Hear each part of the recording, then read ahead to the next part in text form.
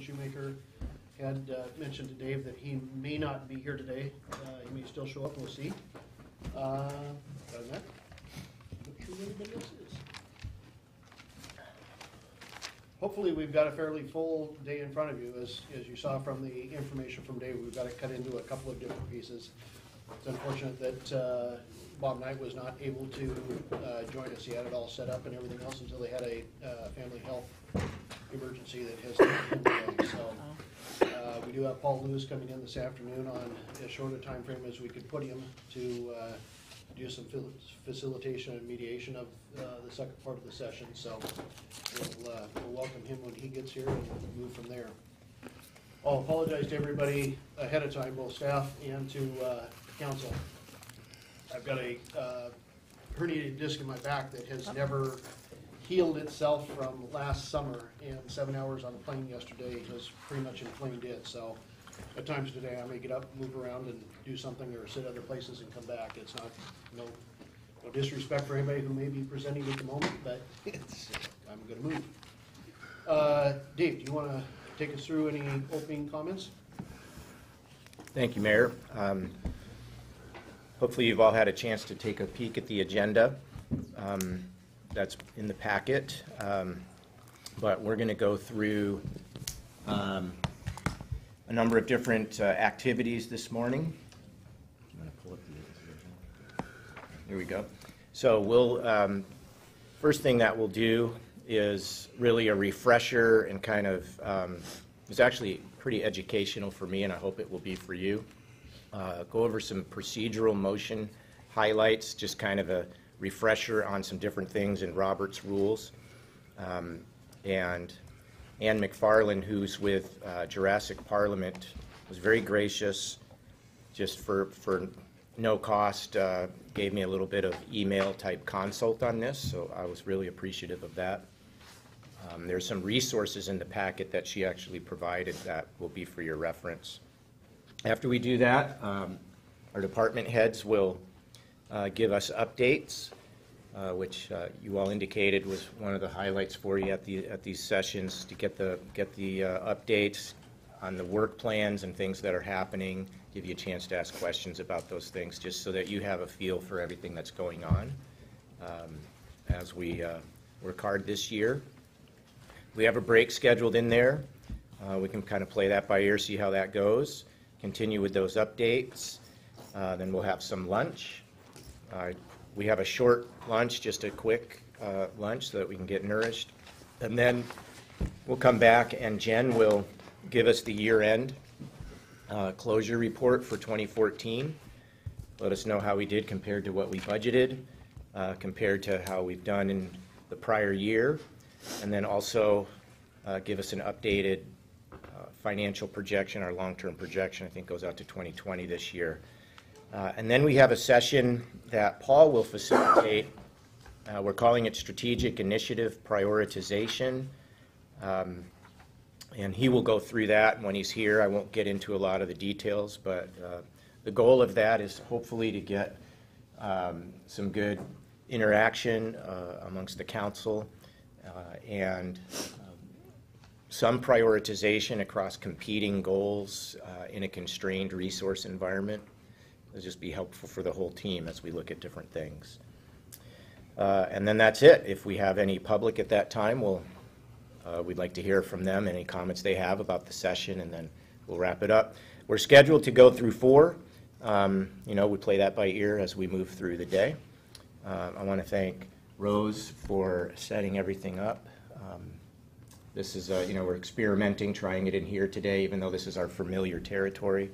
Uh, Hopefully, this will be comfortable, and we'll see how it goes um, in terms of a venue.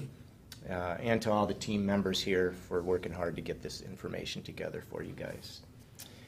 So with that, um, we can jump into uh, this educational piece, and I have everything that we need up on the screen so that we can walk through it that way. Dave, before you get there, uh, everybody should feel uh, free. There are certainly food, beverages across the way in the break room, um, as need to, certainly wander out that way. One of the things that I asked Rose to do was to make sure that we didn't have a buffet set up here in the council chambers themselves, but you're welcome to bring stuff back and forth, but it's all located over there and all set out.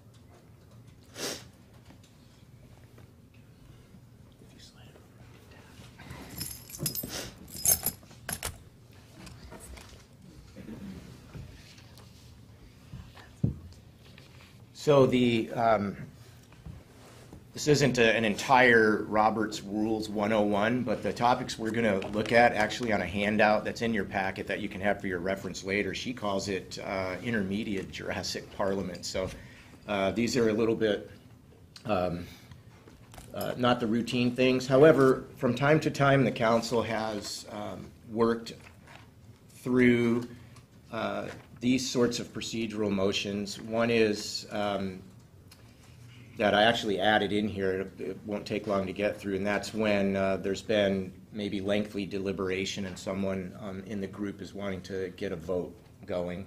Um, There's a real common misconception that I had not been aware of that I even had, so we'll get to that.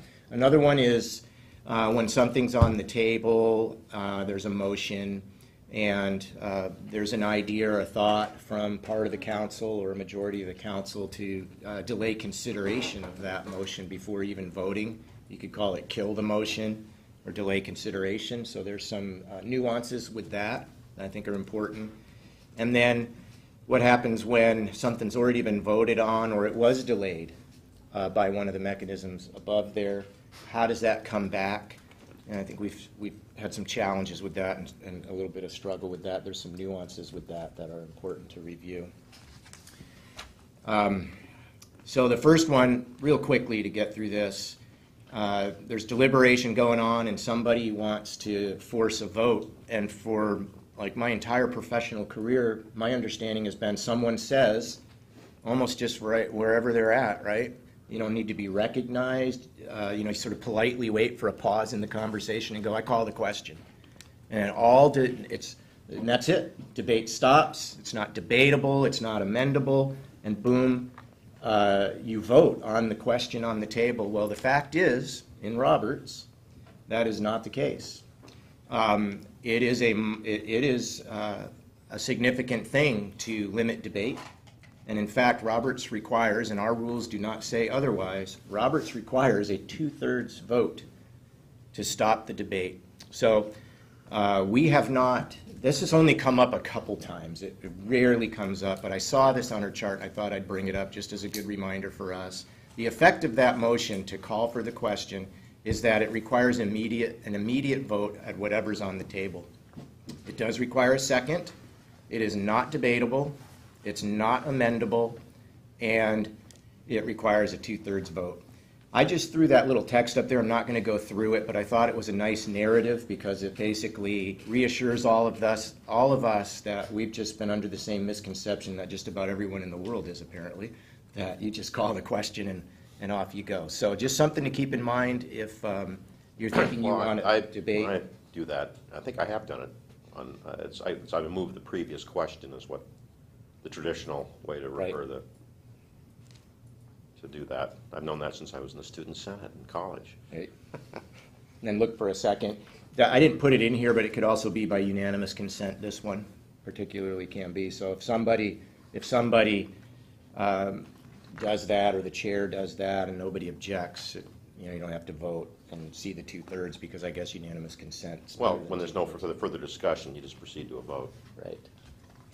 So anyway, pretty simple and straightforward, uh, but I was a little bit surprised just based on my previous understanding.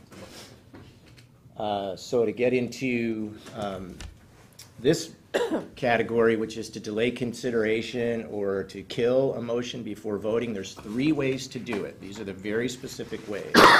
One is to postpone it to a certain time, the other one is to table it, and the, and the third is to postpone indefinitely, and they are all distinct and unique. This one is um, very straightforward, postpone to a certain time. The effect of this motion is it just delays consideration to something very specific in the future. You've done this uh, fairly, reg- not regularly, but pretty often when you want to give some additional time. It needs a second. It can be debated. Talk about, well, what day will it be that we uh, do it? It's amendable, so if you want to change the date, you don't have to withdraw your motion, you can change the date, and it just requires a majority vote. Very straightforward, but it is one way to delay consideration uh, to, a and it goes to a specific time. Now, Here's one where um, this was very helpful for me. Uh, We used this, this term table a lot. We want to table the item. It means something very, very specific. So the effect of a motion to table is that it temporarily delays consideration of a motion. And the, the definition of temporarily in this case is that it must be taken from the table, and in the next category, I'll talk about how you take something from the table. It must be taken from the table at the same meeting or at the next meeting. If not, the motion dies. However, you need to understand that if it dies because it's not taken from the table that night or at the next meeting, then just come up again at a future meeting subsequent to those, and it's just like it's a brand-new motion. So it's a temporary, unspecific delay. Uh, To table something requires a second. It's not debatable, not amendable, and uh, it requires just a majority vote. So once that motion is made, you vote on it right away, knowing that it's only temporary. There's some great literature um, on her website that talks about when you should really use this or not, and they assert that it's really not when you want to kill something before it's voted. It's really more for, you know, something else is pressing and we need to just kind of wait, but we don't really know how long we need to wait. And that's why you see that language about um, that meeting or the next meeting is when you pull it back. However, it's not out of order if your intent is to stop something from being voted on. It is not out of order to make this motion, but it's not, apparently not the spirit of it. So that's what tabling does. There's another one, it's called postpone indefinitely. This one kills the motion for the current meeting. That's the limit of its effect. So you're done with that for the night, it can't be brought back, postponed indefinitely. So unlike tabling, where you could, it could be brought up that night, uh, it's just killed for that meeting. It- But you can just bring that motion up at a future meeting, just like it's new. To do this requires a second. It is debatable in this case, uh, but it's not amendable, and it just requires a majority. So keep those in mind, the distinction between tabling and postponing indefinitely, and uh, this, this, um, in your packet, I'll just show you, this handout is in there. It's a nice chart. You don't need to look at it today, but it's in your packet, and, and it's a guide that we can all use to help us with that. Um, So that's postpone indefinitely.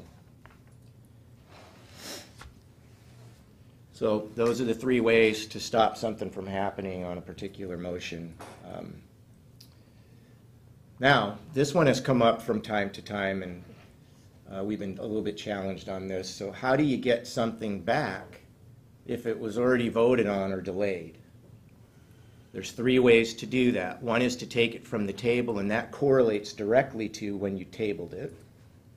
There's another one called reconsider, and then there's another one which is actually two, but it's grouped together in Roberts, and it's to rescind or amend something that was previously considered. So we'll go over those. To take something from the table, its effect, as you can imagine, is simply to bring a tabled item back up. But remember, the tabled item is tabled for the same meeting in the next meeting. So this is only in order if the motion was specifically tabled, and it's only relevant at the same or the next meeting. It does require a second, and this one, like the tabling motion, is not debatable or amendable, and it just requires a simple majority to do it.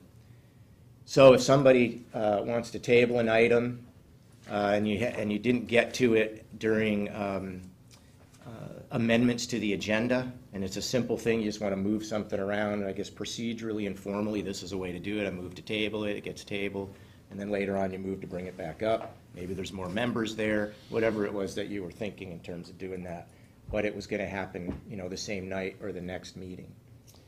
So that's the taking from the table.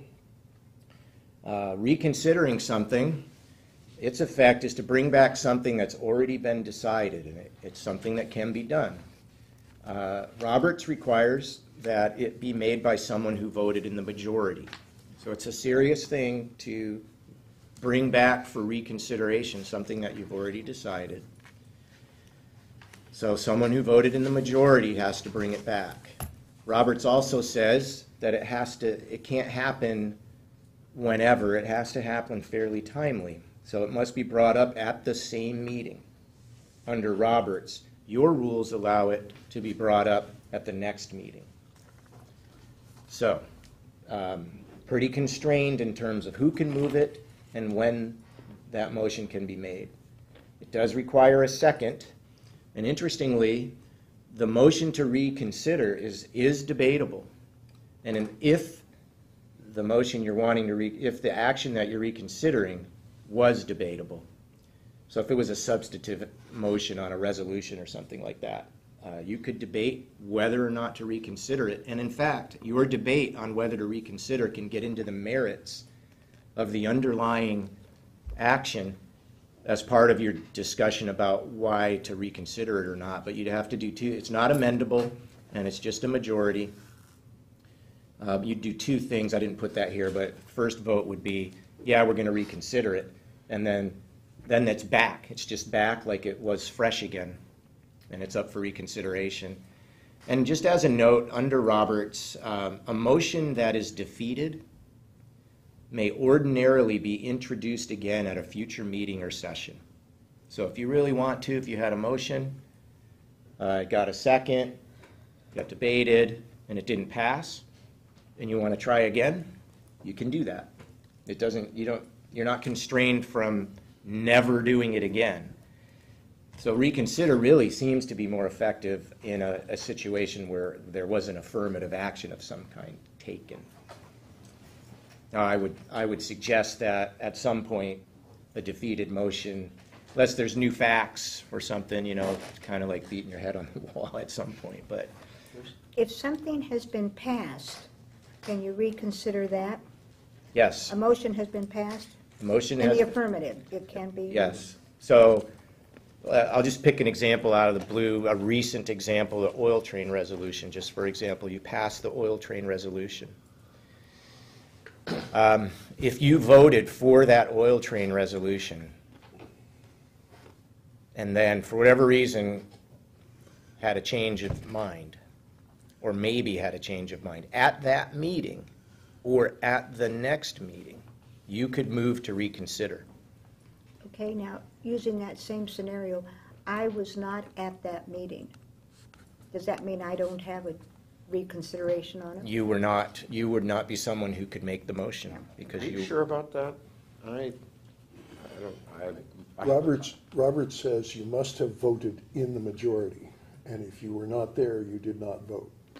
Yeah, but it might change the actual, um, you know, if someone was absent and their vote might have been decisive, it seems to me that it kind of defeats the purpose of reconsideration, and that's if, you know, we have a different makeup of the body, the will of the body, I don't know. Maybe that's something we ought to consider for our specific, it's my understanding, it's my understanding you had to have voted in the majority in order, because this is one that, um, in the narratives around all this stuff is not to be taken lightly, you know, reconsidering your action, and uh, you have to have voted in the majority. But you could change it. Jennifer?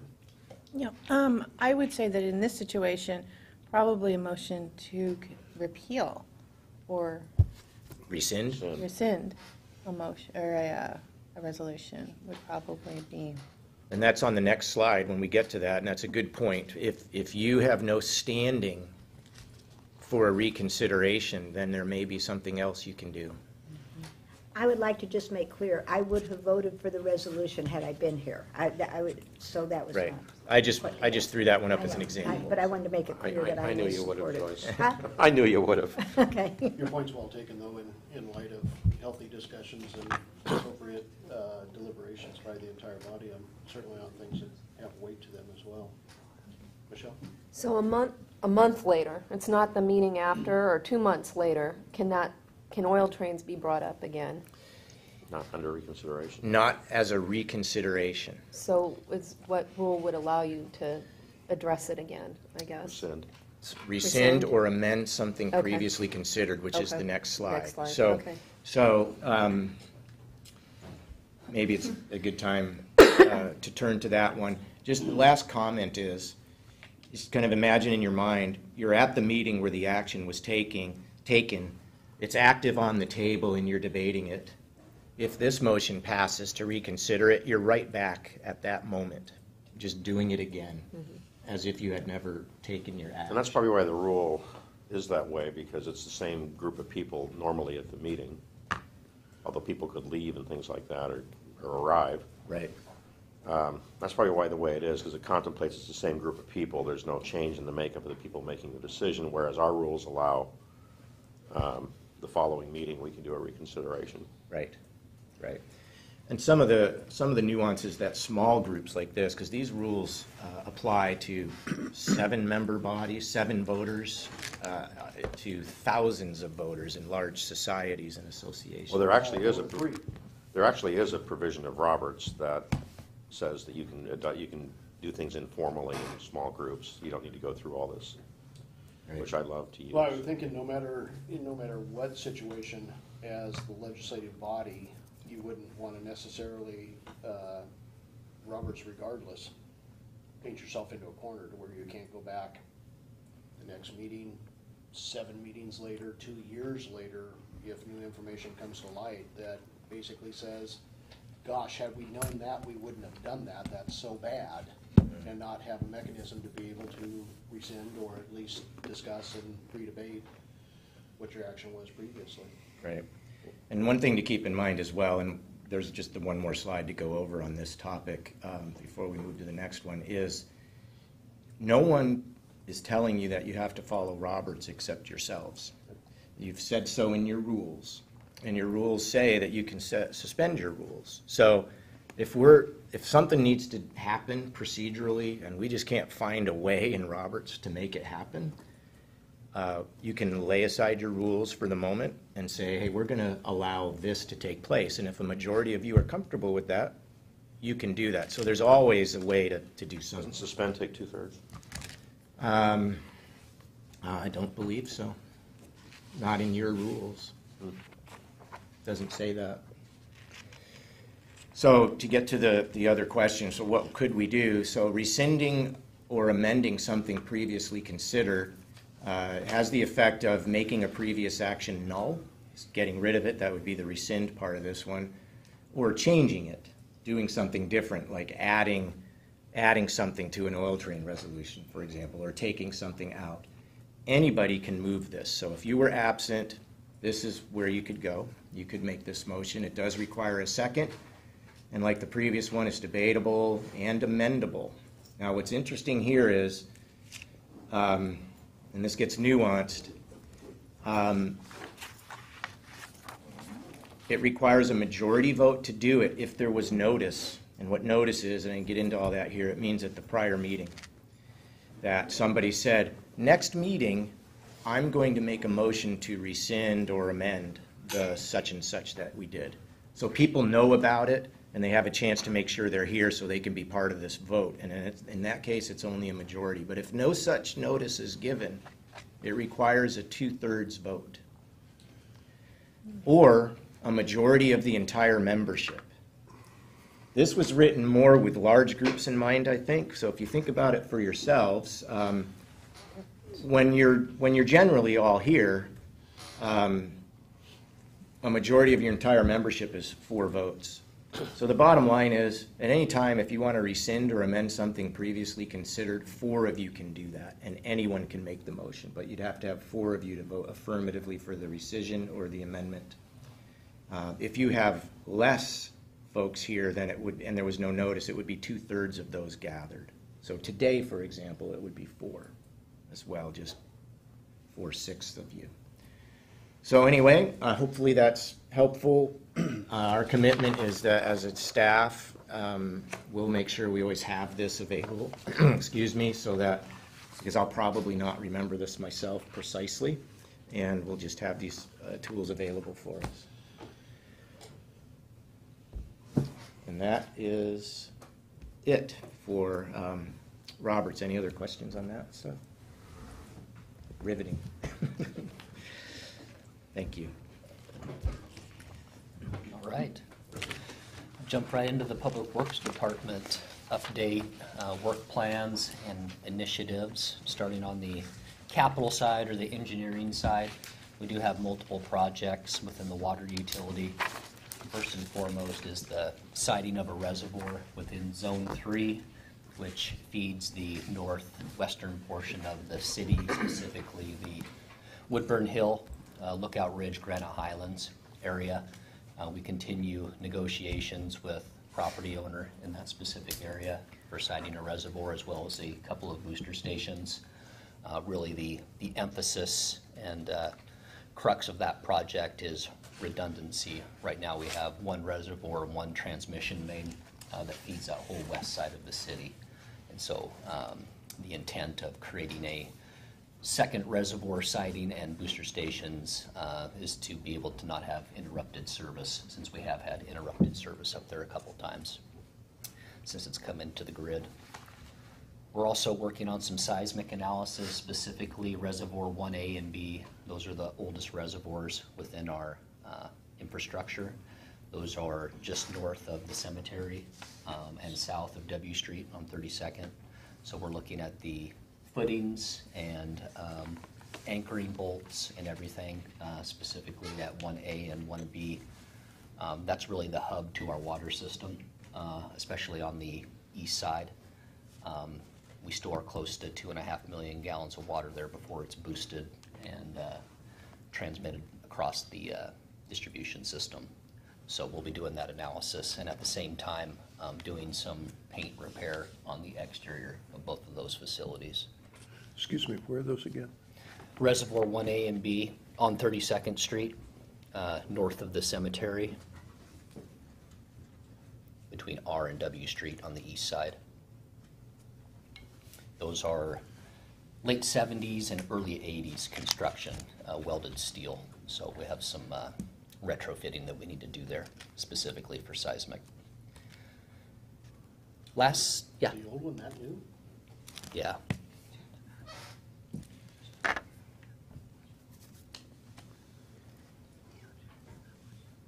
I had conversations with Magna Vista uh, LLC Water System, small private system in the northeastern portion of the city.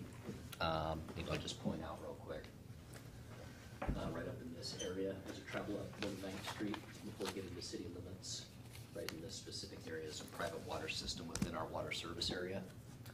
I reached out to them last summer, did a formal presentation before their board, uh, just gaining uh, interest um, in looking at the feasibility of bringing that system within the public water system. Uh, There is a grant opportunity through the Department of Health, uh, specifically with small private water systems to be able to be incorporated into Class A systems. Department of Health is fairly bullish on that, um, just to be able to reduce the amount of satellite systems, specifically in Clark County. Do they have to adhere to the same standards that we do as a city? Do those little water systems have to have the same standards? There's different tiers depending on how many connections they have.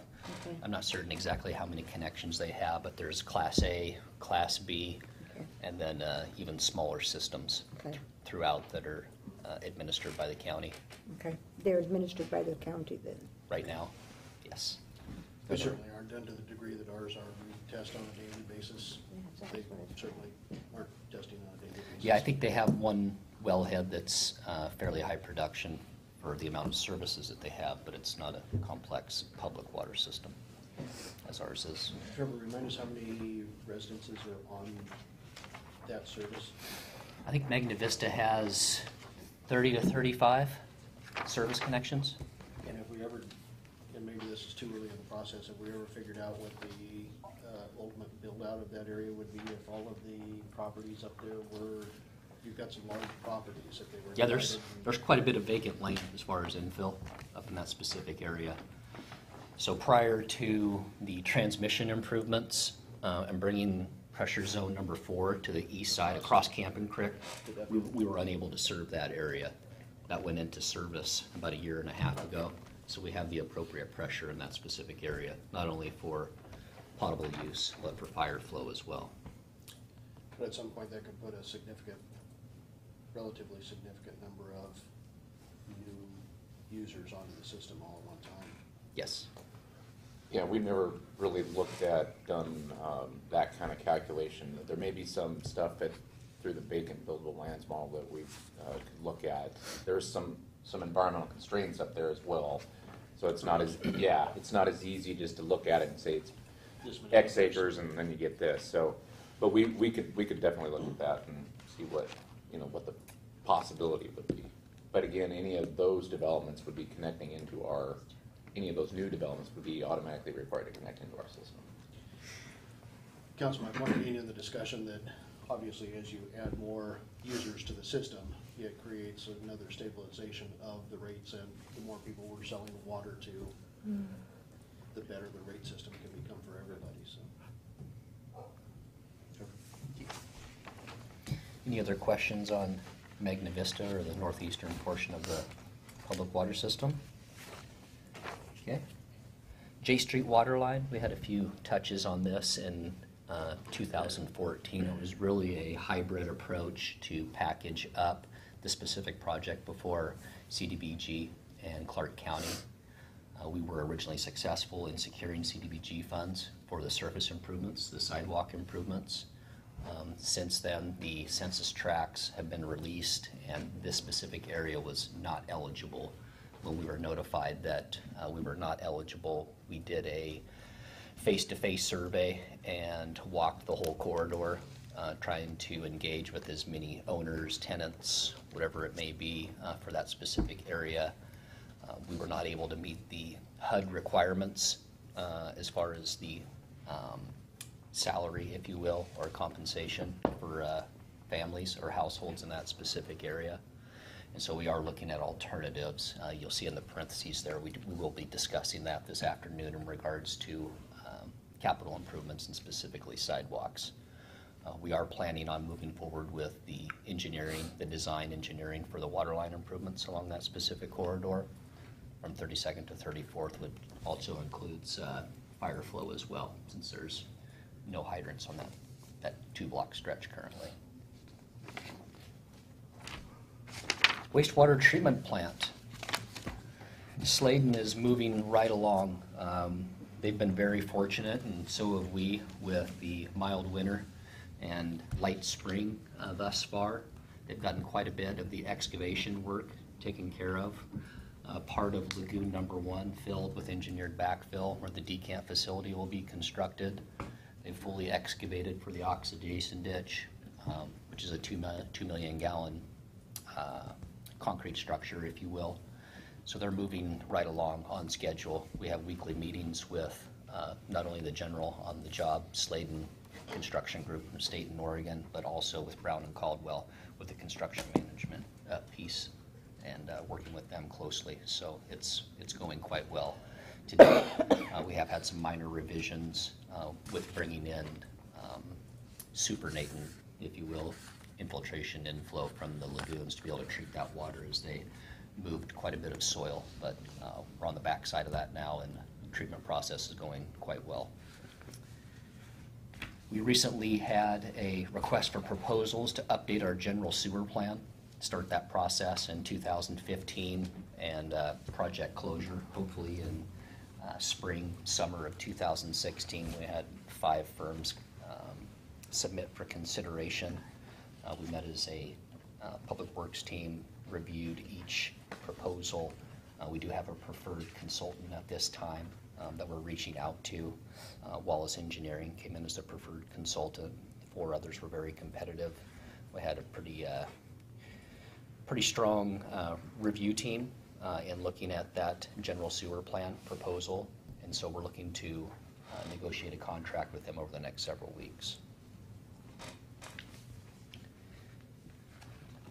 Parks, the Columbia River Trail Project, design and permitting. Design would be in this calendar year and construction uh, within a- within a 24-month window. We're still chasing that project. Um, Have had conversations with the port and met with them uh, in regards to their waterfront project, as well as the other holdings that they have on South A Street, trying to coordinate uh, timing-wise and construction to be able to to construct that specific project uh, ultimately having connectivity from Steamboat Landing all the way to the the waterfront or to the marina uh, at the port. So this is the piece of the project from Steamboat Landing to South A Street? Yes, and there's some private holdings along there. Right. A couple of those parcels, I believe, are up for sale currently, and so we're, uh, we're still working that. Um, I know our preliminary estimates are pretty high, just having core review and being within the um, review as far as the floodway. And so we're looking at different ways to frame that, but it does look like a significant chunk to be able to accomplish that trail connectivity from South A to, to Steamboat Landing, Just to build it. just to build it. Are there grants available for this? Yes, we'll be chasing those grants, both locally and federally. That was the same question I had. Uh, So the port's not paying for this, uh, It's not- Ned? It's not more property. Oh, okay. So it's, uh, so Steamboat Landing's right here. So the port's doing all of the waterfront improvements along their, their current holdings up into the transition to South A, and then from South A Street to get to Steamboat Landing. There's a small stretch in here where there's no, It's about a mile, Right mile and a half, is that, a mile, mile and a half, is that part of the trail? Um, About our and portion of the trail's much shorter than that. Oh, is it? Okay. It's within a couple, three hundred yards, I believe, Oh, for okay. connectivity. No, Much at all. But Jennifer? Yeah, is the, um, is part of, will part of the trail have to be elevated? Or, because it's just kind of a steep drop, it seems like, on the side of Highway fourteen. There's a lot of riprap down there, and at some, there was some discussion on the first walkthroughs that it may be something where there may have to be some piles put in there or a boardwalk or something of Yeah. that type, just because of the topography that's there and what DNR may allow you to do or not do along the shoreline. But, and that's, that's really the chunk we're talking about. The, the biggest portion of what we would be responsible for, if you will, to put the whole thing together, because it's on public streets, uh, would be on South A, or on A Street itself. Um, It's just figuring out its dollars. Yeah. You know, there may be some easements we need to purchase alongside there, and it'd be, as Dave was mentioned before, it'd be similar to, uh, Marine Park and the, the area down there around beaches and where it comes back to a city street and goes down and then comes back to the water. It'd be similar to that. The area becomes, uh, interesting. Is it Mr., is it Holt? Who's the gentleman that's the last property owner there that's had the contentions going with the Schmidt family? Heinz. I Heinz. think. Heinz, from Mr. Heinz' property to where Steamboat is itself, just because of what's there and the riprap and the topography of, it's just difficult. And when you have to make it to ADA standards, it's more Yes. difficult. All right. All weather surface and. Paul, did you have a question? um, m- mostly that, what, I, I thought it was gonna have to be cantilevered out over the bank. No, Um, so would this be considered a trail part of our park system or a sidewalk? Park system, well, Both. it's trail. Both, yeah. yeah, both. Kind of both, yeah. Okay. Parts of I was just park. trying to figure out where the money would, might come from, which, which pile. Could be multi-pile. Yeah. Yeah. Okay. Well, I was just gonna say, can the money come from the parks? Because the parks do have, s- they have s- money there. You can build trails with PIF if the trail's on your facilities plan, and you can build uh, PED facilities with TIF if the PED facility, pedestrian facility, is on your transportation plan. I believe that's, yeah. Yep. So I think both of those funding sources would be appropriate, as well as just any general fund or grants. And that section is on both of those, correct? The, definitely on the parks trail system, I'm not sure on, in the transportation part, I know that we had some discussion about it late in the game, and then when, um, because we, it- when we were updating the transportation plan, um, but then, because we have to update it again by the end of the year, we said, all right, that's something that we're gonna put in place and make sure we get it on there. So I, I don't think it's there now on the transportation side. But you've got a marker in there. is that- Yes. Okay. Paul? Would you build a trail strong enough that you could move a police car down it if you needed to? No. Or an ambulance, or anything like that? Bike ped, Be wouldn't be, uh, wouldn't be vehicular access. Short of being able to get down there for maintenance with like a uh, quad or gator or something like that. Right. But You it'd think be, you it get would, faster access down there with ambulance if we needed to? I'm sorry? You're thinking about getting an ambulance down there faster than going down to where the turnaround is, the roundabouts and coming back? No, I wasn't thinking of that so much as, as that it just made sense to me that you would have, I mean, for instance, when we talked about running a pedestrian bridge across the Washougal River in order to carry a, a sewer line, part of the plan was to make it strong enough that you could run a police car over it so that you could patrol that or respond to an emergency as necessary. We didn't end up building that bridge, but, and, and went through the river instead of over it. But uh, it, it just struck me that, given the relative isolation of some of that, um, how do you get an ambulance there? Down off of A Street or off of the, uh, off of the steamboat side itself and access on foot. I don't think we're ever gonna go through and find enough money to overbuild that enough in order to do that. We also have quads at the police department that can access those while a patrol car can. We've got bicycles that can access it, but a patrol car can. I think you're gonna be, I think we will find ourselves somewhat constrained uh, with what the Department of Transportation will allow us to do next to the highway and what DNR will allow you to do on the shoreline as well. I think if you go into that side, that just pushes it into the millions of dollars. The only thing that I was gonna say is that the development agreement that we have with the Schmids only gives us a, a, a certain amount of property and it meanders. It's, it's stated that it would meander through those trees that are there. So I mean, there's a physical constraint as well that we're dealing with. Mm-hmm. Michelle? Is there a ballpark figure, not including acquisitions or even either or? The, in speaking with our city engineer, I know the initial estimate, which was very high level, was north of a million dollars. How much? North of a million. One to one point two. And only a tiny fraction of that is the acquisition costs. Tiny fraction. All the rest of it's construction, design and construction. And so for this afternoon in the session, there's a parks thing up there, and I put one and a half to two. Even though Rob has said about one and a half or one point two.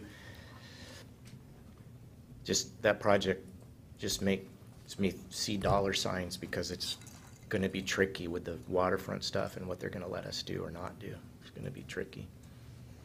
And the only thing that I, I guess I'll say in, in, in working with the port and that group of citizens that are involved with the port, uh, as that trail gets moving forward on the port side, I see a lot of those folks coming to our door to, you know, want to push that, that, that project forward. So I think that will really start heating up. Your Towns Trails folks will also be Yes. involved. Yeah, and they are Friends of the involved Columbia that River side. Gorge. You- You've got a lot of, I guess, to what to us would be non-traditional uh, partners that will likely come into play to try and see that done. It's a big project though for a very, very short distance. It's going to be named, or there's some discussion about this, but the Washougal Riverfront Trail, is that river, Washougal Waterfront Trail is Yeah. what, yeah, and, and if you've seen, yeah, that's the, there, there's some d- debate going on online about that right now, but Really? I don't think we've had any formal discussions at all about any named, uh, anything out there, so. I think that on the port side, the port portion of it is what is, they're naming it right now. What do they want to name it? Washougal Waterfront Trail. That's, but, but they, you said there's debate, is there, what are the other suggestions? Uh, well, there was just debate about, um, from other residents on the, because it's the port of Camas, Washougal, so maybe there should be a name that is inclusionary Oh. with Love that. Camas. Oh, okay. And, As long as Washougal comes first. Why don't you name it Steve or Bob or something like that? so, there, uh, it will be an item of discussion at the port's meeting on Tuesday. Um, I've heard at the parks meeting and at the council meetings talk about the ADA accessibility to Steamboat Landing, and I, I think like three hundred thousand was mentioned at one of those. Is that money in competition with this bike path? It, it is, so that, All of those monies, no matter where you have them, and those buckets are in competition with themselves. okay. I think And- that's part of what the discussion will be today, as you begin to talk about those, prioritize those, at least for the time being, not knowing where dollars are gonna come from the other side. And then is it an accurate statement to say that that was grandfathered, but we're, I've been told that it's, it's becoming that we need to make a decision on that or do something about that, or can that get pushed out, the? You're talking um, about the compliance, the regulatory compliance, yeah. So Title IX of the ADA requires that uh, communities make all of their facilities accessible to the disabled, and it requires a transition plan. And so it doesn't give you a drop-dead date by which you must be accessible, but you have to have a plan. And that then becomes, the ADA is enforceable through litigation, third-party litigation. It's, they don't have like inspectors that go out and cite you like we would. So if somebody sues us because we're not accessible, an affirmative defense is that we have a transition plan that's got some grounding in reality in terms of timing and funding. So that requirement went into effect. I think Bush one signed that, so, you know, we're getting twenty-five years into it. So we, we need to do it. There's, there's a cottage industry of private practice lawyers that make their living collecting attorney's fees in litigation on the ADA, and so that's, that's how, the- that's how it gets enforced, basically. Right. Now, I can tell you, after spending the last two days in DC, pushing wheelchair all over that city, that we're not behind a whole lot of other folks out there that have a whole lot more money than us that aren't even coming close to complying to it. And, and that access again was just to the dock, uh, to the, to the lookout, Just to the. old- The observation. yeah, the deck. observation deck. Yeah. And, uh, can I ask a question? What, was that determined that it was, that that was in compliance with ADA and then therefore we didn't need to? No, we need to bring it into compliance, We but we need- don't have the dollars yet to do it. That was okay. And Thanks. so could you do a ten-year plan where every year you're socking away a certain amount of money I for think it, you or? can do anything that you see fit to do as long as it passes a reasonable test, really. I don't know You- you can't where just- we'd be at with our plan. We have a transition plan. Yeah. You- Bottom line is you can't ignore it. Yeah, And that one is property that we already have with facilities that we already have that is out of compliance versus this, that would be a whole nother new thing. Um, Certainly if we build it, you'd build it to compliance, but you, it wouldn't be unreasonable for you to have folks in the community saying, hey, what are you doing building new stuff when you haven't even fixed the other stuff that we can't get to? Those debates you can have all around town. It can be packaged as well as far as construction of the trail and bringing that facility up to ADA requirements. Those, uh, Dave and Trevor, remind me though, on, that type of a project would not have any ranking at all with conservation futures because it's not buying land to preserve it or anything else. It would actually be building a trail. That wouldn't qualify under the county's conservation futures plans, would it? I haven't asked that specific question, but I mean intuitively, it seems to not fit the mission, but it's possible that it Parks and could. open space. Right. The, the, the mission of those funds is to grab stuff and conserve it, not necessarily develop it. But we could find, we could ask, There may be a way to do it. Because there's some acquisition that's part of that. Yeah, And we did vet it with block grant staff, and it was deemed ineligible. ineligible. Ineligible for CDBG, Right. right? Not, we didn't have the conversation with conservation Yeah. futures. Which was challenging for us to get that because uh, generally speaking, for example, when we did the uh, accessibility improvements here in City Hall and at the community center, we were eligible for CDBG because uh, that constituency is universally eligible, notwithstanding income, as seniors are as well. So we were a little confused but about why this one was ineligible, but Pete really knows his stuff, so it's not, for whatever reason. That part of the trail, I think, is important to downtown Washougal because the whole impact of the trail coming in and connecting our downtown with what's happening out at the port is important. It's important to our core city. So I think that's a strong consideration for us. Yeah, for the right things moving forward on tourism, it's integral. Yes, absolutely. other questions for Trevor on that piece of ground and that part of the project? Okay. starting the process for conceptual design for Schmid. Uh, We have not secured that parcel yet. Uh, In looking at the purchase and sales, the, no further action has not been delivered. I know that they have been doing some exploratory on-site as far as the uh, mitigation plan. So we have conversations with the limited partnership regularly, but it has not been fully delivered, but we are ready to start conceptual design when the parcel's secured. So we are moving forward with that. And just so council knows, you'll likely see here sooner than later an extension coming forward on that sale agreement, just because they haven't been able to receive that yet from the Department of uh, Ecology. Yeah. So it's not something we want to stop the process. Everybody's still fully, um, fully confident that all of the property will be delivered to us clean and certified and everything else. It's just taking a little bit longer than what they thought, so they're going to be asking for an extension. Moving forward and reflected in the 2015 budget, the Hartwood Park improvements. Um, That's additional parking and playground structure. Uh, In the stormwater utility, we do have uh, the W Street and Sunset View culvert, uh, which really starts up um, 40, 39th to 42nd on W Street, and that full drainage or basin downwards towards the Sunset View culvert that's close to the Washougal School District. So we're looking at summer construction for that project, uh, which is uh, definitely needed. Haven't had as much impacts this year with uh, less rain, but uh, that culvert does flow full and over towards Campen regularly. Streets, we're still moving forward with the 32nd and Evergreen reconstruct of that intersection. Had conversations recently with our city engineer. We're getting down to a couple of acquisitions that are pending. So we may be looking at extending the construction window and going back before regional transportation uh, to be able to se- secure those parcels and uh, slide the construction window a little bit, but we're still tracking on, on that project and working that with RTC staff, with Mr. Ransom and Mr. Robbins.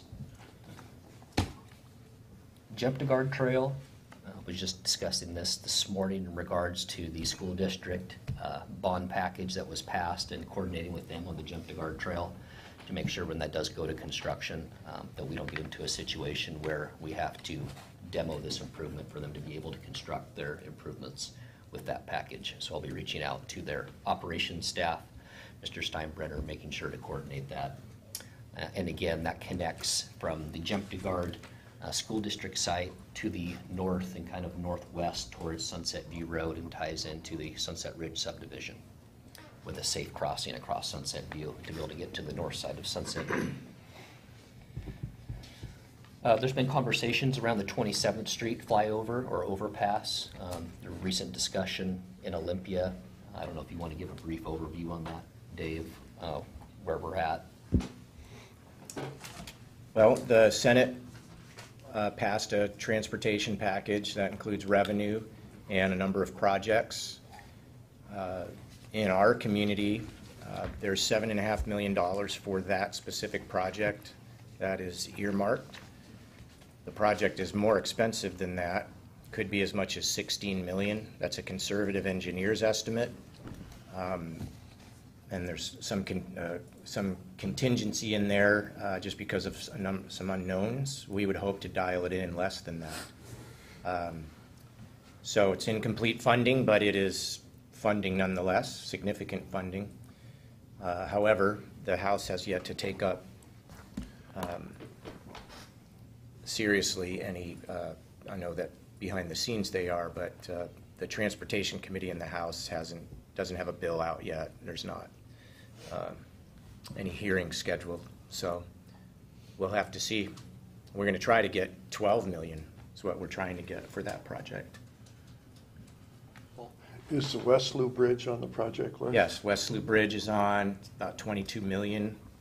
And uh, another relevant project for us is, uh, also on the state route, is uh, 14 between the 205 and 164th, widening there. So those are two choke points for uh, Uh, regular traffic and freight mobility. So both of those projects will help those choke points, and those are helpful for us, so.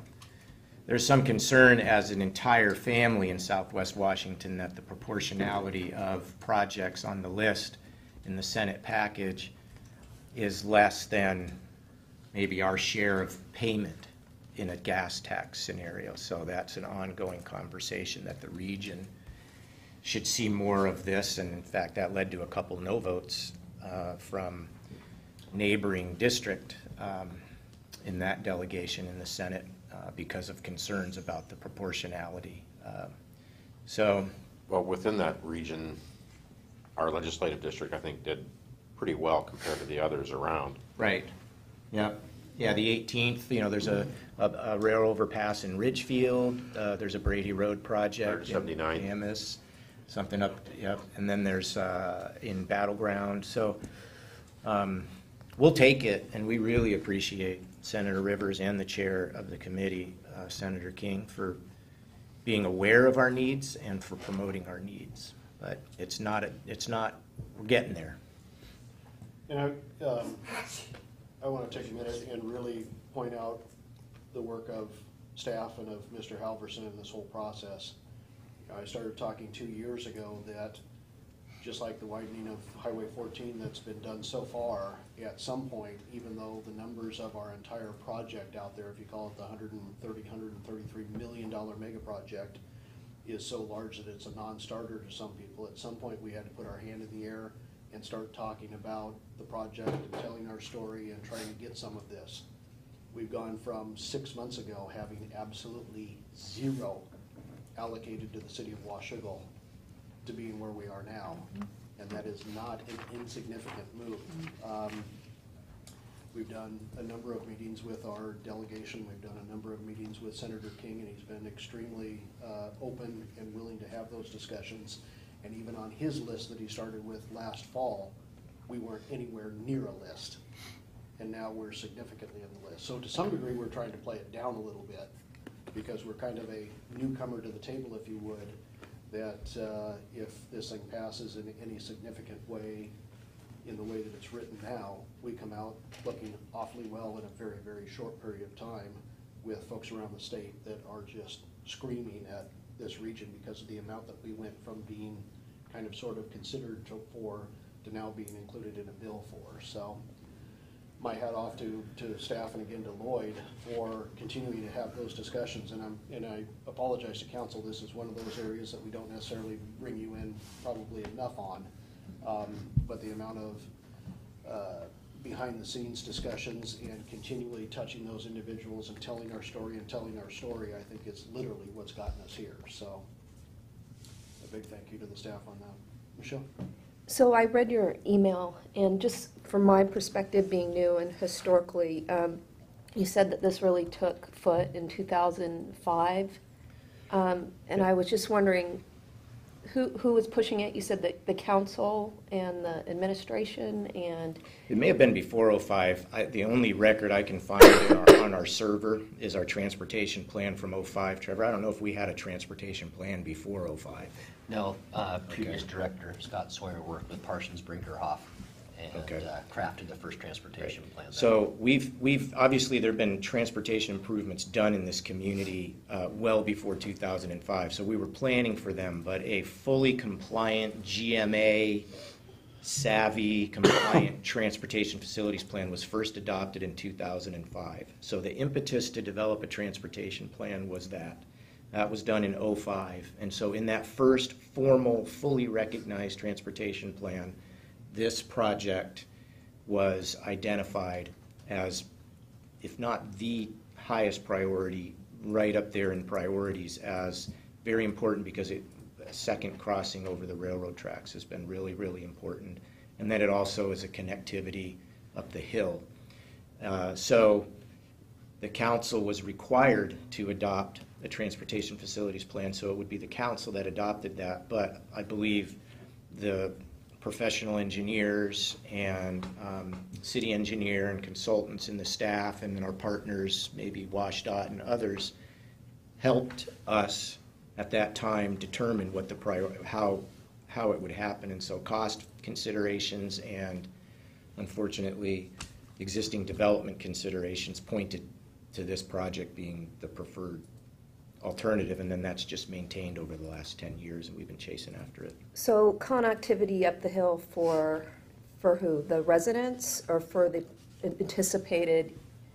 Both, both, both for the residents, but uh, for the UGB up there, Okay. right? You're required to, um, required to, the GMA requires you to plan for the future. So the transportation plan is a 20-year plan that looks out to the future.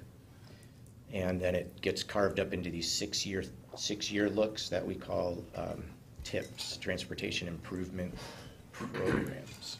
And then the crossing being needed for backups, you said onto 14. And I was curious about how often do backups actually happen on 14 Daily. daily? Every day. Yeah, we- Anywhere between three and five-thirty, when there's a rail car coming across, you're on to fourteen, Okay. just because of the number of people coming back home that use that route. And even just locally, even if 14 wasn't there, just for local emergency services, to have another way across the railroad tracks is beneficial as the community grows over there.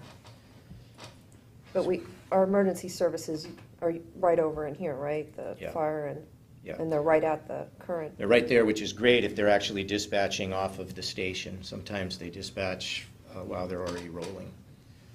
So it just depends on what's going on. It's good to have another one. If something were to happen to that one, sort of that emergency management planning hat, you think of things that are are horrific and that you would never, hope would never happen, but if something happened to that one, then we wouldn't have one. So having a second one is ideal. I think Ridgefield doesn't even have one at all, right, which is a problem, so. No, but on the south side, they really don't have a whole lot down there that, right. yet. Yeah. Although they did have a fatality for a mm, marina For a fire pet, that right. And Camas has one crossing as of now, is that right, or? Camas, well, they have, uh, call it one and a half formal ones. They've got their overpass that comes in onto Dallas Street, and then kind of sort of, they share a crossing with us on Second Street. Although interesting enough, when those enhancements were done for the railroad crossing, I don't believe Camas joined us in paying for those. I believe the city paid fully for those, did we not? Yeah, Washougal bared the cost as far as the quiet zone, but we partnered with Camas, and some of it had to be sited within their city limits. Yeah. Yeah, they've on got, Sixth they've got other ones that are just outside their western end or may actually be in there that are private, just like we have some on the east side that are private, uh, access points going across that they just aren't even in the mix. Well, it doesn't burden them as much. Yeah. Tracks don't burden them as much as it burdens us. No, and even less today, they were finally able to get their quiet zone pretty much done, finished, and approved. Uh, the mill was a huge portion of that because they had to underground a couple of tunnels through the mill process, uh, just to make sure that there's no traffic inside the mill. The- I don't know if you've gone on the rail tracks through there, but it actually cuts right through the mill. And that's the reason it has to start slowing down, because it takes two jogs inside there. Um, But they had to mitigate the traffic of all of their equipment that traditionally has gone back and forth over those tracks all the time. And they did that by building a pair of tunnels that go underneath from inside the mill to inside the mill, so there is no more traffic going across the railroad tracks, which allowed Burlington Northern uh, to quit blowing whistles in the downtown areas that went through there. So they had some other, again, private ones that have been taken care of between Burlington Northern and the mill. I don't think the city ended up paying any of those because none of it was on public land.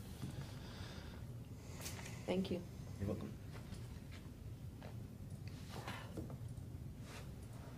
Community center? We were recently notified by the county that the community center application for consideration uh, received the highest score. Our ask was right at 150,000, I think just south of that. Um, So it's pending at this point, but we do anticipate $150,000 of support via the Community Development Block Grant. Again, we scored quite well on the social service side. We didn't submit on the infrastructure side. Uh, We also have uh, consideration uh, in regards to an appropriation, I believe, from Pike's office. Uh, We won't know final determination on that uh, until close of session, but when we ran through the scenarios of doing the improvements at the community center, the the core deliverable was the kitchen upgrades to be compliant with health standards. Um, So securing the hundred and fifty thousand when it comes to fruition through block grant gives us some more opportunities to uh, move towards the more complex scenarios of roofing, siding, the HVAC units. Um, So we'll continue to chase that and uh, expedite the process. I have asked uh, David and Trevor to start moving forward with uh, design and bid processes for that. Um, Anticipation and so far confidence is high that the three hundred thousand that Representative Pike has requested in the supplemental capital projects uh, bill will hopefully be looked on favorably. So between that and CDBG, we're now at four hundred and fifty thousand, if we count that three hundred thousand in there. Um, there is one caveat, and I won't be shy about letting council know at this point, if we do end up running shy of dollars needed for that project, um, you can expect that I'll be back to council to ask for consideration of using some reserves to stopgap that, so that we can do that project, do it in total, and not touch the building more than once as we do that, uh, that project and get that part of the building where it needs to be. Paul? What's the total project estimate? If you could do pretty much everything that you want to do? Uh, we had discussions around that with our preliminary estimates with the architect. We felt like there was a pretty uh, heavy contingency that was built in. I think the numbers we were working with were seven hundred and fifty to eight hundred, uh, short of doing some value uh, engineering or architecture on that.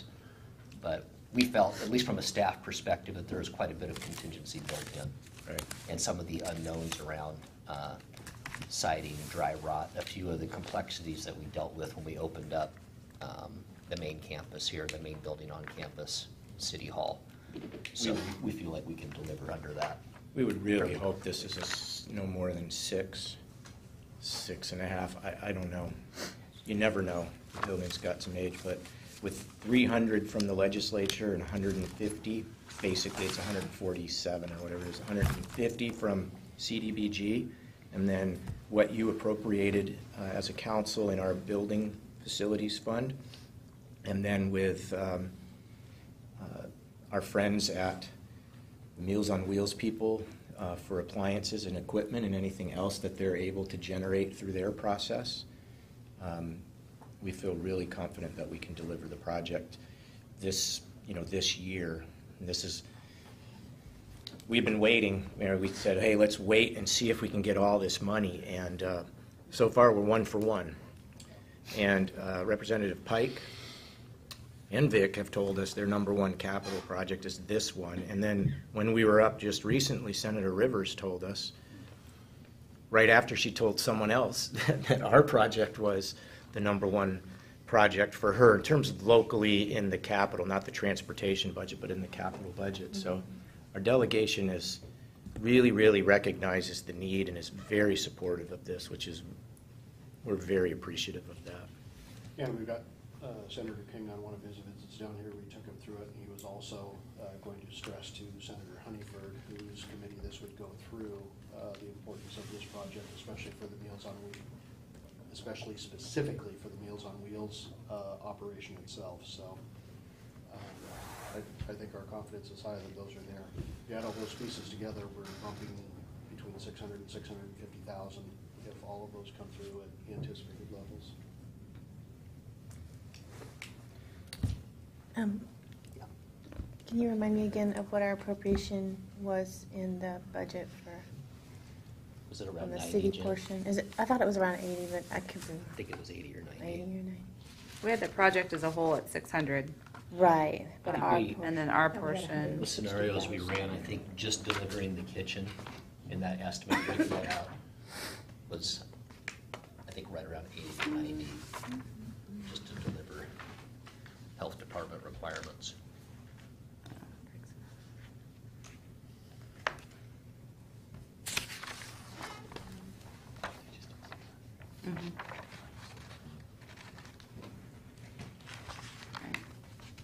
We're going to move on while you're looking, Jen, for okay. Okay. So just real quick on the grant highlights, specifically for projects. The Operations Center fueling facility and working with Department of Ecology, that's a four hundred thousand dollar project, three hundred thousand which is funded with grants from Ecology. uh, the TIB Evergreen Sidewalk Project. This is Evergreen and and 34th Street, uh, close to where Smead's Tavern is, or actually directly abuts that specific parcel.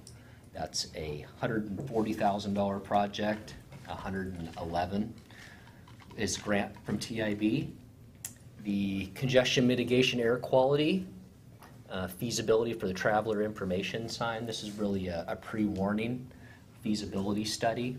Uh, if we did experience a closure at 32nd Street, we'd have signage west downstream of River Road. People would be informed that there's a closure at 32nd Street, would have the ability to take the Washougal River Road exit and use the separated grade to get to East Street. So we're working with DOT on that uh, currently, and that's again a feasibility study. Uh, 40 40,000, which is uh, grant funded, and 7,000 is the local match. And Safe Routes to School administered by uh, DOT, 34th Street. This is connection uh, directly, direct correlation between the J Street improvements um, as well as the TIB improvements at the intersection to the south that are proposed. And that is a $520,000 project. Uh, 470,000 is from grants, so a $50,000 local match to be able to do some safe routes improvements there uh, with the high school and Gause with, in close proximity. Tell me about the traveler information sign, what's, what exactly? So it's a, it's a pre-warning. So in looking at the feasibility, we would do all the downstream impacts as well. So when we have enhanced, um, I guess, vehicle trips utilizing River Road when there's a closure on 32nd Street. Because of a train? Yeah, we need to find out exactly what those downstream impacts are, specifically at E and River Road.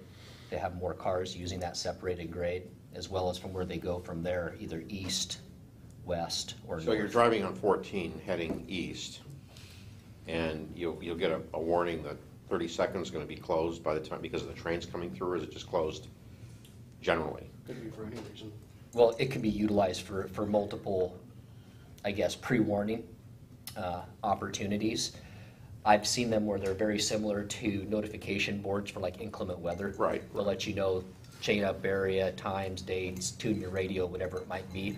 The real core, the, the core interest in this is to be able to give people pre-warning instead of queuing out on 32nd Street during a rail Right. closure, to be able Right. to take River Road, but basically needing to study the downstream impacts of doing so. So that's really the feasibility portion of it. This is something that RTC has spent some time on, not only ours, but several others. And what's being talked about, if you go across the 205 bridge, just after you get into Oregon over the next couple of miles, there are new reader boards there. Uh-huh. That's exactly what we're talking about. I mean, so it says like travel time to, those, those signs. Or, travel or, to- or it can say there's an accident here. Okay, They're, they're general reader boards. You can put anything up or there. congestion on 32nd, and sometimes I get to 32nd, not taking the Right. overpass. I get to it and I say, oh, man, I go down to Gibson Road and come back. That's where this was born out of, is your mayor going across there too many times and seeing too many people pulling U-turns out there on the highway, because now I can see what's happening, I'm going back the other direction, so I went to staff and said, is there a way, Going are down to there any? Gibson Road, and come back that way. Pardon? Go down to Gibson Road and come back that way. Yeah, some people don't do that though, and this is both, one, to relieve the congestion down there, but two, to relieve the, uh, the safety involved in those vehicles making those U-turns on the highway, which is a little bit boring there. Joyce? Who puts the information up? Is it the police department that puts the information up? What, what my suggestion was, if it's helpful and it's able to be done, is for it to be, in the case of rail traffic, it would literally be triggered by, uh, a sensor that the railroad would have out there either on eastbound or westbound trains, either one, in order to give you enough warning before you get over the top of the, that rise. Well, does somebody type that in? No, it would automatically be triggered. No, okay, Something's coming through here. And again, it's just a warning, use it as you will, but.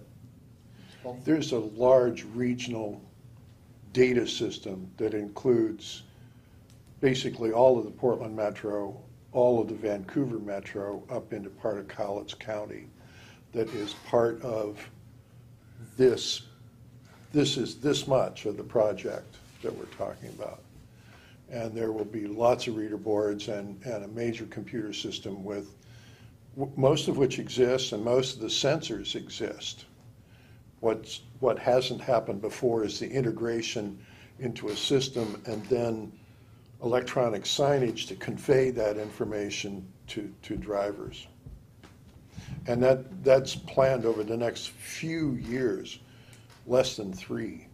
There'd be major implementation of that throughout the, the whole metro area. And the whole, the whole justification behind the project is the congestion mitigation, air quality is really fancy for cars not sitting there and idling.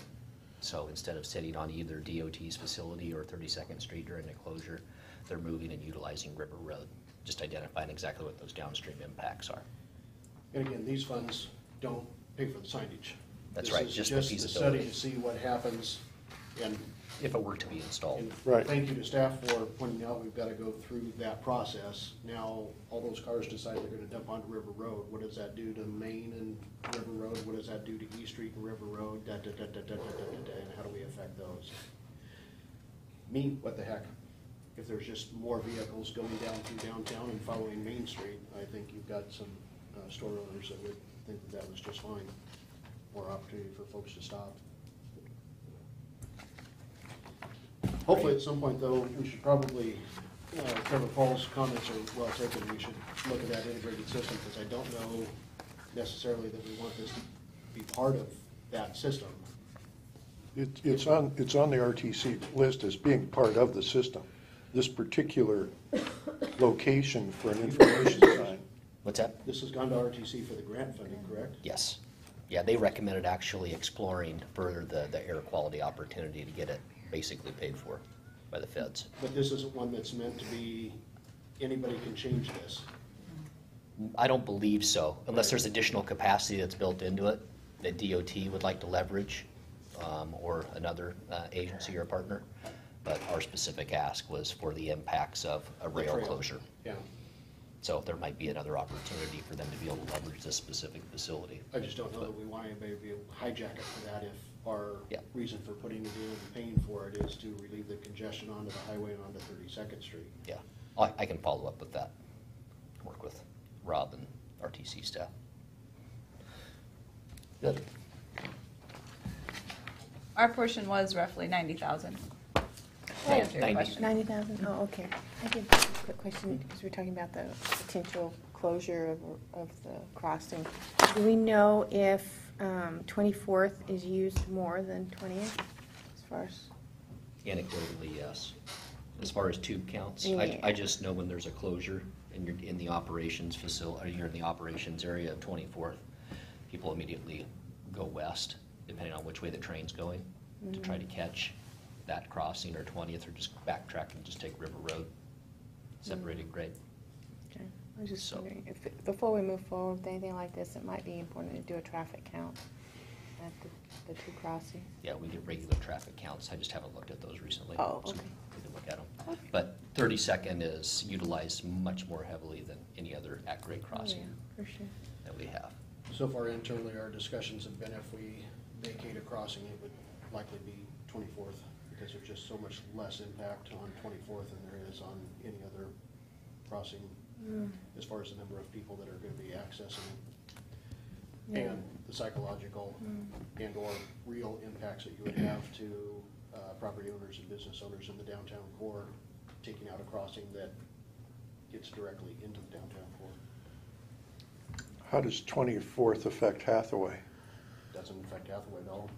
Well, I, I travel on Twentieth because I deliver food uh, to a Meals on Wheels client there.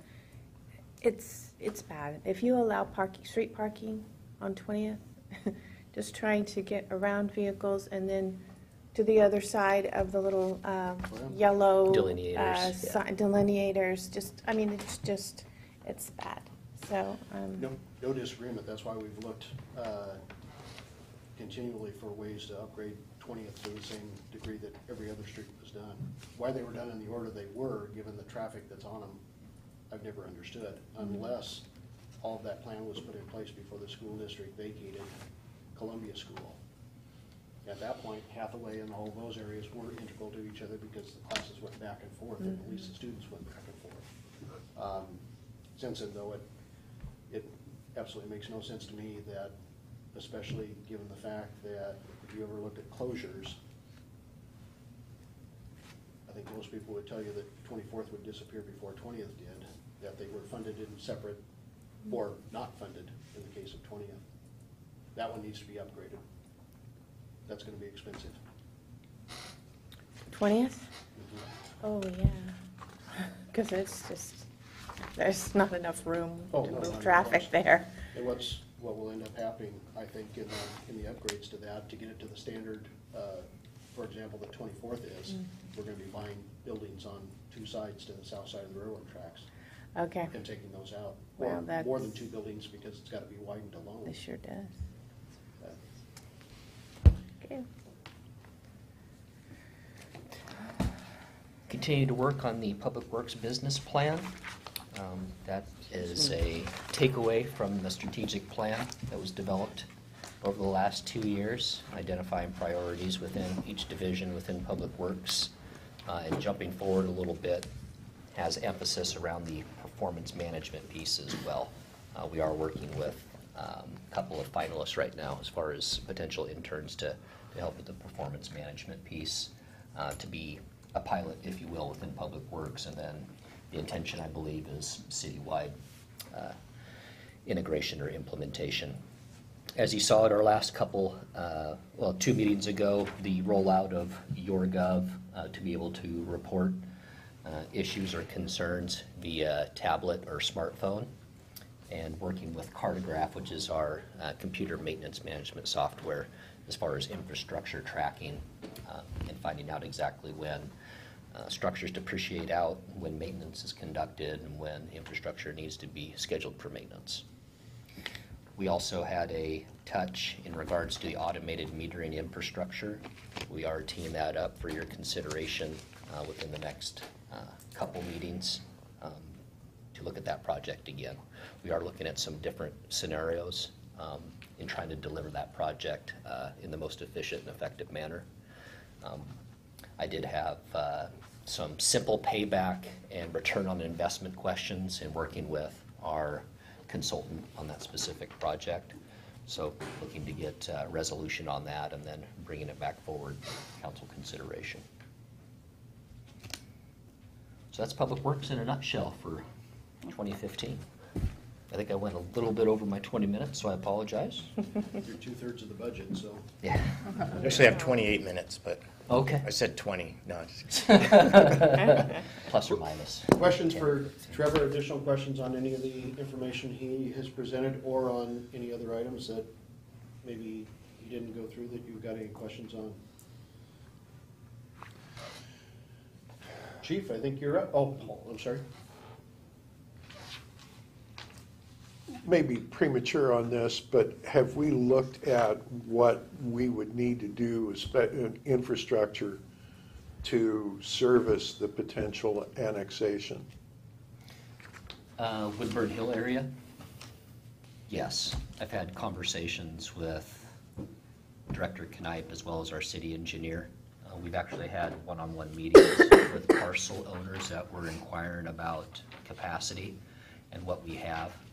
Portion of the Zone Six improvements at the top of the Public Works presentation, we talked about siting a reservoir and constructing a reservoir.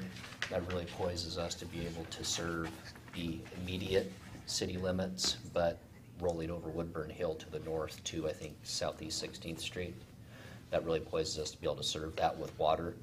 And uh, sewer, we also have uh, identified strategies uh, inside the general sewer plan to be able to, to serve that. Area. Wastewater was the one that I was more worried Yeah, about. It seemed it's to me really- that water was in At a high level, it's really uh, a rollout of multiple pump stations or lift stations to be able to bring that back to current infrastructure, the way it sits right now with the topography for But we, sewer we service. have enough wastewater infrastructure on the south side of the hill to be able to handle what we lift into it. Yeah, so ultimately, everything is gonna make its way over to lift station four.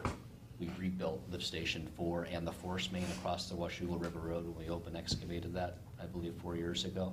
So ultimately, everything on the north and west side of the river makes its way through pump station four. That's also part of task and deliverable within our general sewer plan RFP that was recently put out.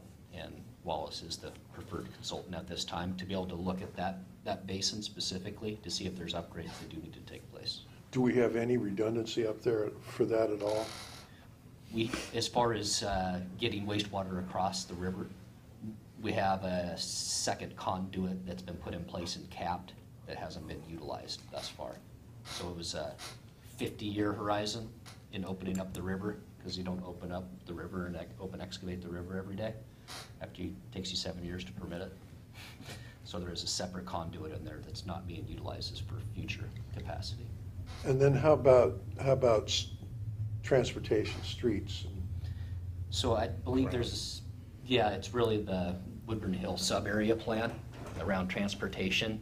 So when that was annexed in and developed, there was anticipation of circulation to the north and to the west back to Crown Road. Um, That was inside uh, the UGB, but not within city limits at the time. Maybe you can speak to that a little bit more. Yeah, I You're mean- Working with Lancaster and Th- th- There's stubs out from the south that you know of, uh, 20, 27th to the north is within uh, our plan as well. Generally, all the infrastructure in there will be, you know, done at the time of development and then, and, and I think that's kind of the bigger question that we, we started on when we were talking about annexation, that when we kind of tabled that and the employment center portion of it, that, you know, that whole area and, taking a, a better look at it, um, we may look at that time and saying, we, you know, we need some, you know, it's pretty obvious looking at, we'll, we'll want some more north-south, we'll need to get it up there, and how will it go really east-west? Um, But at a transportation planning standpoint, we're really looking at the major infrastructure uh, around it. The circulation portions will come at the time of development. Thank you. There may be some need as well uh, to look at the Thirty-second Street side, uh, specifically down where uh, the new Schmidt Park would be. I believe one of the considerations in there, Dave, did we leave it in the agreement or not, is they sell off the property on the east side for development. Was there not a lift station that needed to be down in the proximity of the park on one side or the other of Thirty-second? uh, potentially on the, the west side, the parcel in question, as Right. far as the Stiles Basin. So there's uh, potential for upsizing that or putting some redundancy in there for future as well, both up the hill from there and in addition what's coming across uh, through Stiles. the river and through. Yeah, Stiles Road Interceptor, it's been diverted a little bit within our sewer CIP. Everything off of Thirty-second Street to the north towards Stiles and uh, Forest View, Mount Norway. Any other questions for Trevor? Okay, we're gonna do a little deviation on the agenda. Uh, Chief's got a little bit to go through. Uh, Jeanette's got a little bit less, so Chief, we're going to let you off the hook for a moment. I could have condensed it. And, uh, no, no, no. Reader's Digest. So we're gonna go to, uh, Human Resources next, and then we'll take our break and come back to, uh, Chief Mitchell. Jeanette? Great, thank you. Um, So the um, first item is the classification and compensation policies. So our uh, current policies in both these areas are um, very general um, in nature. Um, So I've been working on a um, revision uh, for both these aspects. The classification policy itself, so there'll be two separate policies. uh, One to address the classification piece and the other to uh, address the pay administration piece. Um, The classification side will um, speak to um, the philosophy, guiding principles, roles and responsibilities, um, the classification for new positions or positions that could be impacted by um, a reorganization within the city. On the pay administration side, um, this particular policy uh, will address um, situations such as um, um, how we, from a pay administration perspective, how we position ourselves um, relative to um, comparable organizations. Um, also, how to handle pay adjustments as a result of that market analysis um, that, uh, that we bring back. And both these policies are in a draft format um, right now. I've been discussing them with Dave. Um, the goal is to bring um, both of them forward in a workshop, probably within the next couple of months, and then hopefully, certainly by mid year, um, we will have both these um, policies in place and certainly could inform um, our discussions as we get into collective bargaining this year. Were you gonna maybe uh, run them through with the finance committee before? Absolutely, yeah, I felt um, a good benefit um, in meeting with the um, Finance Committee on uh, one of the other items that I'll go through here in terms of cost savings. So absolutely, run it through that first and then bring it uh, to council workshop and onto, um, you know, hopefully, you know, a formal presentation. Okay, thank you on that. Um, The second item, the uh, Well City Award.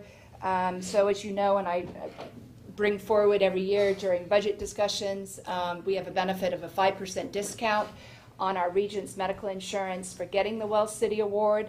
Um, It's not trivial. um, Five percent? 5%, I thought it was two. Two percent. Two percent, sorry, my number's gonna be, yeah, two percent, sorry.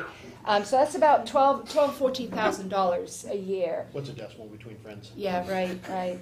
I wish it was five, maybe, maybe you could do something about that, Paul. Wow. Um, so that's about twelve or fourteen thousand dollars. So it's not a trivial, as I said, not a trivial amount of money. Um, the, um, the bar um, does continue to get raised on that. Um, there's one particular item that we need to achieve in getting um, 50% of our employees and spouses uh, to complete the health questionnaire. And um, so we need to make sure we continue to do that, as well as any other changes that may come forward to, to, to achieve that. Fifty percent of them that are covered under that. Under the Regence Program. plan, right, under the Regence plan. That's the, the benefit. Um, it's just on the Regence side of the medical and, and doesn't apply to Kaiser. Even though Kaiser does have a health questionnaire, um, it's, uh, that, that cost savings is just for Regence, yeah.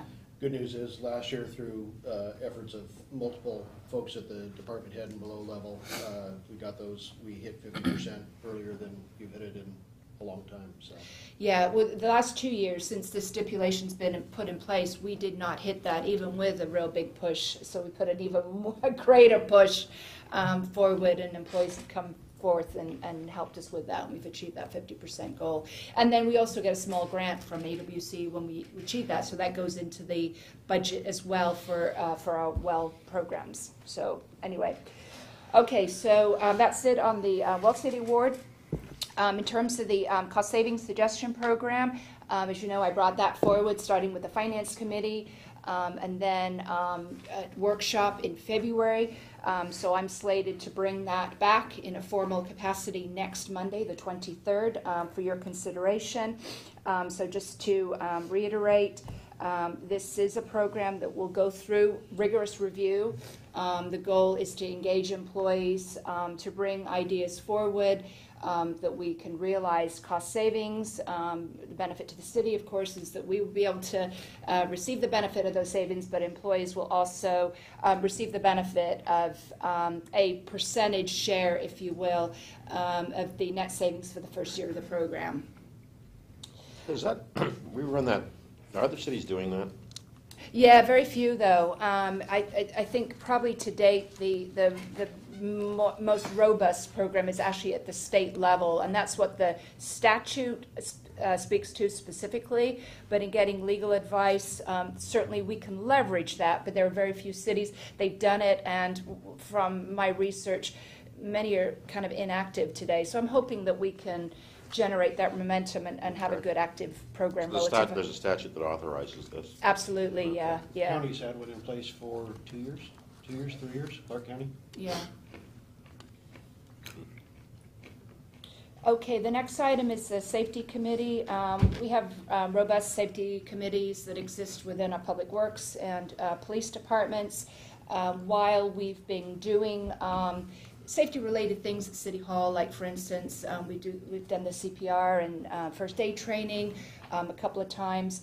We really need to formalize a safety committee for City Hall personnel. I've got a draft policy, if you will, in place. It's just kind of finalizing that and getting um, a group of employees together and meeting on a regular basis, really to look at any issues and concerns that exist at City Hall and, and then following through and ad- addressing those.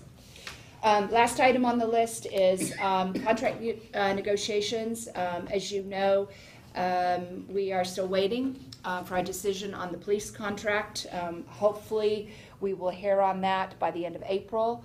Um, And that will um, inform the duration of our uh, con- our next contract. Um, If it turns out that it's, um, it's uh, two years uh, that's approved by the arbitrator, um, we will have both contracts um, open for discussion this year, as the- therefore both contracts will expire at the end of this year. And that's it for me, unless there's any questions, yeah. Paul? I just wanted to, of course, Well City is near and dear to my heart. If there's anything that council can do or that I can do to assist you, especially in the health questionnaire stuff, any good ideas would be much appreciated. And then the, on safety committee, where are we at on AEDs? Well, we Every- have, Every building, every- every, com- every mm-hmm. portion of the complexes are Right. covered. We did that. right, and we had Four that, years tra- ago. we had training on that too, along with our CPR and first aid training. Is there, do the police cars carry them, or, We've carried them for years, yes. I'm sorry? We've carried them for years, yes. And, and of course, fire, of course. Is, is there any reason that Public Works would need to carry them? We do have one at the operations center, just not in rolling mobile. stock. Yeah. Yeah. Okay, thank you. Out of Fund Oh, one twenty-five, uh, for some council members that, uh, don't know or don't recall, out of Fund one twenty-five, I believe in two thousand and eleven, uh, we had Chief Schumacher go through and purchase additional ones so that every, every building complex that the city has, has one.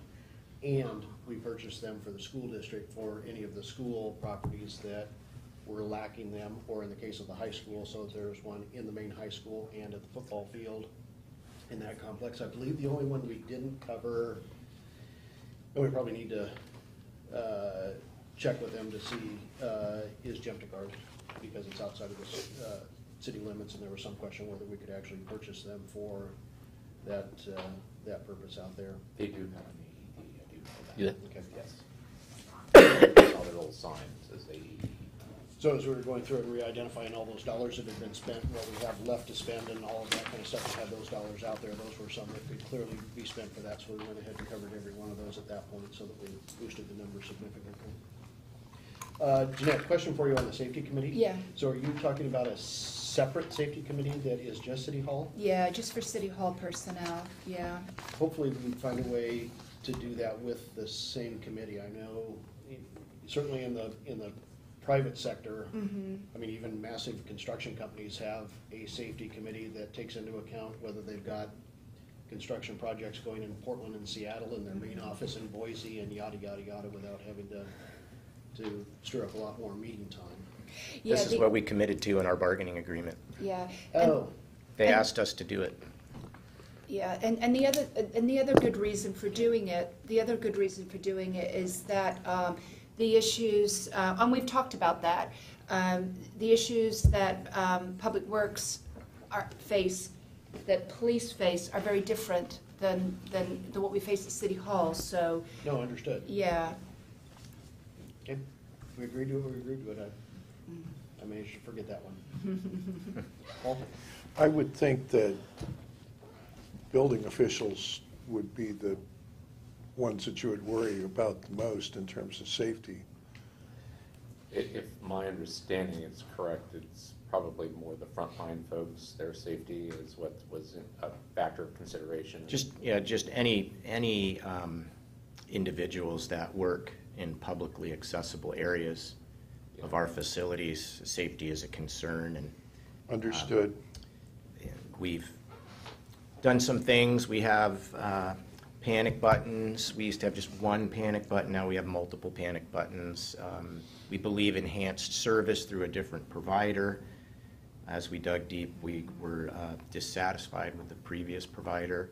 Um, Communities do all different sorts of things. It's this balancing act between being open and accessible and available to your Right. constituents and uh, ensuring that people we care about, who are our colleagues, and everyone who's here are safe. And so, you know, we don't want to build a fortress where you have to crawl through barbed wire to pay your utility bill. On the other hand, we care about people and we want to make sure they're okay and they're, they're safe. So this is about, this is what this is, is about. And um, we'll see what, you know, comes, comes from it. Uh, There may be some thoughts around physical enhancements to safety. We'll just have to see. And then just a reminder on uh, negotiations arbitration. uh, Council, at some point, obviously, we may uh, need to come back to you in regards to budgeting, since the, whatever the arbitration determination is for the police union is retroactive back to the start of 2014. Correct. So got our budgets in place uh, as we've gone from year to year, but they're operating basically without a contract at this point and have been since the end of last year or so, or the beginning of last year. So we may need to do some adjustments depending on how well we fare in that. Any questions for Jeanette? Okay, if not, we're gonna take a break until eleven AM. Probably been by far the, the biggest project that we've had going on for the last couple of years. And uh, for those that may not know what RegJIN is, it's a regional records management system that will replace our current system that we're using right- right now, which is called EPR. Portland is the host city for this, and there's um, uh, multiple agencies in Oregon and pretty much all of the agencies in southwest Washington that are, that are coming onto this system. And in the beginning, Portland has been very tight about controlling how they wanted to do things, and understandably so. But the original plan called for two uh, training facilities in Clark County. And early on, we realized if you're trying to funnel every commissioned police officer in Clark County through uh, two training facilities, one being with Vancouver and one with the sheriff's office, that it was going to be very difficult for us to do that without creating uh, schedule issues and a whole lot of overtime. So we really petitioned hard with Portland. There, again, were very reluctant to let us do that, uh, even though uh, uh, Officer uh, Akins, Sergeant Akins, is a, what's called a super trainer. Words, he trains trainers that they felt like, yeah, we just didn't want to let control. But finally, uh, several months ago, they allowed us to uh, open up our own training facility. And the bottom line for us is it conservatively saved us at least $25,000 in overtime costs, allows us to schedule on our time and not every, doing this whole 40-hour training on overtime. That being the case, we opened that up uh, to other agencies, uh, Camas, Battle Ground, La Center, Ridgefield, to come in and use our facility.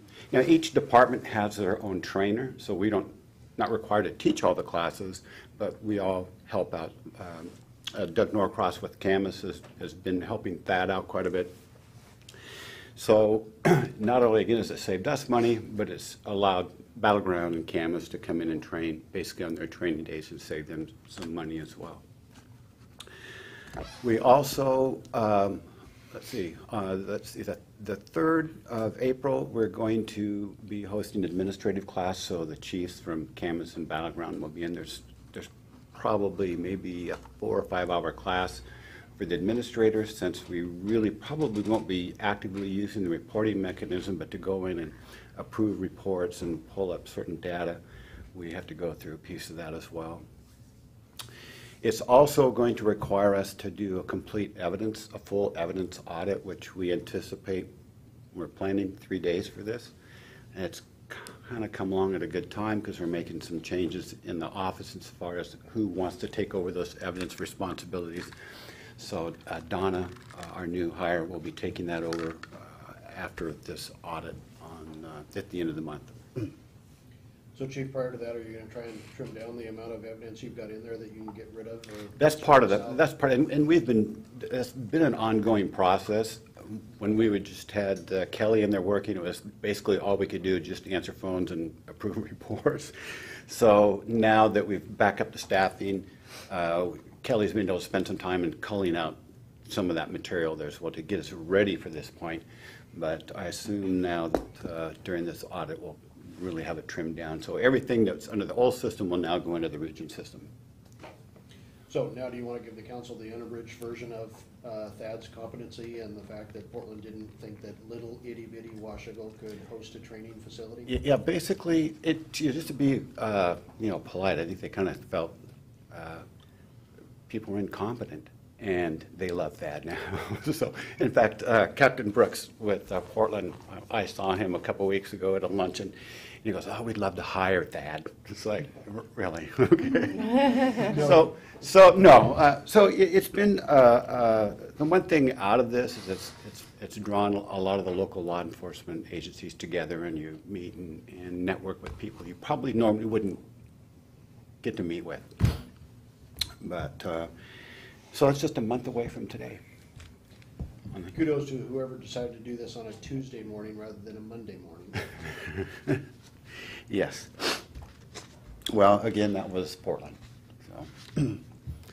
Okay, um, the other issue that we had, uh, not issue, but, Is it, Chief, when, oh, I'm sorry. I just had a question. So they're just utilizing your computers when they come for their training then? They bring their own trainer? No, and- uh, we, yes, we set up a computer lab. If you uh, were to go into the office and look in our training room, it's pretty much a computer lab now. And again, I have to give credit to uh, our IT department because they helped set all this up and everything. Where other departments, uh, the other two uh, training sites have had uh, problems getting up and running, ours has been pretty much flawless. So do Camas and Battlefield and Ridgefield, they just don't have computers to do the training on or? Uh, well, they can't, um, it's not they don't have the computers, uh, they have to meet certain requirements and whatnot, but, uh, Portland only really wanted control over the training. And, uh, yeah, certainly that their own trainers could probably do that, but that's not what they wanted. They wanted it strictly three labs now. Okay. So everybody in Clark County has to go through one of those three labs for training. And uh, so we have what looks like a classroom in there, and it's all set up, all the software's there, everything is ready to go, and uh, it's a lot of work. Yes, Yep, so how long does it take to go through training? Is It's a it like- 40-hour Oh, so for for officers. So it's, we've, it it depends, The Battle Ground is running 11-hour shifts, so they're doing like three 11s. We were able to condense it down a little bit, but you can only condense down so much. It's, it's really detailed. Um, It takes anywhere between six months to a year before you're really fully comfortable working in it, and you feel like, okay, this, I can do this as quickly now as what I was working on the old system. Um, But, yes, Do we charge for this, the use of the facility, or, no, no? no. Thank you. Um, uh, Chief Richardson at Battle Ground had offered to, you know, pay overtime for our trainers if need be, but we all really help each other out. Um, So when they do something for us, let's say an IA, there's a lot of man-hours and time that they put into us. They don't charge us for, we don't charge them for those sort of things. So, but it's, it's, it's helped bring the departments together. Uh, There's some other things that we'll be working on, that I'll get to a little bit later, that, um, And it's really not comparable to range time. no, no. so Chief, on April fourteenth, uh, where, if any, are the downfalls of going active on this system? It's not, probably not dissimilar to the last changeover we did at CRESA, where the system failed for whatever number of months in dispatching in regards to your records retaining and if something was gonna go wrong, what's it gonna be? Probably some of the different interfaces, and they know some of the little interfaces, let's say maybe with uh, Sector, which is the uh, ticket system we use that's used in the cars. Some of those, those interfaces, they're still currently working on, but the main guts of the program, they feel is, they're confident with that.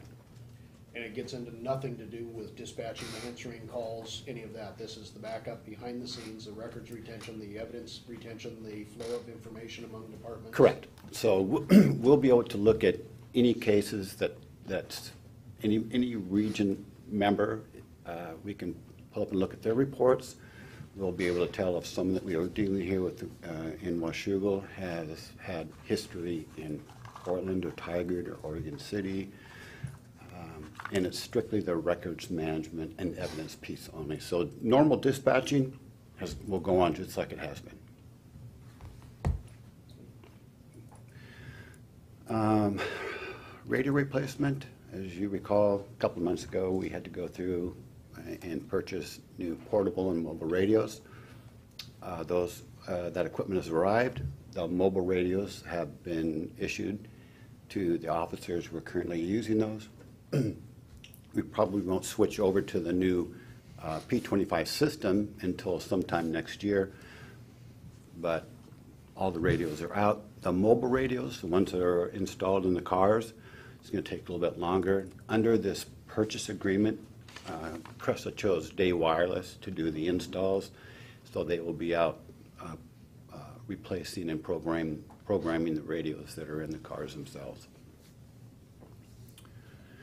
And we expect that's probably going to take place sometime in the next couple of months. Did we find any use for the old ones in other city vehicles or crews to be able to utilize those? Is there any value to doing that? You know, we kind of looked at that. Uh, I don't know what the system would be to kind of monitor that 800 piece. Uh, I, I'll double check it. I was just thinking, I think public Commander, works to public works vehicles or to. Your yeah, I think Commander administrative Cook office. and uh, Will, street Okay. superintendent, talked about it at the end of our leadership meeting, but I don't think it's been further explored. No. We'll take a look at it. Okay. Because we have no other trading value or anything else for those units, do we? Uh, Very little. Paul? Years ago, Rod Morris and I took a FEMA training on emergency management. One of the things that came up for most of the people in Clark County was, good Lord, if we lose our cellular system or something happens to CRESA, we have absolutely no way to talk to each other. And that there was even some talk about passing out citizens band radios to Public Works so that in an emergency, when they don't have their normal communications towers, that they could talk to each other. I would just suggest that that's worth thinking about. We do have some, I think they're UHF radios that we can communicate with in that, in the event that that happens. We've kept those. Uh, That was what we used on what we called our old city frequency, where we would speak car to car. Those are still in the cars, and we have one, um, like a dispatching center in the office. So we could communicate with internally, and I believe fire still has those. I'm sorry? I think fire still is using some of the uh, UHF radios as well. What we probably would need is maybe a few handhelds, so when you're out of, out of your car, you should be able to communicate, and those are fairly inexpensive. You don't need repeaters for those? I don't think so. Okay. Uh, Couple of audits coming up this year. Uh, WCIA is going to do an audit on the police department, and I think uh, Public Works as well. It's scheduled for uh, Au- August or late August. Some of the things that they're looking at for the police department would be things that are kind of in the media right now with use of force, um, canine training, internal investigations, those sort of things. So because we're, uh, uh, we belong to Lexipol and, and Lexipol keeps current with uh, all of the policies, we should be in pretty good standings. I've started going through all of those and we'll probably meet up with Jeanette here uh, in another month or so and kind of review this to make sure we're all on board with that. And that audit's just for policies and procedures, not necessarily into experience or? No, no, that's just, they want to make sure that, let's say for a use of force, that we have a use of force policy, that they talk about um, uh, less than lethal type uh, devices that we have and how the training and how they're used. So it's basically kind of a uh, uh, in-depth look into your policies in those specific areas. Uh, Access audit, audit, uh, that's coming up next week. And, and Access is uh, basically a, it's a computer terminal that's inside of our office that connects to a bank of other resources that's governed by the State Patrol. So when we run someone, uh, do background checks, those sort of things, uh, that's, bless you. That's uh, under the access audit, and there are certain policies and procedures that, that we have to do when we use that. So that's what they're going to come in and make sure that we're following the proper procedures for that. Uh, Mention the front office reorganization. Uh, The biggest thing that we decided to do within the last few weeks is to alter our opening time from 8 o'clock to 9 o'clock in the morning. Uh, That first hour is when Kelly and Donna are trying to process reports and get things done, so to have uh, the public not in at that time, and they're allowed to get all the reports out to the prosecutor's office, and uh, just seemed to make sense. So far, it hasn't caused any problems.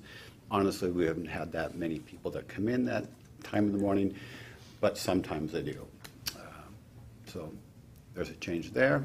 And again, um, just some of the changes with uh, Kelly giving up uh, evidence to Donna and Donna taking that over. The timing of that has, has worked out well for us. Uh, Canine, we, Ranger's still doing uh, very well. He's, a- this dog is awesome. Uh, He's, any of the training, he seems to be far and above uh, the other dogs, and I think a lot of that has to do with Officer Day, who's his handler, who just has a passion for this. We did receive uh, another donation from Kathy Markham of about $3,000 this month. We've also, uh, from a a drug case back, I think in in 2010, we're, we're trying to get some money from that. It could be up to about $10,000. We won't know for sure on that.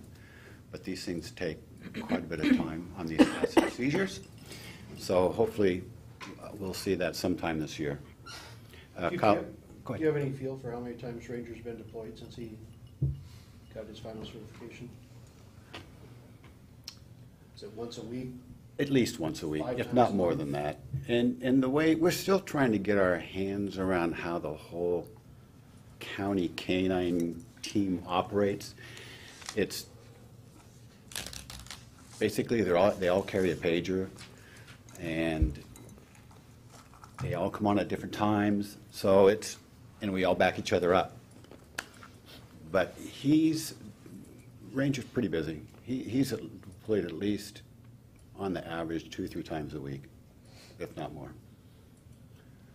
And no negative incidents?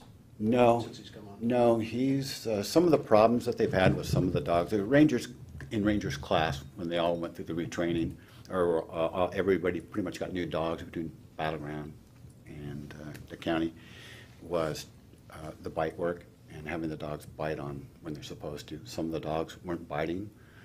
uh, Has not been the case with Ranger. Rewards. Yeah, so, uh, I mean, that's obviously something that you use as a last resort, but uh, there was instances where the dogs were just looking at the suspect, and it's like, are you supposed to bite him?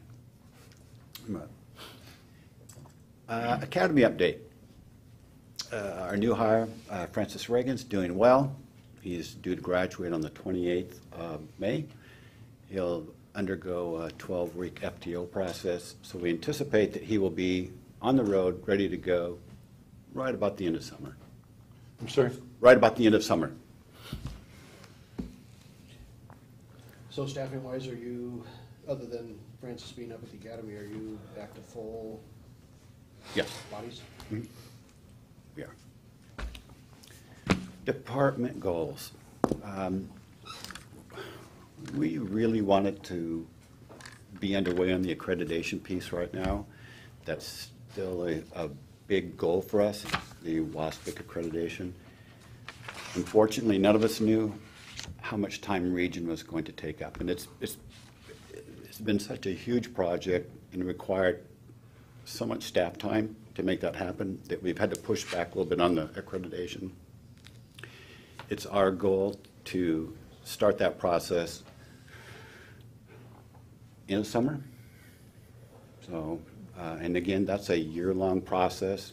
Uh, We can bring LEMAP in to have them take a look at where we're at right now, They can do basic, a basic audit on us and tell us where we need to improve or change. We have an idea and we're trying to update as we go along and, and change policies or improve policies or do things that we know that we need to do in preparation for this.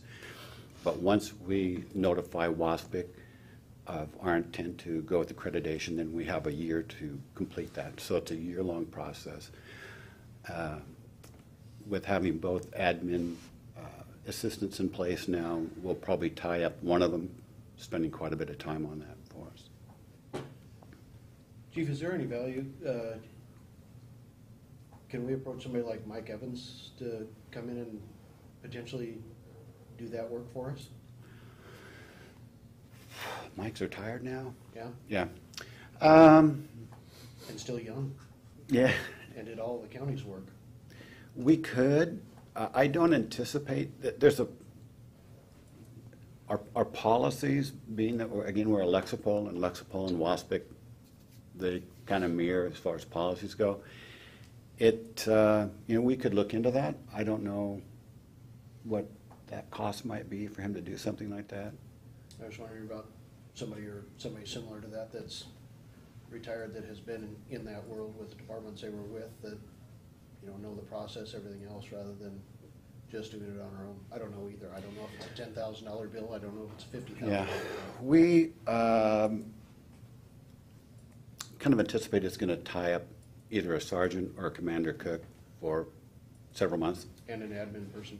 Yeah, and an admin. So the, the benefit of doing this is you're following professional standards. It reduces our liability a little bit. It's a good thing to do. It's the right thing to do, but it's labor intensive, and it's just something we couldn't accomplish. One of the benefits of doing it is when you do it yourself, the experience that you gain in Yes. doing it is important. That's part of it. The process is part of it too, but potentially there's back-end work that could be helpful. We, we did reach out to Camas, and they uh, did help us and are willing to help us as well. So it's, They're accredited. Well, I'm trying to get my head around, what is this? What does it, what do you have to do? basically, there's certain standards that you have to meet. Uh, Let's say, for example, an easy one would be, uh, you have to have in your files show everybody has gone through, all the officers have gone through uh, the police academy. And then you have to have a policy that says all of your officers have to go, have gone through the police academy.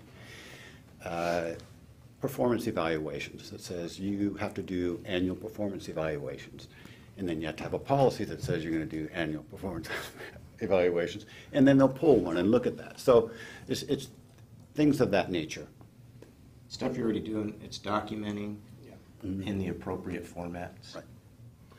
to be, a- meet their standard. Do they have kind of standards for procedures?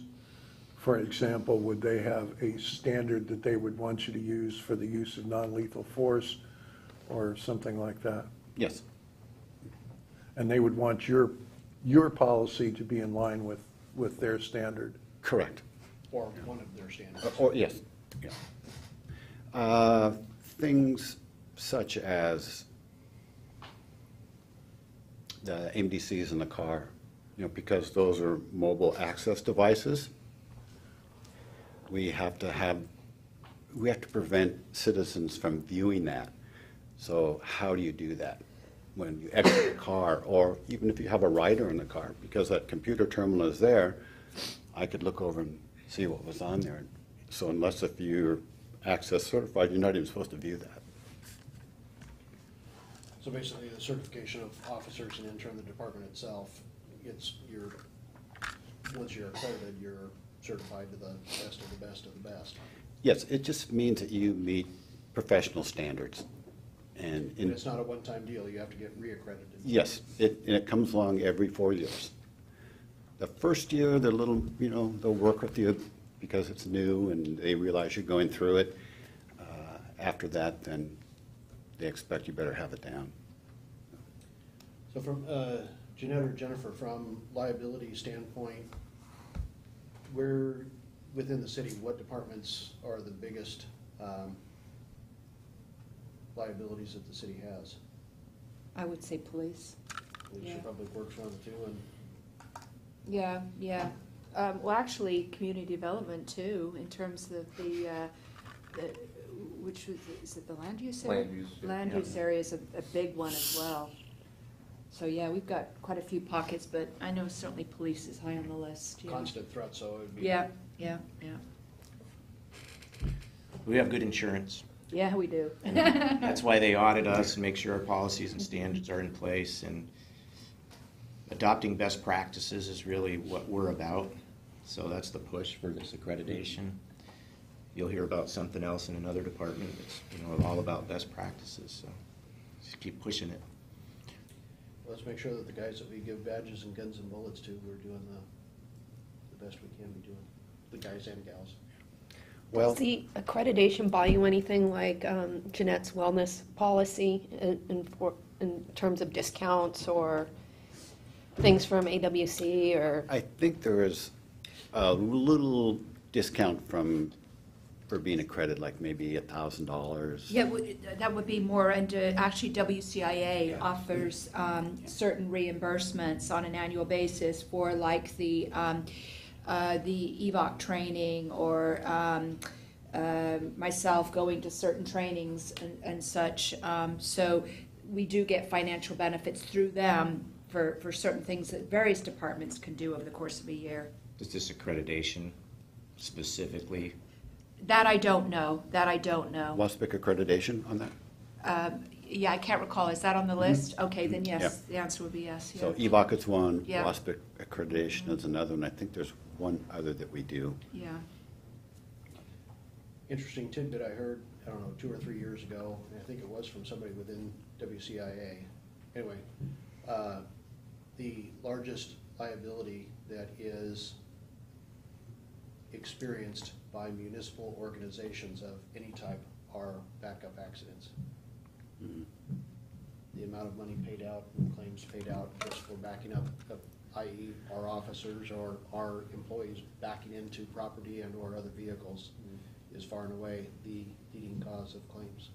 We've actually, uh, Sergeant Rainan is an EVOC instructor, and we've put on our own EVOC just because of that. When you, a normal EVOC for us would be done out of PIR.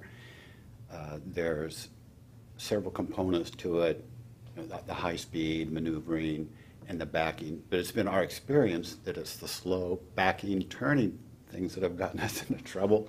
And that's where we focus. So we go about every other year out here to PIR.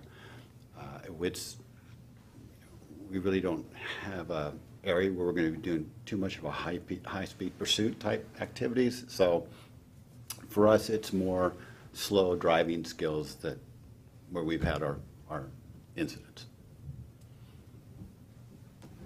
I, I just read actually on the order of seventy-five percent of all motor vehicle insurance claims, not just public, but private, involve being in reverse. The dollar amount is not that high, but the number is. EVOX, the other activity we do there is the spike strip training. So, Sometimes live. yeah, they got to practice it real couple weeks ago. So, uh, Okay, so uh, for code enforcement, uh, you know, we have before, or will be bringing before uh, council soon, uh, chronic nuisance ordinance, which will allow us to uh, go after certain areas or residents or businesses where we've had chronic problems. Uh, This somewhat came out of some problem houses that we've been dealing with. That's been hard for us to, to do anything with them, other than try and get cooperation from the owner and, but technically, they're not really doing anything on the outside wrong, or we can't figure out a way to get in to tie some type of criminal activity to where we could do something. But this new ordinance allows us to impose penalties if it's drawing too much police attention. In other words, so many police calls within a three-month period or within a year's period then we can start leveling some type of a civil fine. Does that potentially turn into probable cause? It, it could.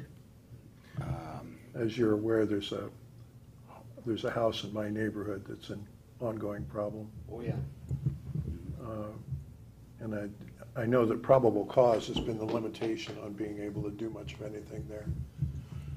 It's hard. Um, We, with one of the problem residents we've had, we reached out to the drug task force to help us.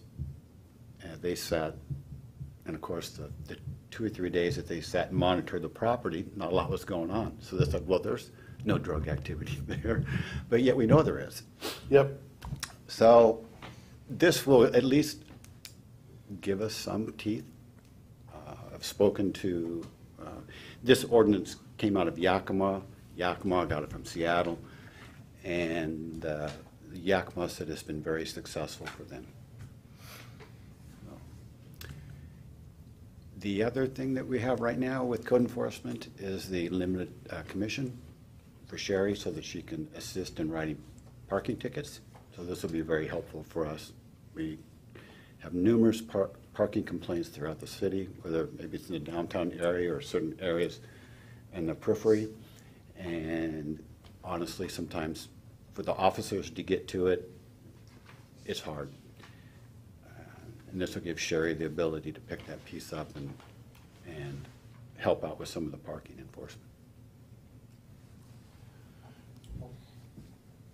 I think it's worth asking the city to look, city attorney to look into the possibility of expanding that commission to cover, for example, we have a new vapor devices lo- uh, ordinance, but that, but also cigarettes and tobacco and smoking, especially in bars. um, And other kinds of, that kind of enforcement that just seems to me to fit better with code enforcement than it does police officer. So I, it, it just strikes me as being worth looking into. Sure. Whether we can go there or not, I have no idea. I can have that conversation with Scott. So. And uh, one of the things we're looking at, this is something that I've been excited about, uh, is the uh, Department statistics. It's been something that I, I, we're trying to deliver to council, and, and I, I know you want it, and- and every time we get close, uh, a program changes, and then all of our data is different. But uh, I was working with uh, Chief Richardson at at Battle Ground, and there's software from uh, Bair Analytics that Vancouver uses that offers uh, online mapping and reporting. And we believe that we can get into this within budget, uh, fairly inexpensively. We get more partners. We're looking at Camas, Battleground, ourselves to get into this. Uh, BPD has the server, so all we need is the software, and then we'll be able to just auto-generate this and post it on our webpage. You'll be able to look at that page and just see where all the different criminal activity is taking place in town, so it allows us to kind of maybe focus in those areas. But at least it's, it's data that we have not been able to re- reliably supply on a consistent basis that I'm excited about. So uh, Chief Richardson was working on a demo with uh, Bair, and I'll have to check with him, see when that's going to be set up. Would that be kept confidential, or would that be needing to No. be open to the public? It would be open to the public.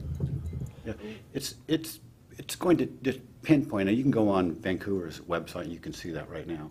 Oh. Portland Police has a similar one that uh, actually shows you active, uh, active scenes at a given point, more for stay out of this area, or hello, we've got twelve streets blocked, go a different direction, but if you go on there, it has active uh, stuff happening as it happens. I don't know how it gets input, but Does it mean is it's active, like live, real time? Portland's is. Yeah, Wow. I could see, I Yeah, think this that would be wouldn't kind of dangerous. Probably be live, but it would be maybe a summary as things get posted uh, on. uh, Statistics and trends. Right. Oh, okay. So right now, you can look, we get uh, an intel brief from VPD that comes in like on a weekly basis, and they show you the mapping of certain areas and, in their uh, precincts and where vehicle prowls have taken place and robberies and daytime. So it was similar data to like that would be available to us, but nothing real time. What is the greatest crime issue you deal with in Washougal?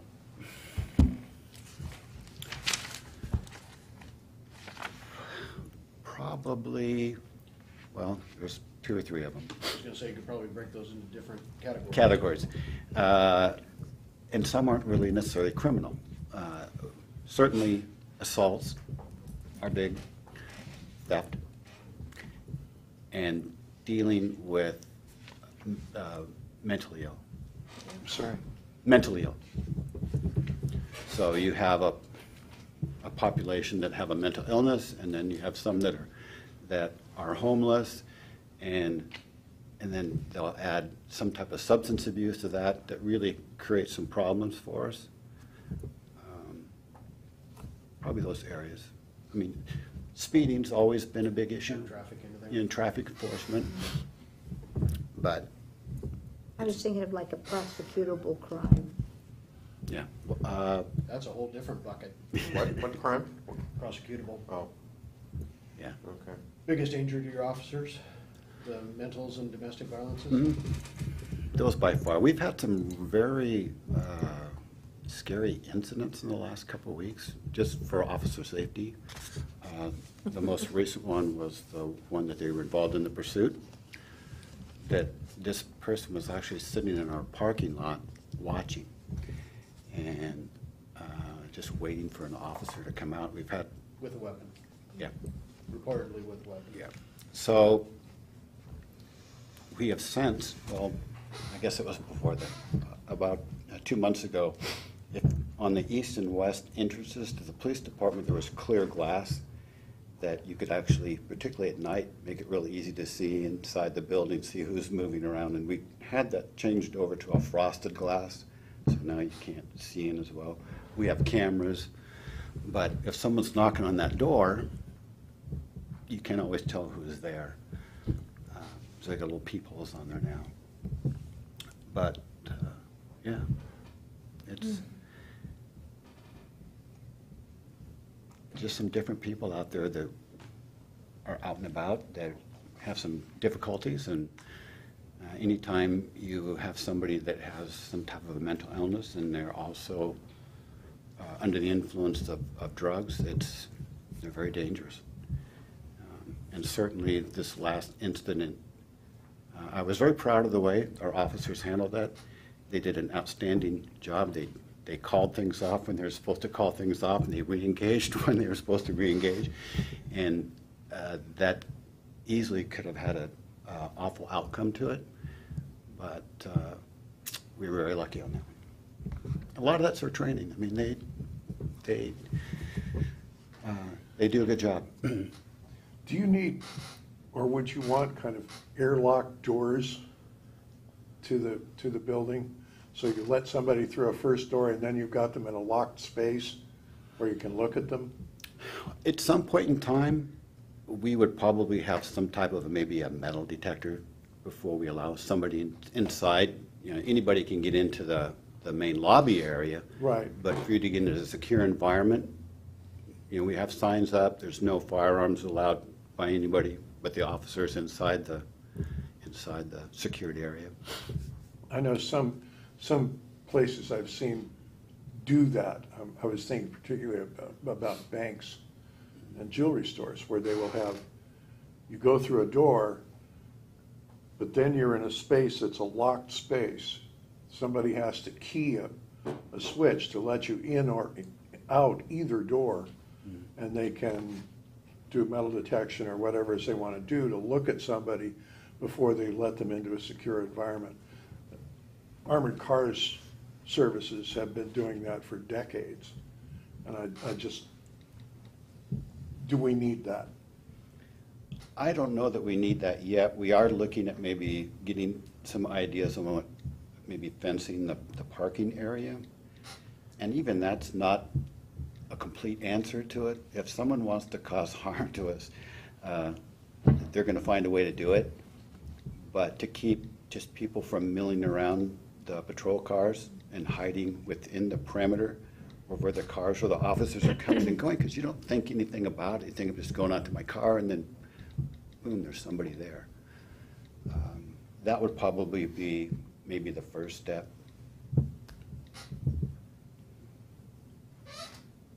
Well, kudos to your officers. They showed uh, extreme restraint in uh, all of that situation, and obviously that involved, in the end, involved a lot more jurisdictions than just ourselves. So thankfully, it had a, as best an outcome as it could. Uh, Any council members that uh, received those updates or saw the press releases, if you want to talk with the chief or Commander Cook on either one on more of the particulars of what all happened and what wasn't in those press releases, feel free to do that. Um, Chief, you mentioned something earlier about homelessness, and that comes up in, I, I, you know, I've been on the council now for almost three years, and I have not heard much discussion of homelessness in Washougal. What, could you describe what the problem is, or what kind of things you encounter? This summer seemed like it was awful, and most of the problems were with, from my perspective, were with uh, a half a dozen individuals or, or less that uh, were sleeping out kind of on the benches there across from City Hall, or under the bridges, or in the tunnel, and, you know, we're just, some of them uh, had substance abuse issues as well, so we're trying to deal with that piece, and we can only do so much with them. Um, We can't really restrict them from certain areas if they're causing problems or they're, you know, impeding traffic or causing a nuisance, we can deal with it. If they're sleeping or hanging out where they shouldn't be, we can deal with it. But they're just, have been out there, and I don't know um, what the answer is for that. What the good answer is. Y- Yes. Do we need a sit-lie ordinance? You know, vagrancy ordinance, or, I'm sorry? is it vagrancy ordinance? Do we have a vagrancy ordinance? I- We do, it's pretty old. Is it is it Yeah. enforceable? They- That's, that's the question. Yeah. Vagrancy is difficult in court cases, but the thing that, ha- that they have been able to uphold is it makes it a a violation to sit or lie on a sidewalk or in an entryway or in a public park. You've got some issues with that, but, but, uh, there, I know Los Angeles now has a pretty strong sit-lie ordinance that I've been reading about. Um, It was a major topic in, on Oahu when I was there. And it, I, I you're gonna be think that- homeless, that's the place to be homeless. Yeah, totally. um, Tropical climate. The, uh, but, but there's some ordinances like that. I think Portland has one. I don't know how strong it is. Um, But just, just things like that would, would keep people from lying on a bus bench. I think in our case, it, from everything that I've been told from uh, various members of staff, what the officers and other staff are doing so far seems to work. It just doesn't always work with folks that forget that they were told yesterday that they can't do what they're doing today. And it's a fine line. I mean, do we want somebody sleeping outside City Hall at two in the afternoon? Probably not. If it's twenty degrees and freezing rain and everything else, and it's two o'clock in the morning, and that person's just trying to get out of the freezing rain to somewhere that's a little bit drier, you know, there's part of me that says, as long as they're not vandalizing the building, have at it. So it, same thing with the, the shelters up at the park, that kind of stuff. It, you know, it's all a time and circumstance and that type of thing. And especially in a smaller community, because we just don't have the resources and we're so close to Vancouver that does have more resources, but because of the situation, we're so far away from Vancouver. We've tried to reach out to, with one individual, with their family, and had communicated with her mother, who lives in Texas, and said, you know, I would love to have her home. I've got a, a mobile home. We're on acreage. She can stay here, but she just didn't want the help. And this is some, for some, this is their choice of their lifestyle. Uh, But you know, we can certainly look into what we can do with that. It doesn't If- hurt. If we need one, then, but if we don't, we don't, so. There's um, the issues of homelessness that don't rise to the level of needing to call somebody out or staff feeling unsafe or that type of stuff are more prevalent in the community than what you would think. And I want to make sure and recognize Rose, uh, a year and a half ago or so, we had uh, Chuck Carpenter here in town who asked for a meeting to talk about homelessness and the big problem that we have with it. And silly me, I went, what homeless problem? You know, talking to the police department, yep, we've got the frequent flyers, but don't really know that there's a problem. We'll come to find out, there is a big homeless issue within the community, and the schools track it like crazy. They've always known Yep. that it's been an issue. And uh, since that time, uh, Rose has done a phenomenal job keeping together a working group on a monthly basis that now, well, even from the start, was uh, also including some of the folks from Clark County and Vancouver coming this way, because, surprise, there just aren't a lot of working groups that are working with the homeless issues, whatever those may be. And Rose has done a, a huge effort in keeping a lot of those going and keeping that group on task, so thank you, Rose. We've even got some processes in place like emergency blankets in the, in the wintertime and different things that we can initiate now that we didn't have a year or two years ago, so. The refuel Fridays that we're doing right through the, the winter and spring. Michelle? I have two questions. Where is the closest homeless shelter? Is there something provided by the city of Vancouver where people can be, get a, you know, overnight stay or anything like that? I don't know of any that the city has. The cities but a lot don't of provide That those. is city don't, okay. Share, Share Sure. house. uh, VHA has a shelter, some church- Okay. churches. Some churches, yeah. And then the other question was, if you're having an enforcement problem, do you call this non-emergency dispatch number, or do you dial Sherry's number that's listed on the website? You know, for parking issues and enforcement, stuff like that? Uh, For parking issues, I, I would just call uh, the 911 number. I think CRESA's working on a non-emergency number where you can call in for that type of thing. But we encourage. Nine-one-two would be an interesting thing. Uh, You know, we encourage uh, city workers, when you see something, don't call our office, just call 911, and you'll get a a quicker response. And So just- what's this non-emergency dispatch number used for then, on the, Well, you could certainly use it for. some- yeah, is would that be the good. office then? What- What's the number that's listed? Eighty-seven oh one? Uh, six nine six four four six one? That's, that's dispatch. Yeah. Yep, Oh, okay. so you can call that. We have a lot of deer in our neighborhood. What happens if they're hit by a car or injured? Do we dial 911? Mm-hmm. I don't, that's a, okay for a nine-one-one call? I We wonder get those quite frequently, and generally what happens is, uh, if the, the animal is deceased, then uh, Public Works has been good helping remove those. If it's injured, then uh, it comes upon either ourselves or animal control to dispatch the animal. Yeah, I wondered about that, what, because we have a lot of them over in my mm-hmm. neighborhood. Anything else? Other questions for Chief Mitchell? Thank you. Okay, we're falling a little bit behind, but Mitch is gonna do a phenomenal job. And then once Mitch is done, I think we're gonna do a little bit of a working lunch if we're ready for lunch. And give everybody a break to bring stuff back and start right into the afternoon session, so. Now for something completely different. Um, We're moving, uh, just uh, re, kind of, what we're going to talk about here. I'm going to, for those that are familiar with my presentations in the past on on particularly numbers, I'm going to go through that uh, for year end on the building and planning and the budget wise. And then uh, briefly talk about uh, my work plan as moving forward. So in looking at the, the numbers uh, on the building side, you'll see that uh, we did 82 single-family last year, down uh, 21 from uh, the year before. Uh, So a little, we fell off a little bit there. Same on, uh, on duplex, re-roofs up a bit, as well as additions and remodels were up a bit. Um, Interesting, we are at 11 uh, permit, single-family out the door uh, January, February this year, which is on pace with what we did in 13.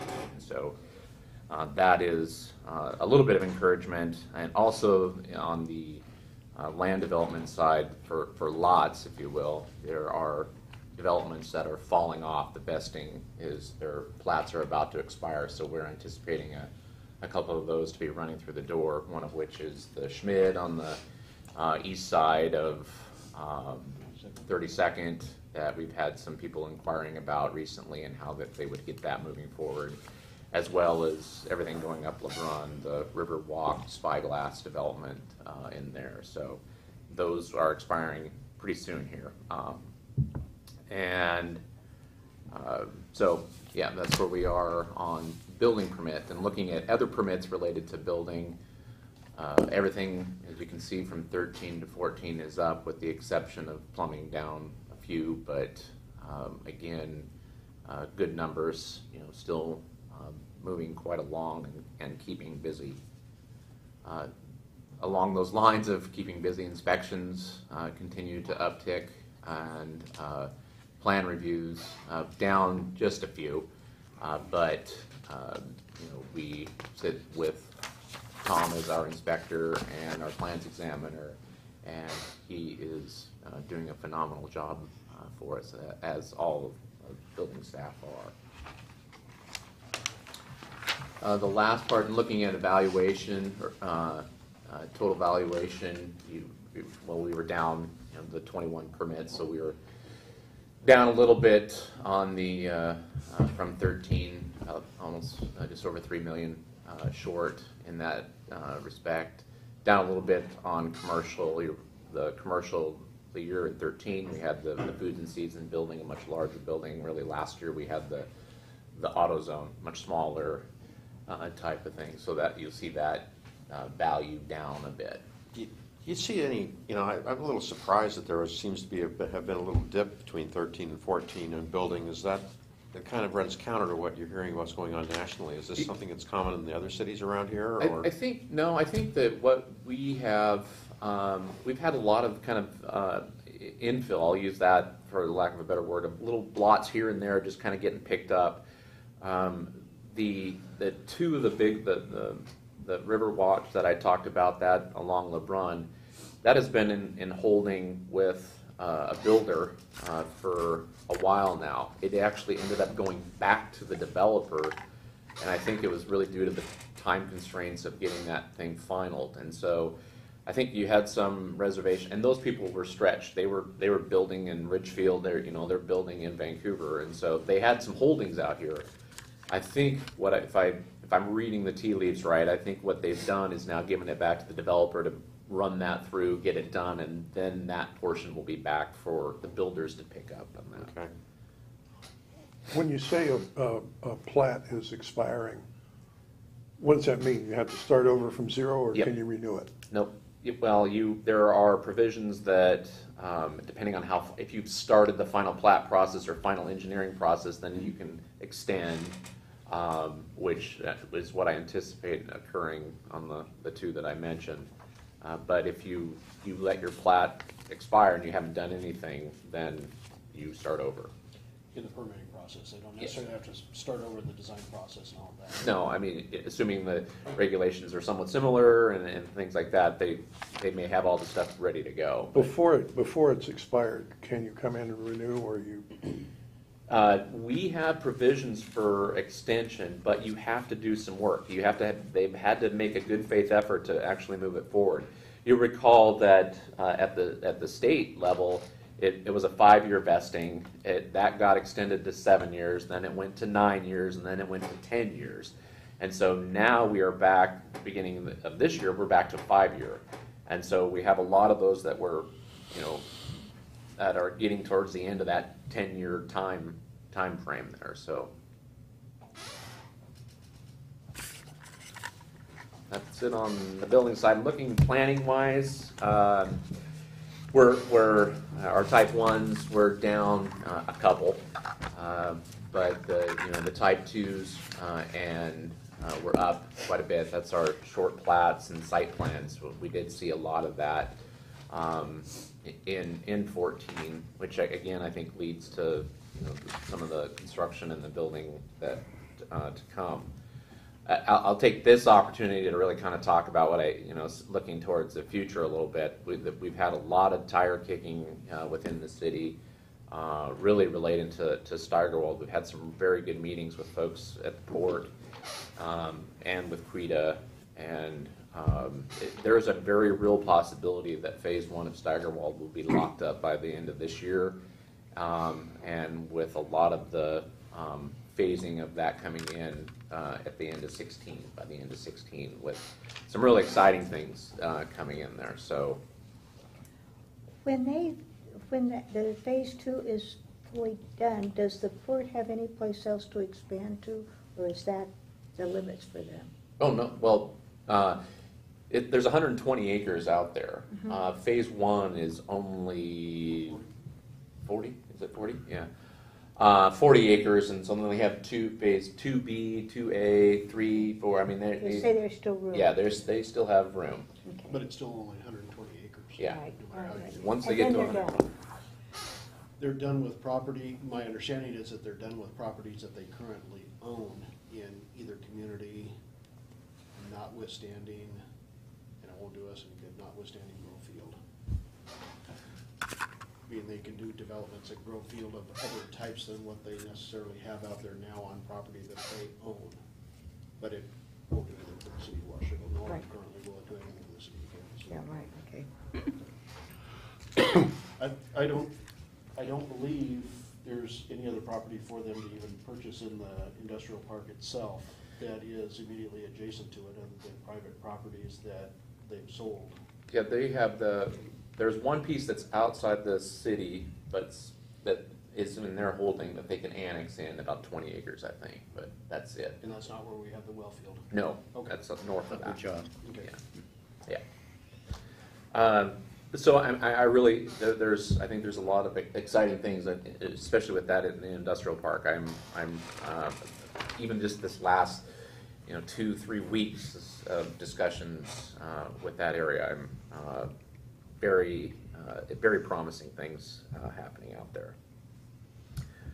Uh, Looking, uh, comparing revenue from 13 to 14, uh, you, obviously, we had a little bit down. I think that that's understandable with being down permit, single family as well. But, you know, still overall meeting uh, our, our budget, uh, if you will. We were off a little bit on the license and permits. I, I would do want to mention that, because when Jen gets to her part on the fees, these line items are for CD only. There are some other things that are grouped, there's business license that are, get grouped in licensing and permits, and then there's right-of-way permits and other things that get grouped into the planning fees. And so I took those, those are not in these numbers, so that's, when they're all in the big picture one, these numbers will be higher. Uh, But these are just uh, related to, to CD. Has there been any tire kicking in the downtown core? Um, yes, um, I, I- I've had, I had a, a very good conversation with some folks right on the doorstep down here. Um, and, um, you know, with that, um, around the old mortuary building, those, that, uh, the red paw, paw property through there. Um, but beyond that, and then we have, obviously, we've had the Angelo, uh, property that came in for pre-app, um, for apartments there. Um, But that's, that's really about it right now from, on the, in the downtown portion. You do have some investors that are coming in and buying up existing buildings in downtown, which is positive. Mm-hmm. Are they investors that have already invested in downtown, or are they new investors? Uh, even the ones that have invested are still new.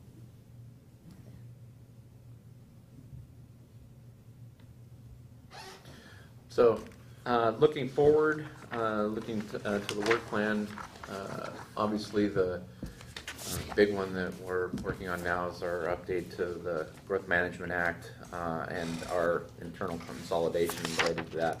I'd like to take this opportunity to kind of talk a little bit about what's been going on at the county level.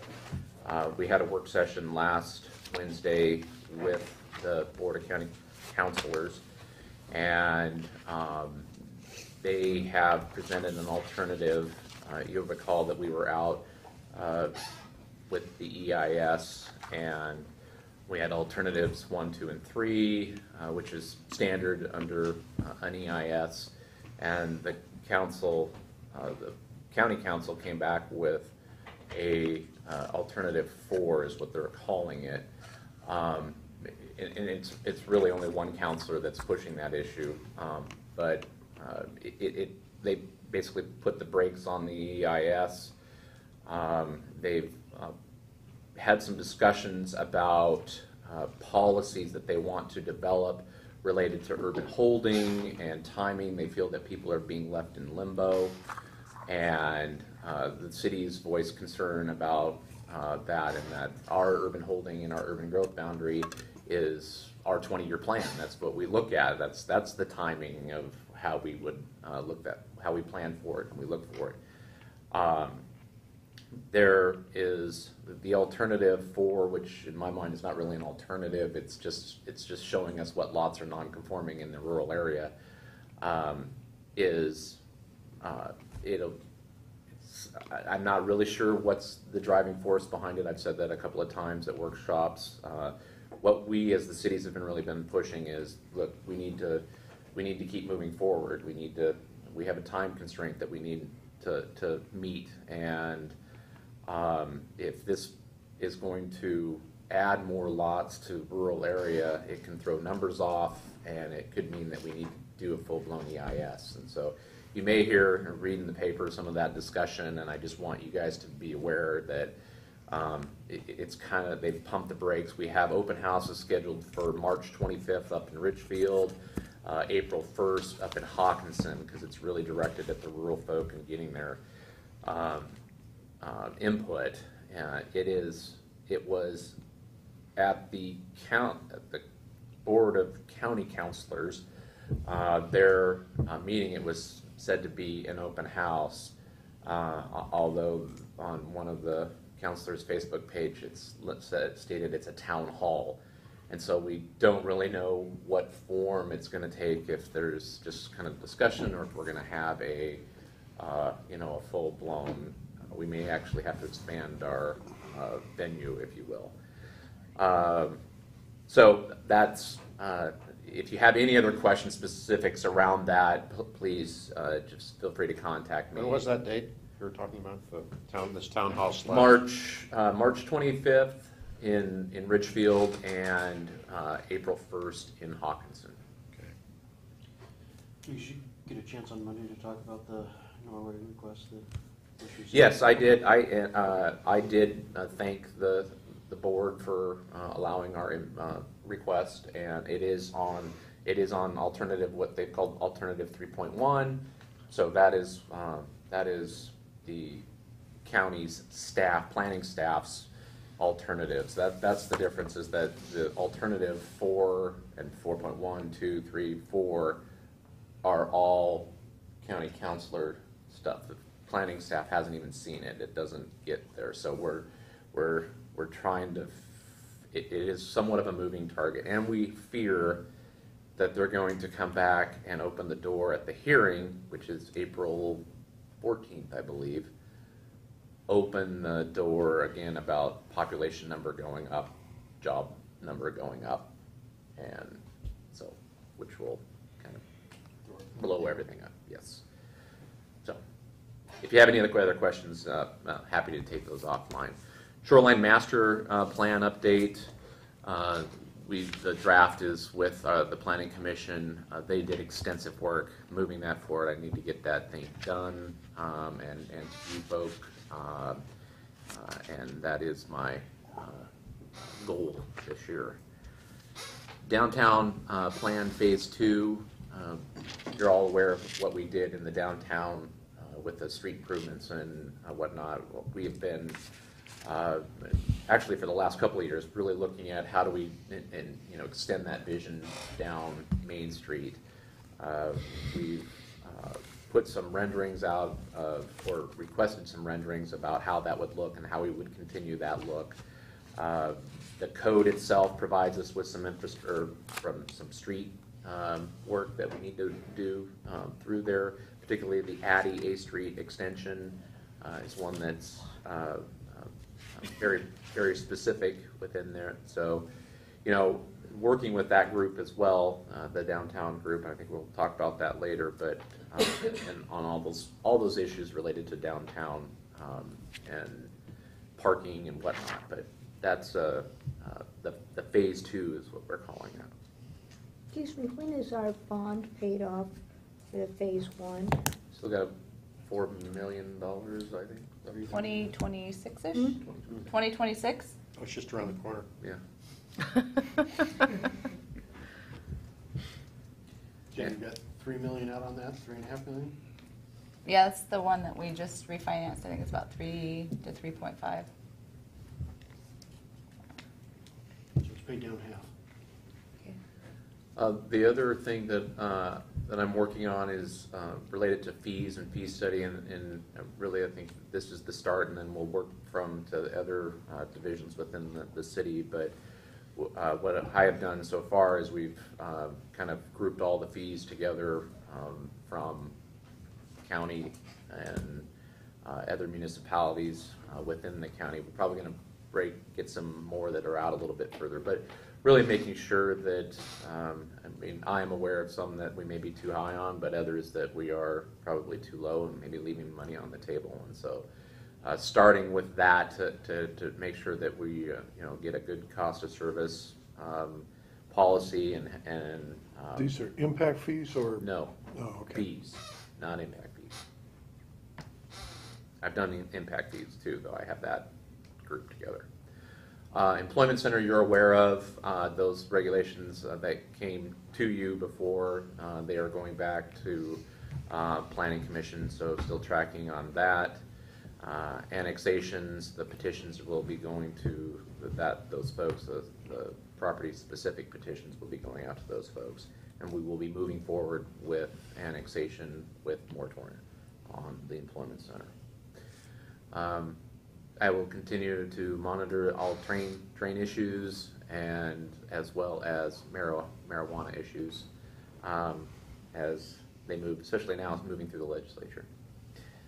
And the last, this is the, the one that, uh, I think probably in the ten years that I've been here, we, every time I talk about it, it's bioretention and storage, really running out of it and, and working on how we're gonna, you know, move stuff up to the state and, um, and where we're gonna, uh, we've added more file cabinets back here behind Teresa for building permits, but we're, we're running out of room, so.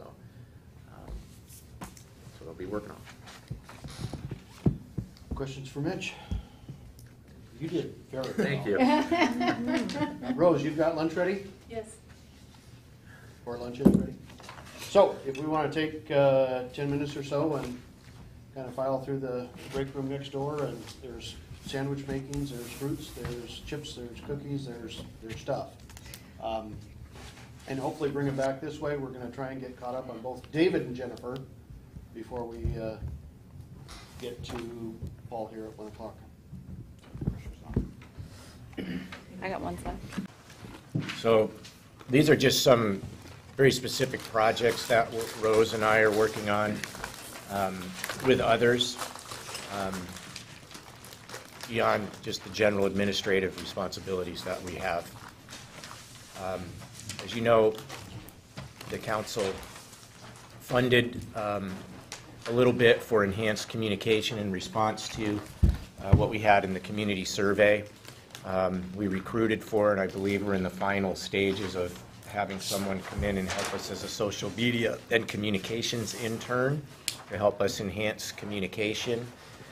Um, So we'll see how that plays out. It may not be limited just, it's, you know, not just social media, but communication in general.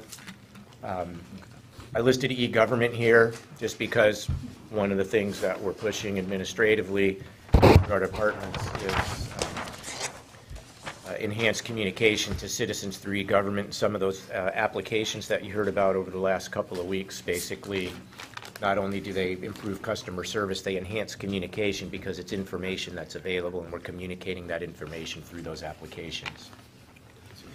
We still stand ready, kind of behind the scenes in terms of uh, supporting our, uh, I guess we could still call it a- the fledg- fledgling getting, getting themselves going. Downtown Association, uh, you'll recall, there's a few thousand dollars in appropriation that you made, and waiting to hear from them about some of their priorities. They've got some goal-setting and priority-setting sessions that are upcoming, so we look forward to hearing back from them, and we'll be working with them.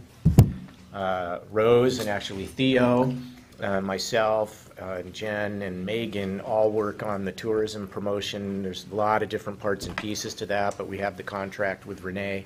Uh, You enhanced the funding for that uh, considerably this year, and so Rose and and the group, we're working on managing that contract and and doing things on tourism. I just want to say, I think Renee is fantastic. Mm-hmm. She's hardworking, she's credible, I mean, she does a very good job, and we're seeing things pop up around that hadn't been here before, so I just want to put a shout out for her here. Good. Let me second that, but also say one of the huge advantages is that she's en- also engaged with the school district and all kinds of other things going on, so she can put pieces together in a way that no one can that doesn't have that overview. That's right. And she's the only one that I can think of in the community who has her fingers in so many different things that she can really put together that big community piece. Right. And we fund her primarily out of tourism dollars, so we have to be, we have to report on that, and we're audited on that. We have to be very careful about, you know, the dollars that we, uh, that fund that have to be related to increasing stays in the hotel. There are some things that she does for us where there's this overlap that you're referring to, and when that happens, we, we're very careful to find a different bucket of money, like some of the general administrative money that we have for professional services, we use for that, um, so that we make sure we're tight on that little piece. But she, she kind of overlaps things, but a lot of what she does really could be tied to tourism, but we, every time something comes through, we, we run it through a filter. Uh, Jen is very helpful for that, and uh, Megan as well, to make sure that we're okay with all of that. And then, because it's a long session this year, le- legis- legislative advocacy is a important thing that we're doing, and we're right right in the middle of that. Um, Intergovernmental relations, all, all of the different agreements that we have and that we're working on um, is just part of the portfolio. So that's really it for me. Um, questions? Well, let's go, let- Lloyd Halverson is incredible. He's great. What he is bringing in Olympia to our community. Sure. And that's, I think that's just so good that he's using his experience and years to go up to, da- up to Olympia and help us. That's, And I'm very Yeah, he's appreciative. Flying out He's in DC right now. today, yeah. We didn't, we're not paying him to be in DC. He's there for, uh, because of his role in leadership and on a board in another organization. But while he's there, um, they're gracious to allow him, when he has audience, to slip in some advocacy for our communities, our family of communities, Camas, Washougal, and the Port. well, his reputation and credibility is really so solid here in Southwest Washington. Yeah. And just to follow up on uh, both Lloyd and Renee, um, your comments are very welcome, thank you. Um, If any counselors ever have a question though, because both of them serve multiple organizations. Renee has a contract with the schools, she has a contract with ourselves, she has a contract with PETA. Uh, I think last year she did s- I think the port, port was gonna look at using her for some stuff, but I think they brought somebody else in. Anyway. I don't um, remember. Lloyd is here for us, for Camas, for the port. If ever anybody has any questions about what we're being charged, or is somebody being double dinged or any of that, don't hesitate to ask Jennifer to see Billings. Uh, both of those individuals are extremely, um, I think, accurate and give a lot of diligence to what they put in there and make sure that they're costing things correctly and not in areas that will even begin to look like they're getting paid by two organizations for the same thing, so. Right. And I- and I- the- And the money that we're spending on both of those is so small for what we're Right. getting is, it's a tremendous deal. Right. And as we look at, you know, the future and depending on how capital facilities financing changes over time at the state level, you know, we need to look at what are we investing in the advocacy piece over time. But I just want to express my appreciation to the council, the mayor and the council, for providing that support to the administrative team. Um, I mean, it could really be a full-time job, just keeping track of all of that and contacting people and emails and just all of that work and having the assistance uh, really, really helps. So I really appreciate it.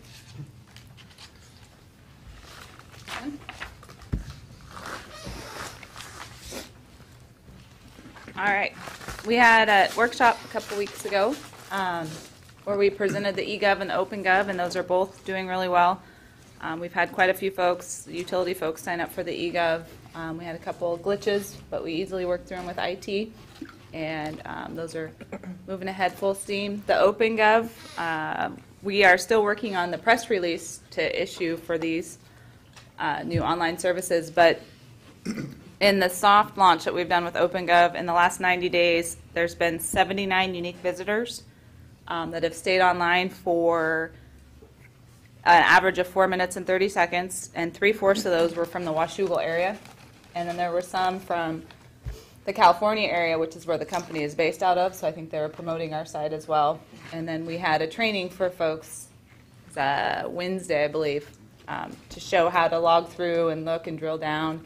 And I have that available if anybody wants to watch it, because he taped it while he was doing it, so that we could share it with others that weren't able to log on at that time. And the OpenGov is the financial transparency information. We'll be uploading that through the end of the year, now that we're going to present the year-end data to everyone today. And um, it's really easy back end for Megan to upload the information, so it's pretty cool to see people utilizing it, and hopefully more and more will log on and do so. Uh, Staffing-wise, we're still down one staff member.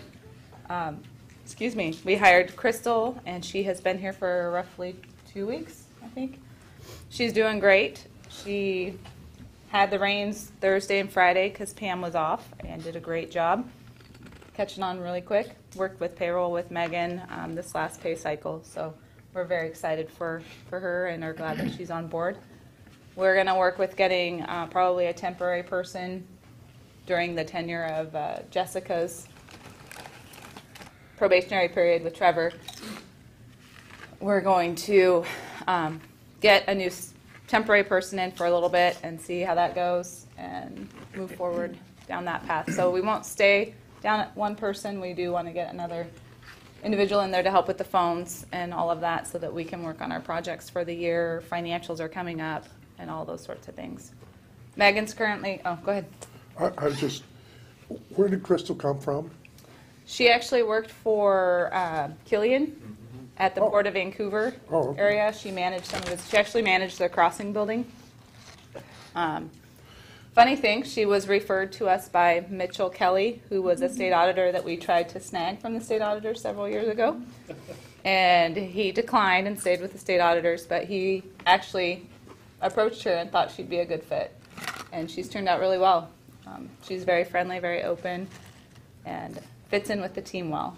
So the other day, I was in my office and I heard, I think you're pulling my chain. I'm going to go ask Jen. So she's already figured Lee out and realized that he's kind of a jokester.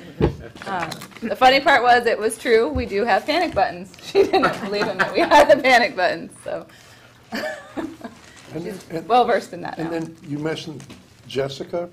Jessica was promoted to Mickey's position, so she's actually over with Trevor now. Oh, where's, where's Mickey? Retired. She retired. Oh, I didn't know that. Traveling the world, What? traveling the world. There you go. Thank you. I was out of the loop on that. Yeah, she retired the end of January, and then there's a little bit of overlap for training with Jessica. And Jessica's very excited for the opportunity, and from what I understand and hear, is doing a great job. Yes, it's going quite well. Oh, good. So wasn't ideal for finance to be down two I was people, going to say, I'll but mention this, the timing is what it is. Uh, I jinxed it in my review. I wrote fully staffed, gonna hit 2015 running, and then bam, And three days later. exactly. That was your first. Merry Christmas. But Um, We're doing really well. Crystal's doing great. Um, The team works well together, so it's always important to find that right fit with the team, um, because everybody has spent so much time talking about what their department's up to, and finance is integral in all of those things. So in addition to supporting all the capital projects with uh, Public Works and uh, police, working through fire with Camas. All those things are some of the big top priorities that we're working on.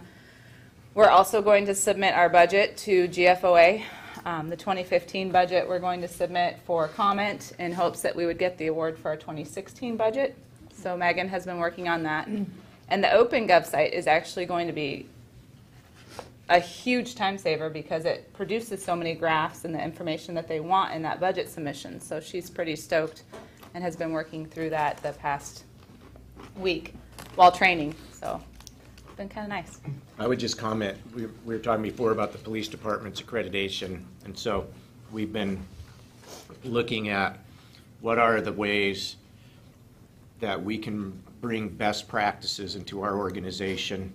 We want to be uh, reasonable in the timing of that, given our staffing levels and the projects that we're working on. And in this, this program area, really the, the standard for that is the Government Finance Officers Association.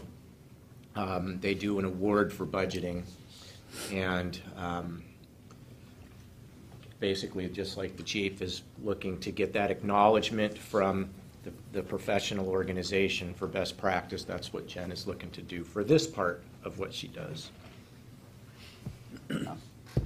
Megan was looking for examples of other submittals, and she was having difficulty finding other cash basis entities. And the ones that she was finding, their budgets were over, I think, two to three hundred pages. So she's gonna, we're gonna interpret the checklist ourselves and submit our best package, um, not necessarily what other people are doing. So it'll be interesting to see what comments we receive, and then be able to incorporate those changes for the 2016 budget and have more policy and those types of information in there. When we do get those two accreditations, it would be really neat to have a plaque to put up in City Hall. You do get, I don't know about with, with yours. Big We'll make sure our plaque Three gets ways it. And shoulder pads. Um, I know that the GFOA does issue plaques for those awards. We get a plaque. That's an annual. Correct.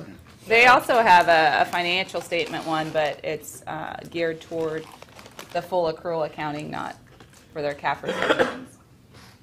And again, just speaking back to the caliber of the folks that, uh, that the city employs, this is no small task for the finance department. Uh, It's been on Jen's own personal list to get this done since we hired her.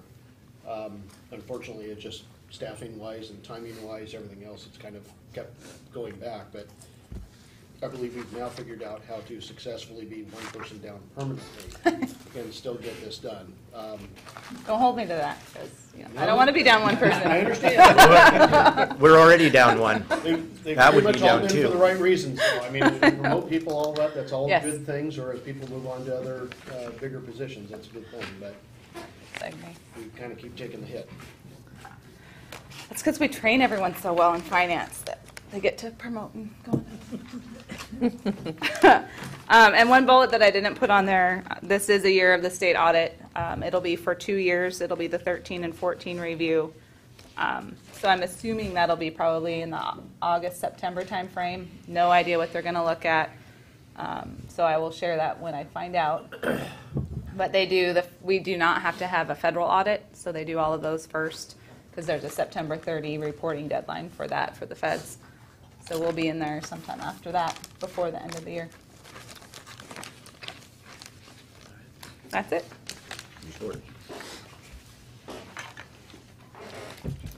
And then, All right, so 2014 actual. Our revenues were a little bit above budget. Uh, Property taxes came in more than budget. And our overall revenue was up 3.1% from 2013 in the general and street fund. Um, I think the anomaly with the property taxes is that I was only including the, the levy, I wasn't including the new construction portion in the budgeting. So Paul, I worked with him this year and we actually corrected that for 15. We did include new construction, so I would assume that we won't be over 100%, but you never know, knock on wood, for 15. Um, We tried to correct some of these anomalies that we were seeing. Uh, Sales tax is still coming in strong. We did increase our projection for 15. Um, The first two months of 15 have been very nice. They are highest since, I think, '07. So it's coming in pretty strong so far this year. Utility taxes were right, right there, a little bit higher. Um, So the bottom line is, the revenues all came in a little bit better than expected, which is awesome. Um, You know, you, you do the budget and, and set it and hope for the best, and we did better than we expected. Um, We did not do the transfer from 120 125, which is why that other revenue source is at the bottom. The 508 budget, but only 86 actual, um, 86,000. And because the other budgets came in so well and the expenses came in a little less than budget, we were able to not do that transfer and save that for the future years. As I mentioned, expenditures came in a little less, about 98%. And here's the breakout by department. Um, One thing to note is the economic development, that is higher than budget due to the additional contract that we had with Quita for 14 that the council approved. That's why it came in, but we were able to absorb that with the other departments coming in under. Um, Finance came in under staffing. Human resources, we had benefit savings, um, and then the tuition reimbursement wasn't fully utilized for 14.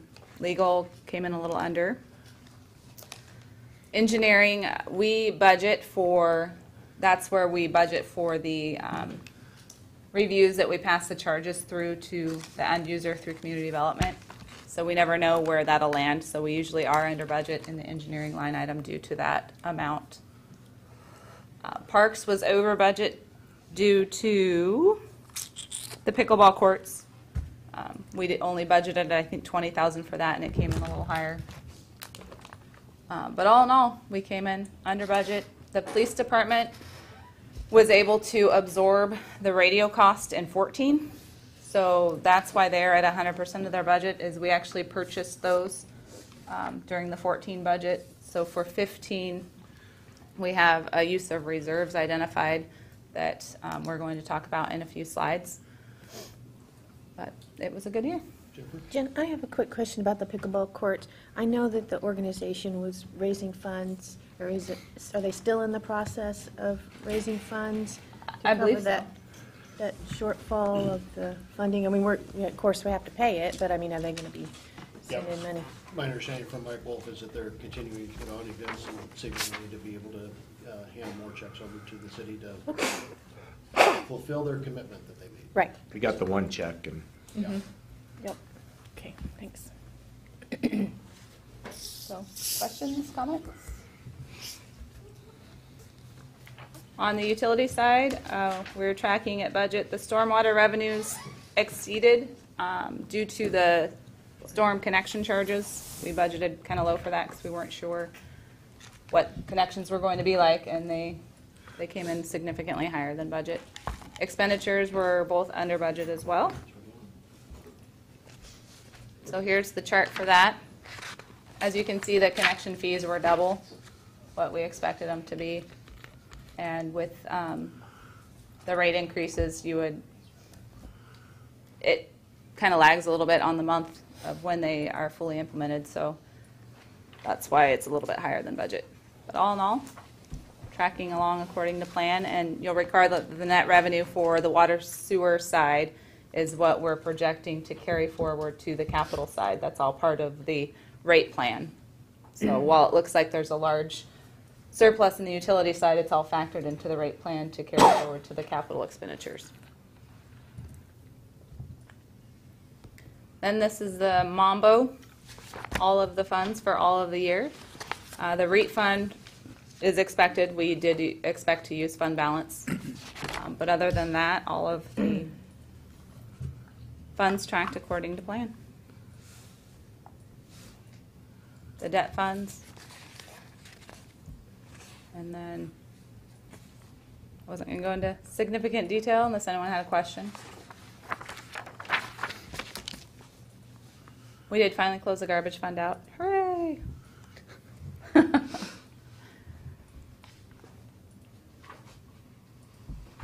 So the bottom line, I believe that's my next slide. No, it's not. We'll get to that in a minute. Uh, investment updates are massive earnings in the local government investment pool. we did open mid-year, um, so this is it dollar-wise what we earned in the LGIP.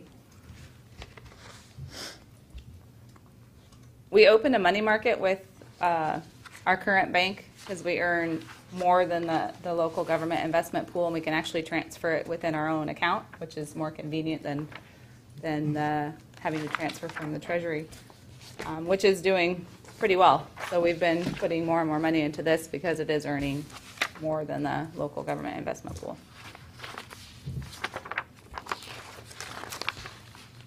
Our longer-term bond holdings, um, we have about 5 million invested here, and we made about 30,000 during the year. Yep. There we go. Excuse me. So the 2014 recap of the general and street fund is we ended up with a surplus of approximately $213,000. Uh, Again, the police radios were purchased in 14, which we had expected to spend reserves on in 15. Um, And that conversation that we had had at the time of adopting the 15 budget was that the $210,000 for the Lookout Ridge reconstruction, um, we would try to work into the Miracle, um, or the, the year-end 14, perhaps the Miracle of 15 before dipping into actual reserves. Um, But as we discussed earlier, there's been kind of a change in scenarios with the J Street project. And we would like to recommend using the surplus for 14 and the lack of use of reserves for the radio in 15 to shore up the difference in the J Street project and still do that full sidewalk project with the water line. Um, Since we're already tearing up the area to put the new piping in, it just makes sense to do the sidewalks at the same time and finish it and not have to do it at a later date. So that would be the staff recommendation is to utilize reserves, reserves, not reserves, for that project. So our, so our commitment, when the council was willing to appropriate some reserve spending for one-time capital in the 2014, or excuse me, the 2015 budget for um, that Lookout Ridge project, which was about $210,000, we said, you know, we'll see what happens at the end of 14. Maybe there'll be some savings. And so at the end of 14, you'll put some money into the reserves, and then in 15, we'll spend some money in reserves, but it would net out to something. Well, just coincidentally, the, the year-end number is within $3,000 of the estimated cost. That's an estimate, estimated cost of the Lookout Ridge project. So all else equal, with no other changes, no other new information, basically the year-end savings in 2014 basically replenishes the reserves to cover the 210 that you appropriated for spending. Net, basically a net zero on that. You had also appropriated spending for the radios of, The reserve portion, I believe, was 147,000, but then there was the additional in operational budget for a total of 170,000. so we were looking at needing to dip into reserves. We thought we might need to dip into reserves in 15. Mm-hmm. So again, this projecting into 15, $170,000 to take care of the radios. But we were able to do that in 2014. So Lookout Ridge at 210 and 170 for radios are currently programmed reserve spending in 2015. We're adding 213 to the reserves theoretically at the end of this year, which just leaves basically that 170. But we don't have to spend that because we already got the radios. Um, We would like to do this project. And unfortunately, and it's good news, bad news, right? The bad news is we don't qualify for a CDBG grant for this project. That's the bad news. The good news is we don't qualify for the CDBG grant, which means that that part of our community has income levels that are outside of the, the, the target for those funds. So that's also good, that's good news. It just hit us right in the middle of this thing. We can do this project and we will do the utility project because it needs to be done. We need to replace that water line and make the, the, add the new services or correct, update the services. That's a, it's a, it's a, it's a, and fire flow, it's a problem for our utility. But boy, while we're out there digging stuff up, which is why we went for this CDBG grant, it would just make so much sense to put in the sidewalk. So that's our ask is, what do you think? And Jen, I don't know, will it, it doesn't, re- does it require a supplemental budget? They've already appropriated, so we wouldn't have to go back and open the budget up. It would just be an understanding from you that when, that we will bring a contract, when we bring the contract forward, that you would know that some of it would be paid from that, and so probably some kind of action of the council at a future meeting to just sort of say that? Would we need that? Um, I would be more comfortable if we did that and memorialized it in some way so that we have good faith with the contractors who end up getting it in the end, that it's Right. one that has been specifically approved by the council. Right, so we could, We could do it we like could package that up. So is that still, at least for this year, gonna be coming out of reserves? It's just you're basically mm-hmm. taking the reserve money that Yeah. we had designated for radios and this mm-hmm. other Lookout Ridge project, and we're just putting into that instead. And it's, and it's three hundred thousand, so we were at about three six, three eighty in program Glad reserve Councilor spending. Shoemaker isn't here, because he would've called you a big tease. Yeah, Well, I want to make sure that there's an open discussion though, Yeah. with everybody in attendance, that that's the direction we're going. But um, even the J Street project itself notwithstanding, when you look at the other projects along Thirty-fourth Street for the Safe Routes to School and the project down on uh, Evergreen Way between Thirty-second, well, Safeway and Thirty-fourth, they all start to tie themselves together. And as long as the funding levels at the state level come in at where they've been requested. We've already been approved for those, just pending uh, funding from the state. So to have all those going and to tie in one big block of that and begin to finish off some of those other areas that go directly to two schools is, I think, in light of the schools going through and passing their bond to be able to upgrade the schools, for us to be able to upgrade some of the infrastructure to safely get those kids there is a big piece. And if anybody ever has any doubt about some of that, go park in the middle of J Street, in the middle of just a normal afternoon. Yeah. On what happens up there, traffic-wise, because keep in mind, there's an awful lot of kids that come down from the high school that go straight through to Thirty-second. The school buses for, I don't know what reason, use that as a direct route as well. Um, and then just the normal traffic that's there, it's not pretty. It's a mess. Paul? I should have thought of it before, but is there any chance of safe routes to schools for that sidewalk? not in this cycle, maybe in the next cycle. I don't know if it would be qualifying, you think it would qualify? Potentially it would qualify. The safe routes that's pending for 34th Street from J to tie into the TIB project at Evergreen and 34th scored exceptionally high. Um, Cycle-wise, we would have to defer at least a year, potentially two years, because the allocated amount for safe routes through DOT continues to be shrunk.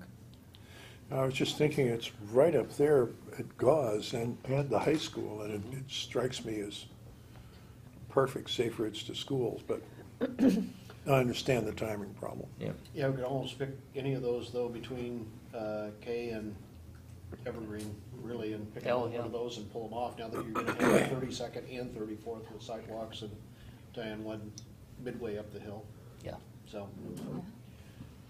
We could talk about it at a workshop too. I don't know that we, we're just introducing the concept this afternoon.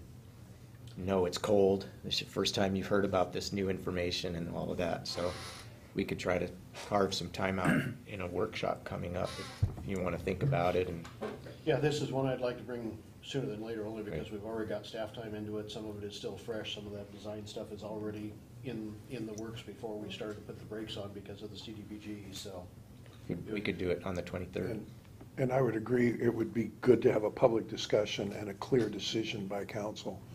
Uh, And, and therefore sooner rather than later. So we could do it at our very next meeting. And, yeah, and, you know, you don't need to guess where I'm at on this. Okay, so that ties directly into um, the long-term financial status for the general and street fund. Or I updated it with the actual estimated for 14. You'll see the 213, uh, the actual budget for 15, and then uh, we updated the overall growth assumptions for moving forward based on various factors, inflation, how things have come in. We've fine-tuned them slightly to 3% for revenues and 4% for expenditures, so they're still not together, but they're not as bad as they were. So the deficit projected for 16 has come down a little bit, down to 481. It was closer to 600,000, I think, last time we talked. And so just with the improving economy, it is helping our future. Why do you have the revenues dipping between 15 and 16? There are factors worked in, so I took out the remaining, we are using Fund 125. Okay. So at the time of putting this together, we were spending them in 14 and 15 and didn't have any remaining for 16. Okay. So I have backed off that amount before doing the inflationary factor.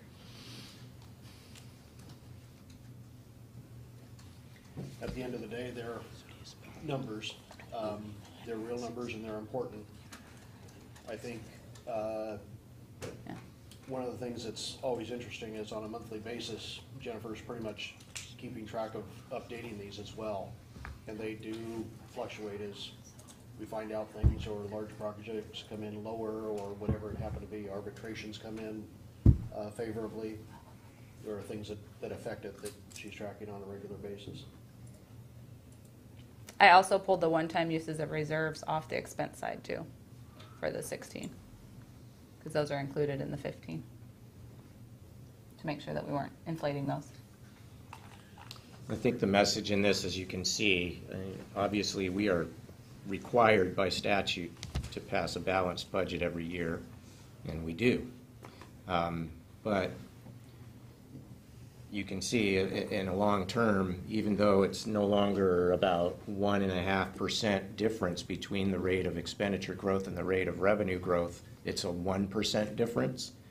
One percent difference is enough to be a structural deficit, and this continues the dynamic for us. And in a stepwise way, we balance the budget every year by making cuts um, where we can, um, Or being flexible where we can. or being flexible, and so you see us, um, you know, expenditures coming in at ninety-eight point two percent, the good work of, of your department head team doing everything they can to try to save off of estimated expenditures that we make. Um, So, the overall message that municipalities in this state are still dealing with because of some of the constraints on property tax, primarily constraints on property tax revenue at one percent per year, whereas expenditures grow at more than one percent per year. This is, this continues to be a dynamic for communities in Washington, and we're not alone. We're unique in that regard. Um, this is Jen's best estimate for what will happen in 2016. It's based on different assumptions. We'll see what the, the real things, you know, what's the arbitration say? What do we bargain this year for next year? As soon as the arbitration comes in, we start over again with them, um, 307. Um, I'm pleased that that number in 2016 is significantly different than what it was showing when we were starting to do this in 2010. In fact, I think when most of you first met Paul was in 2010 working on this, and the number was much bigger in 2016 than, um, that was, that was the last year of the projection time. So I'm thankful for the good work of the team for that, but we still face recall them. what it was? Uh, over a million, you know, I can't, we'd have to go back and look at the, at the spreadsheets, but we got them somewhere. I don't know if you remember off the top of your head. I head. don't, but that was also projection based on not solving it every year, so Mm-hmm. it was, you know, that one percent gap or whatever it was at that time projected over. Will be analogous to the 2020 Correct. Right. we got now. Yeah, right. So it was, it was order of magnitude plus or minus a percentage there, yeah. So of course, our pledge is that we will, this year, administration and the council working together, we will deliver a budget that's balanced in 2016. Lots of different options and approaches for that, right? And uh, we'll have to have that conversation again as we move forward. At the same time, though, in fifteen and sixteen, we're still doing significant projects all throughout the city and throughout our infrastructure, no matter where you look. And that to me is the epitome of a healthy community. You know, yes, on paper, we still have some things that show deficits, but I think we're getting a little bit more comfortable and not necessarily crying wolf and always looking at that number because we continue to bring things in under budget. Uh, the budget's under budget. Um, thankfully, for a number of reasons, our, uh, revenues coming in are not significantly, but they're over our projected amounts. Um, the sales taxes, everything else, just point to the community is doing well now. And as Mitch can tell you one-on-one, we have um, some significant projects coming on that can only help the city improve in the, in the revenue side of the world overall, so kudos to everybody involved, not just department heads, but on down the line for everybody that is continuing to look at, at our bottom line and what it means, because quite frankly, that's where, you know, those miracles are happening every single year, so. We hope that they all continue, we hope that, you know, nothing happens in the greater world that starts spinning us back another direction. But for now, the team that you've got in place is doing a phenomenal job on the, on the finance side of the community of keeping things moving and reinvesting in the community in a large way. Any questions for uh, Jen on finances or Dave on any of the initiatives that we have underway? Okay. Paul, I'm sorry, Jen took ten minutes too long, You but what? now it's your turn. I think I can make that up. My goal is to Look how he's, you look how he's strutting up here. no longer, no longer than needed. Um, If you'll allow me, you know, just a couple of other comments on the, the forecast. I work with a, a number of different jurisdictions, and that's not uncommon in terms of the, that gap. If you look at it at one percent, it's really a function, of what Dave was talking about. Your revenue structure is similar to a lot of other cities. Actually, a lot of other cities have more sales tax or other tax revenues, but for your case, uh, over forty percent of your revenue is property tax, right? And it's one percent growth a year plus, we're forecasting, I think, roughly one percent new construction. So that forty percent grows at, at two percent max a year. Your expense structure is almost seventy percent, I mean, depending on how you deal with fire, personnel related. And with step increases that are obligated through your contracts and cost of living adjustments that you believe the staff have earned, know, the average for that is like three point three percent just for the salaries, and then healthcare benefits, PERS increase, PERS is gonna increase. It's a, uh, you know, a mandate for you. That PERS rate's gonna grow nineteen percent next year from what it is today. Your healthcare costs have been stabilized somewhat over the last couple years, but those aren't, in- those, uh, that good news isn't anticipated to continue. So if you have a growth rate that's anything more than, you know, two to two percent, three percent, you just create that deficit where your expense growth year to year outstrips your revenue growth, because your revenue growth is tied to this one percent plus new construction on the sales tax. Your expense side is tied to the personnel expenses, uh, you know, retirement, healthcare, those types of costs, step increases that end up growing faster um, than the, the revenue side. So the other comment that I'd make is that if you, you know, I think Jen mentioned this, the 2016 number is really a function of use of that Fund 125 money. There's, there's this sort of one-time adjustment, but after that, it's just 115, 120,000 a year. So you're meant to, this should be conservative, right? There- should be a conservative nature to those forecasts. And I think as Jen showed, that you come in under budget by one or two percent. If you come in over budget on the revenues by a half a percent, I mean, you make up that, that one percent deficit every year. So I think it's, you know, it's a reasonable, uh, projection to have, but it's also reasonable to assume that management and from, from council policy and management, that it's not, uh, a problem that you can't overcome. I think, you know, as the mayor said, there's still room for these investments that you're making. You've done a lot of good things even with this kind of, even through the recession. You made a lot of really good investments in your community, and this forecast doesn't mean that you can't do those, continue to do those in the future, so. Just to put a little bit of context on that, uh, Paul, one other thing before you get started, and I apologize, I went right past my note on it. Uh, So we've done uh, department updates in most departments. The one that obviously is a little bit glaring is uh, fire and EMS. While we no longer have a fire and EMS department within the city of Washougal, um, Chief Swinhart has called for the uh, joint committee to come together, I believe, uh, you're looking at, Brent, I think you're the only one here, sometime into early April to mid-April, So we're gonna have a what?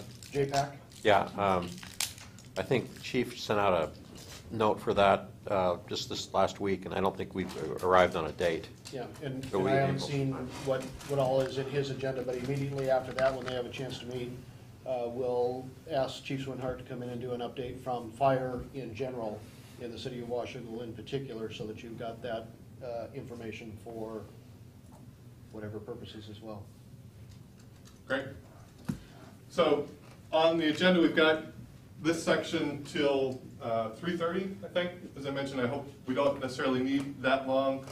The real objectives, uh, as we sat down and talked through it, is to twofold. One, to get you talking about sort of what those future things, those future priorities might be. Um, Just an exchange. I think you've done, uh, a lot of the work that you've done focuses on priorities within a certain area, whether it's transportation capital, parks capital, uh, public safety. But what we want to try and do in this session is get a discussion about priorities across different areas.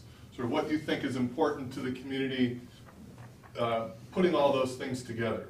So that's one, just a, a discussion. The second is to try and get some priorities, and what planning session wouldn't be complete without a dot scenario, right? So we've got that for you later on. But to try and identify potential topics to bring forward for future workshops to help you work on some of those things that you've identified as priorities. Okay, so there's really two. The, the discussion element, just to start a discussion about what's important, what your priorities are across the different areas. And the second is to try and uh, seed some of the uh, topics for future council workshops. Okay? So the agenda is, I've got some context, uh, want to set, hold some information from your strategic plan, from the community survey, and then uh, want to use that information to get you into a discussion about potential strategic priorities. Uh, We'll have a review and a discussion. We've put some things, there are some things in your packet, we've put those on the board. I want to have a, just an uh, informal conversation. Um, Want to get your feedback on those things, whether there's things that should be added, deleted, things that you don't think should be up there, modifications, and then uh, go into the prioritization exercise as well. And again, I'm thinking uh, that we won't need the full two hours, but it's completely up to you in terms of, uh, in terms of the discussion. Okay? So, next slide. So starting out with a strategic plan, and, and this is, I think, actually came out of uh, your planning session in 2011, is really where this got its seed. Uh, It was kicked off in 2012, a lot of the work was done in 2012, and I think you ended up adopting this in February of 2013. Um, So it's, it's, you know, two years old, three years if you consider when the information was being gathered and when this was being put together. So it does two things. It was, it's meant to be a 20-year strategic plan, but I think this is informative because it helps you both look at, okay, well, how well have we done the last couple of years on these items, but also helps inform what those priorities might be uh, going forward. So there are four sort of str- uh, strategic goals, pillars that came out of this process with some uh, supporting initiatives. I just want to quickly run through uh, the four. Communication, this is provide an open and accountable city government through effective communication in order to foster citizen participation. So I don't know, I don't think these were in any priority order, maybe alpha order, but in terms of uh, communication was, was the first one out of the gate for them. Second was community engagement, support and promote opportunities for community engagement to build a sense of community and preserve our small town feel. And the third, core services, provide effective leadership to ensure that Washougal residents receive quality, color change on that, uh, quality, cost-effective municipal services.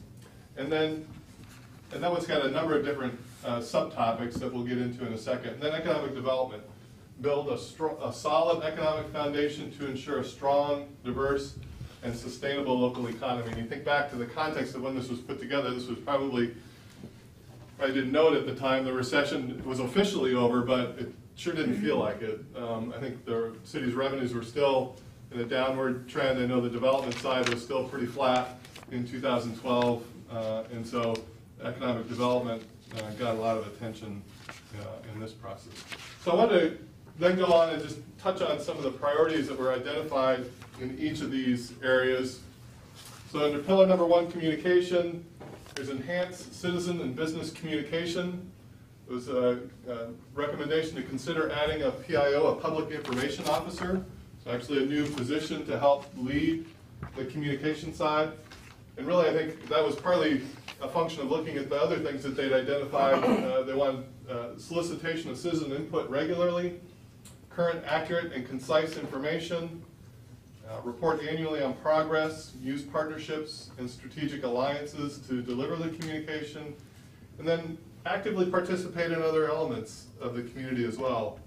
And as I was talking about, you know, you can look back at what you've done on this, and just from, from Dave's update, the e-government, uh, you're doing some work on uh, social media, uh, improving your communications that way, so you've actually started to take on a lot of these things in enhancing communication. The next one was community engagement. Actively promote volunteerism. There was a lot of talk, or at least uh, discussion in the, in the document, in the strategic plan about working with the uh, K-12 education systems. And, and one of this was the developing leaders for local service efforts. That was one where they really highlighted working with the K-12 system. Uh, expand use of the community center, support and promote events, including quarterly meet and greet events, foster a small town feel, emphasis on engaging seniors and youth, and promoting a healthy community. And I noticed in the, uh, one of your capital projects going forward in the community center, you've got the kitchen remodel. So again, that's trying to, I think, uh, focus on getting expanded use of the community center, at least keeping that up. And then third, core services, this is the one that has multiple parts. The first up is just overall management, professional management, develop an organizational culture focused on efficiency and continuous improvement, adequately budget for services, and recruit and retain high-performing personnel. Again, I noticed a couple of things that you're working on. Obviously, you've got your uh, budget situation. You came in uh, ahead of plan, uh, but you've got a, a budget uh, for 2015 that does make some investments, but adequately uh, funds services.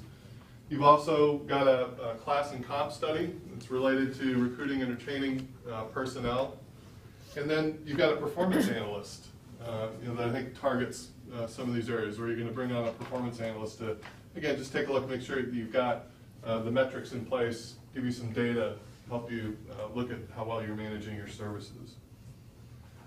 And then uh, another element under core services was transportation and public infrastructure, focused on keeping up existing infrastructure as opposed to investing in new.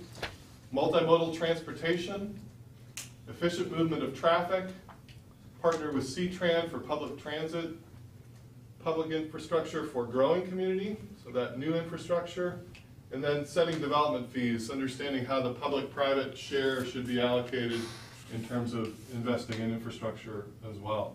And again, just to note a couple things that are going on here, you've got um, the wastewater treatment plant upgrade, right? You've got the water, new water reservoir, I think that's in the planning stages as well.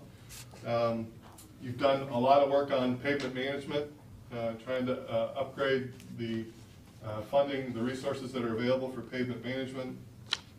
Uh, I know that the second overpass or another overpass is, is being discussed. So a lot of work, I think, being done in transportation and public infrastructure. And then uh, the last set of the core services, public safety, promote and increase community-based partnerships. This is appropriate, I think the Camas Washougal Fire Department uh, falls under that category. Provide appropriate levels of service to ensure a safe community. Again, you had a conversation with the community on, on both the fire and EMS and police side this last year. And then strategic partnerships, intergovernmental relations to influence issues outside the city's jurisdictions, but important to the community. When I read that, what came to mind is your recent discussions on the BNSF and the oil trains. You know, you're not afraid to sort of talk about policy issues that impact Washougal that you may not have control over, but are important in other jurisdictions. And I think your investment in uh, your uh, Lloyd, having him represent you, uh, get a really, I I do think you get a, a great value out of that. He's representing other jurisdictions, there's sort of a fixed cost to keeping up with what's going on, and the more you can spread that across other jurisdictions, it's value to everybody. And and I, I do think Lloyd is a, a great representative for, uh, for Southwest Washington. So those are the core services. There's one other category, the last one is economic development. And again, lots of progress I think that you've, uh, you've made uh, on this in the last couple of years since this was done. Just hit on the support business recruitment, expansion and retention, market the community as a desirable place to live, regional cooperation with a focus on technology and light industry, supporting downtown redevelopment and tourism promotion.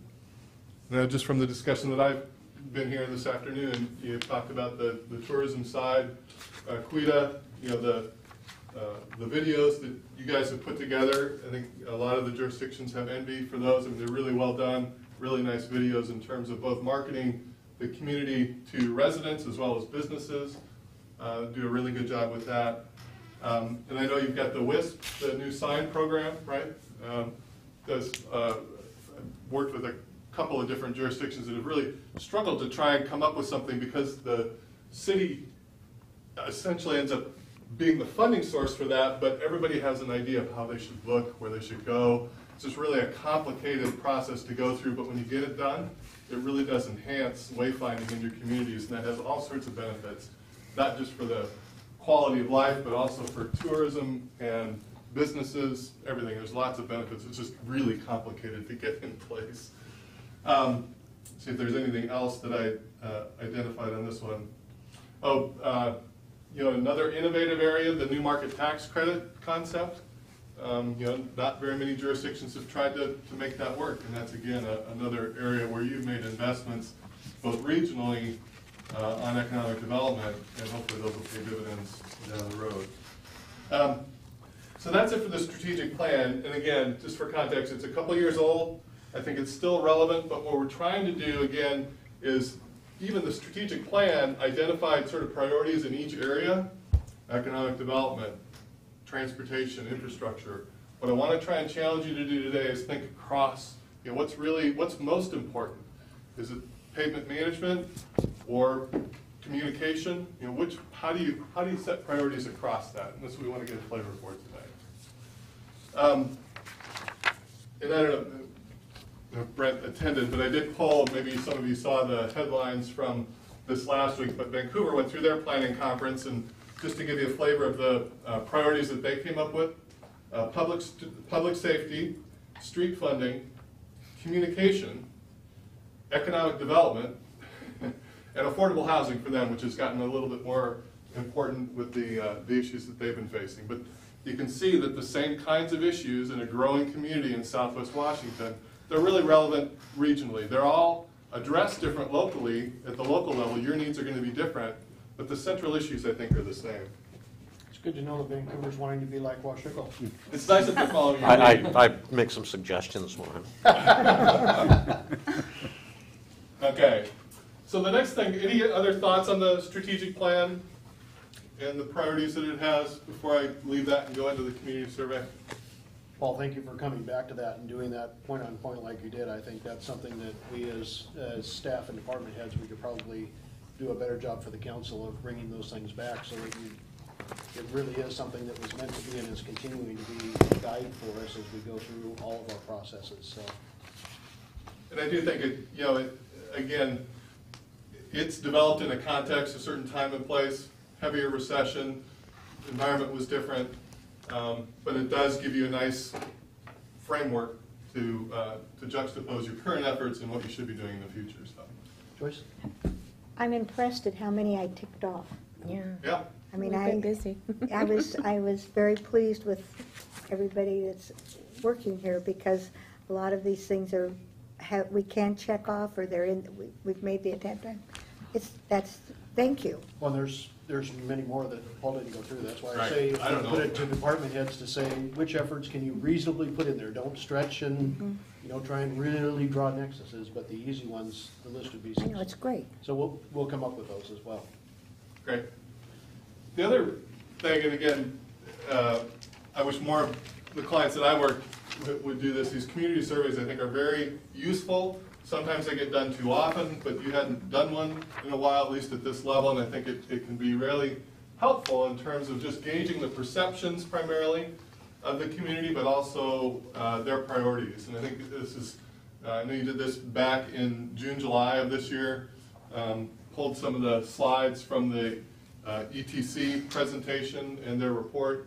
I just want to walk through these because again, I think it's useful in terms of revealing some of the priorities that at least the community has for you. But again, a lot of these are, this is one where, where we can actually see relative. So we can see how they feel about streets versus communication. So this is uh, less uh, siloed than your strategic plan was, you know, in terms of those uh, initiatives. This gives you a sense of what the community perceives anyways, based on their uh, knowledge when they responded to the survey. Um, And just for context again, the respondents, I didn't do the full demographics, but 74, 75% were voters, 24% not, so I give you a little sense of, of how in tuned or how knowledgeable they might be about what's going on at the local level. Um, So this is the first slide, so this is the satisfaction with major categories of service. And you can see, starting at the top, quality of fire, emergency, medical, ambulance services. The blue portion is very satisfied, the light blue portion is satisfied, and the white is neutral, and the red is dissatisfied. So you can just see, going from the top to the bottom, uh, very high levels of satisfaction. Those are all good news items, you know, all the way, uh, you know, down to the midpoint.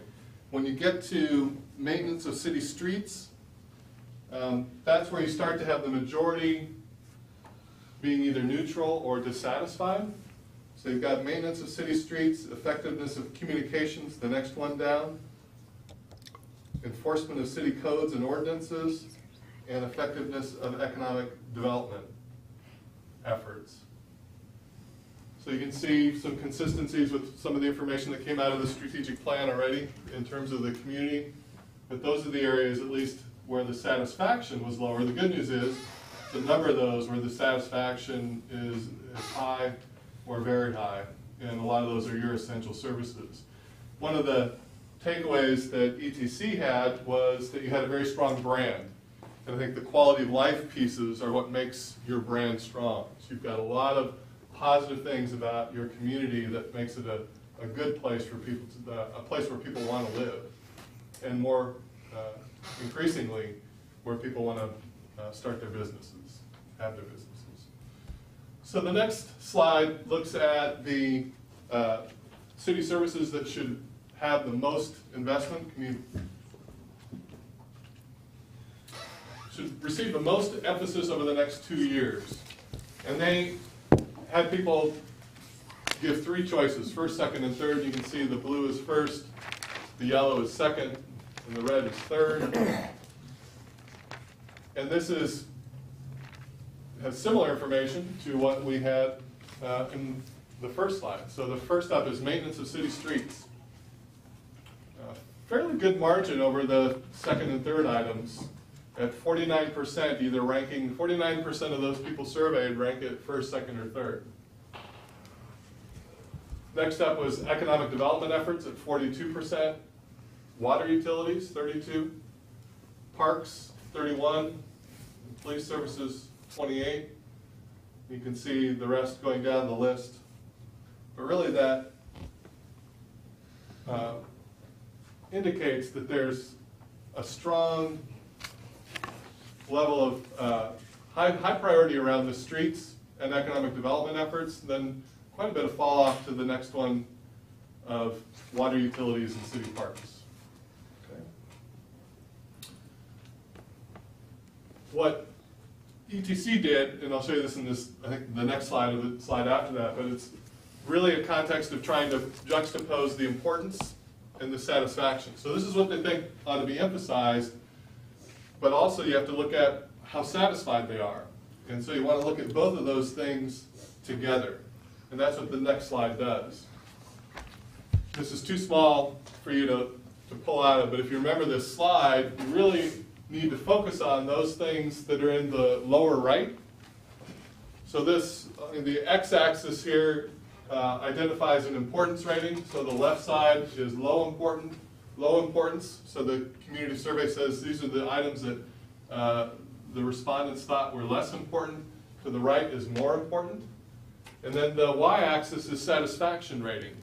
The bottom of the y-axis is less satisfaction. The top is more satisfaction. So that lower right quadrant are those services where people feel that are very important, but they're less satisfied. Okay? So those are opportunity areas for a local government to say, okay, I can target some investments or target some services, target some improvements in those services because they mean a lot to people and they're not as happy as they are with other services. So if you had, you know, four things and three of them were great mm-hmm. and one of them was low satisfaction, high importance, you'd want to put your money into improving that area that's low satisfaction, high importance. Okay, oh, there we go. And lo and behold, when you look at these, it's the maintenance of city streets and the effectiveness of economic development efforts. Those are the two.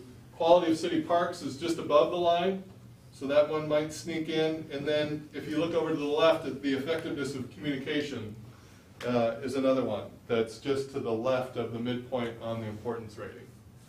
Okay? And again, I want to, uh, should have put another caveat in this.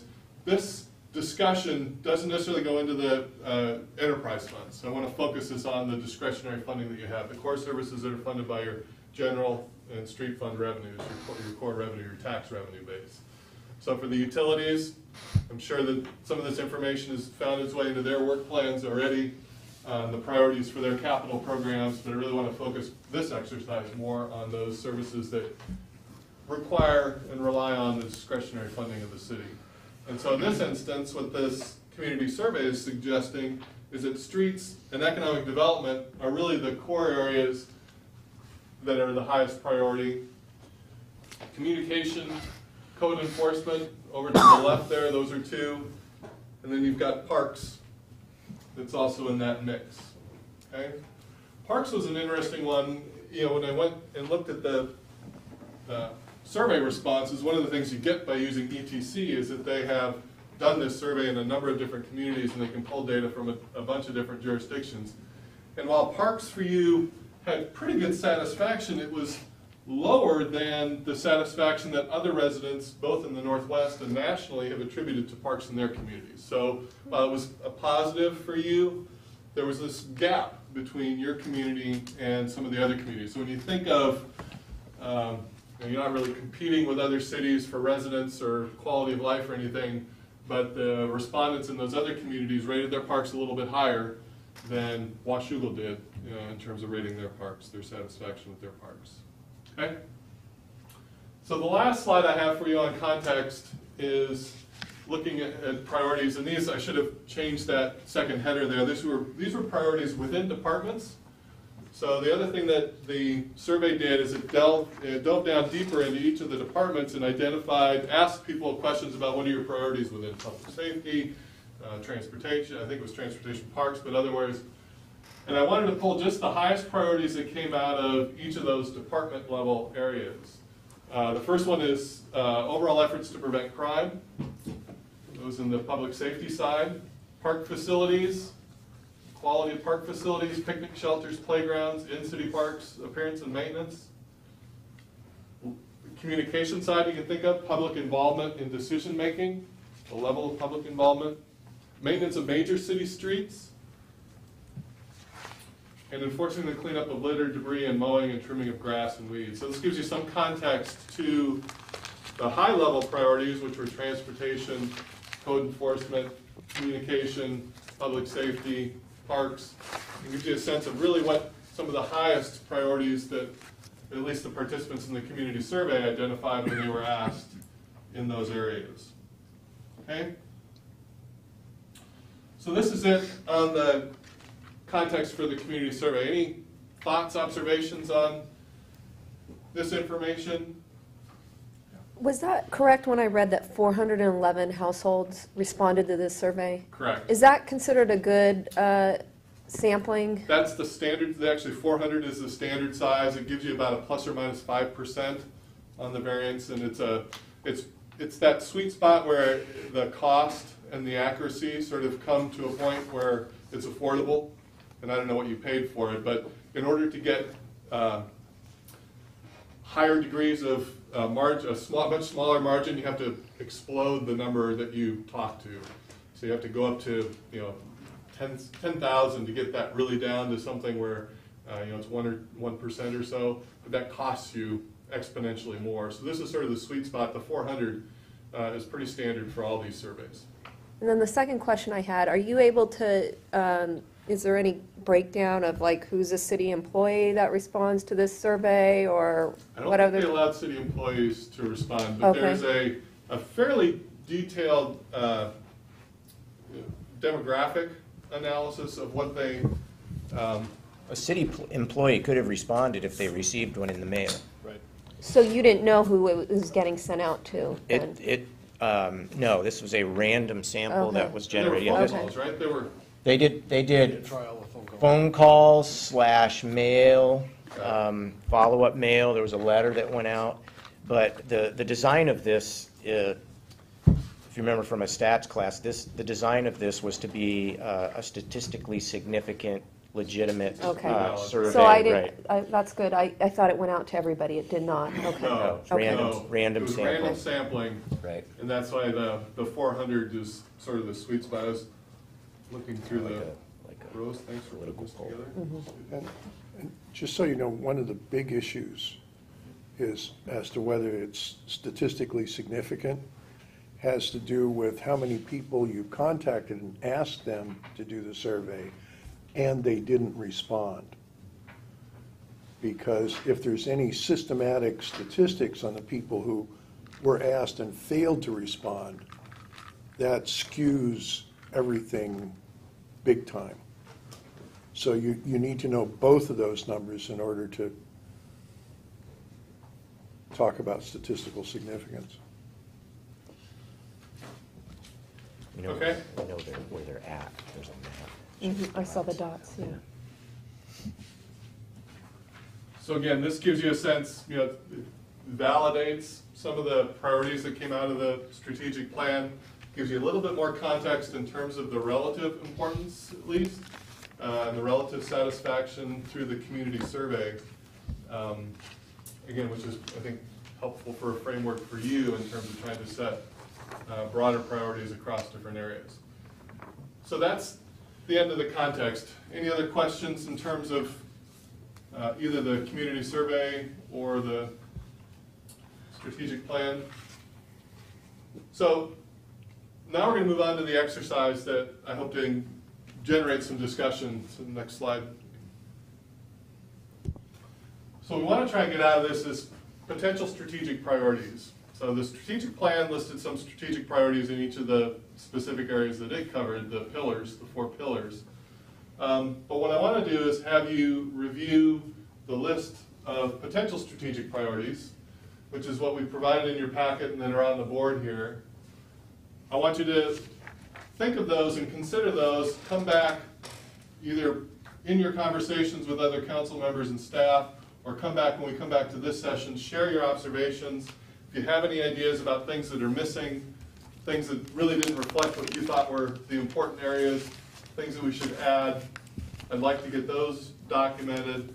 And then I want to prioritize those, have you prioritize those. Uh, And again, as I mentioned before, the objective is to have that be a setup for uh, potential candidates for future workshops or strategic investments in 2015 or 2016.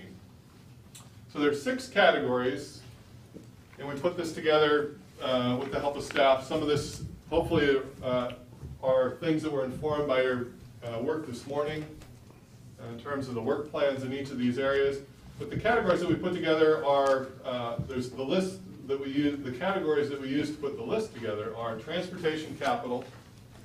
Again, lots of uh, indications that transportation is a big priority.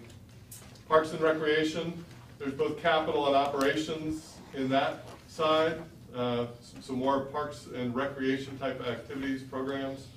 Public safety, economic development, operations and maintenance, we wanted to sort of pull this out. These would be things like the street uh, uh, pavement management program, but other just sort of maintenance uh, items. And then uh, catch-all category for other. And again, these lists that we put together primarily came from either plans that you've adopted, things that you currently have on the plate that aren't on the current work plan, but are things that have circulated, uh, either in your budget discussions or other discussions that the city council has had. Um, So what we'd like to do, next slide. As I mentioned, have you review the lists that are posted on the wall, talk with each other, talk with staff, not, no members of the public here. Uh, do they reflect the priorities from the strategic plan and community survey? Do they address what you believe to be the right actions and investments? Are there any items missing? Anything should be removed, you think? Any revisions or modifications? And then after you're done contemplating those items, those questions, I'll have you come back here, we'll have a brief discussion about those. If there's anything that we need to uh, ad hoc add to these lists or modify, we'll do that, and then we'll go into the prioritization exercise. Okay? Thoughts about either what we're gonna do or how we're gonna do it? Objections to the outcome, objections to at least uh, trying to go through that process? I Want to make this relevant to you, but really thought it'd be good to uh, both let you get up and walk around, but to think about all these things collectively together, and we're trying to discern sort of cross-area priorities. The only thing I would add for the council is that um, when you're up and over there looking at those things, the first one's transportation capital. Everything on that list is in your currently adopted transportation capital facilities plan. There's nothing new on that list. It's all stuff that you've already identified or we've identified together on the plan. Uh, But we thought we'd throw that up there. The next one on Parks and Recreation, also uh, off of your Parks plan. Um, You can't see them from here, we know that because you're going to get up close to them. Public safety, things that we've talked about, economic development, things that we've talked about, but a couple things that we haven't. So when you get up there and see that, you'll notice it, oh, we hadn't talked about that. Ops and maintenance, I think you'll, everything up there will be familiar to you. And then, and similarly on the uh, other programs, it's found either in the, the strategic plan or in the survey. To help you on the Parks and Rec one, uh, I, we chose to do it this way. When you look at that Parks and Rec list, you're gonna go up there and you're gonna see CP three and CP four and NP one, Community Park, Neighborhood Park, WP, Waterfront Park, and just a number. And you're like, well, what is that? On, I believe it's laying on the. It's actually ta- right here, there's, There's the maps, we'll but there's. move, we'll move those over, but Okay. yes, sorry. There's, um, there's an uh, excerpts from the parks plan that identify what those are. So we didn't have enough room to do it on that one sheet. So you'll be able to look at that and go, oh yeah, CP three is over here. If it's a new one, it doesn't have a name, it's a, if it's a proposed new one. But you can go over to the parks maps, and we blew them up. Those are right from your plan, and you can see that. So that gives you, that'll help you on the parks one. And that's, that's the info that you have. We recognize you don't have perfect information about these things. Really, the idea is to get just a sense of your priorities, given what you know about these areas. Um, You know, even revealing priorities in terms of just topic areas uh, will, be, I think, be useful for the administration and for you to, again, help set your agenda for workshop sessions for the rest of 2015. Though I know you got a lot on your plate already. And we'll have staff just kind of standing near and around what might be most relevant to them if you have a question about what you're looking at. Feel free to use the time to talk together while you're up there or whatever. Okay, so next slide. So we've got, you know, take a break. You've been at this now an hour and a half of this session, two hours for this session. Take a break, but take maybe 25 minutes, so about uh, a quarter after two. I'll try and bring you back to the table. We can talk about sort of your observations from looking at the, the different potential strategic priorities. Okay? Yep. Thanks. Trevor, you need to take a number on. Okay. Okay, well, it sounds like there's a lot of good information exchanged. I don't know what that'll lead to necessarily, but I want to take at least a couple minutes here and uh, capture any of your observations from your reviewing the lists and your conversations with staff and with each other uh, regarding the potential list of strategic priorities. Um, So, just open it up. Any thoughts about what needs to be added or The thing that occurs to me, little background, that five years ago, the total reach of the Columbian plus the Post Record was 28% of households in Washougal over the course of a month. Any one of the Portland television stations reaches more than that. Obviously can't afford to buy television for Washougal. So how do you reach people? And the thing that had popped into my head basically is reader boards. I don't mean the big multicolored flashing thing down, like down at Washougal Florist, more like what's at the high school. And you could just put up on there, there is a council meeting, there is a school board meeting, there is a this. Um, Well, Center has one of those when you cross the bridge, you, Yeah, yeah, exactly. And that, and, and the other thing that occurs to me is, we used to have poles over here across River Road, uh, just before you go up on the railroad bridge, with a wire you could hang a banner. And somebody looked at those poles and said, engineering, they could fall over in a wind. So they've been cut off. But either of those two things if you think about it, you could reach eighty percent of the households in the city with three locations, Sixth and E, River Road, and Thirty-second, um, with either reader boards or those kinds of banners. And that's the only way that I have been able to come up with to actually reach people that are not already going to your website or your Facebook page or whatever. just Then a the- comment on that, the, you know, the banners are a lot more operational Yes. intensive, just. food Yes, they thought. are. The electronic reader boards are nice, because you can, The, the only advantage to the banners is that you can make them available to some community organizations that you might not want to put on your reader board. and they, you can customize them with logos and stuff, and they're easier to.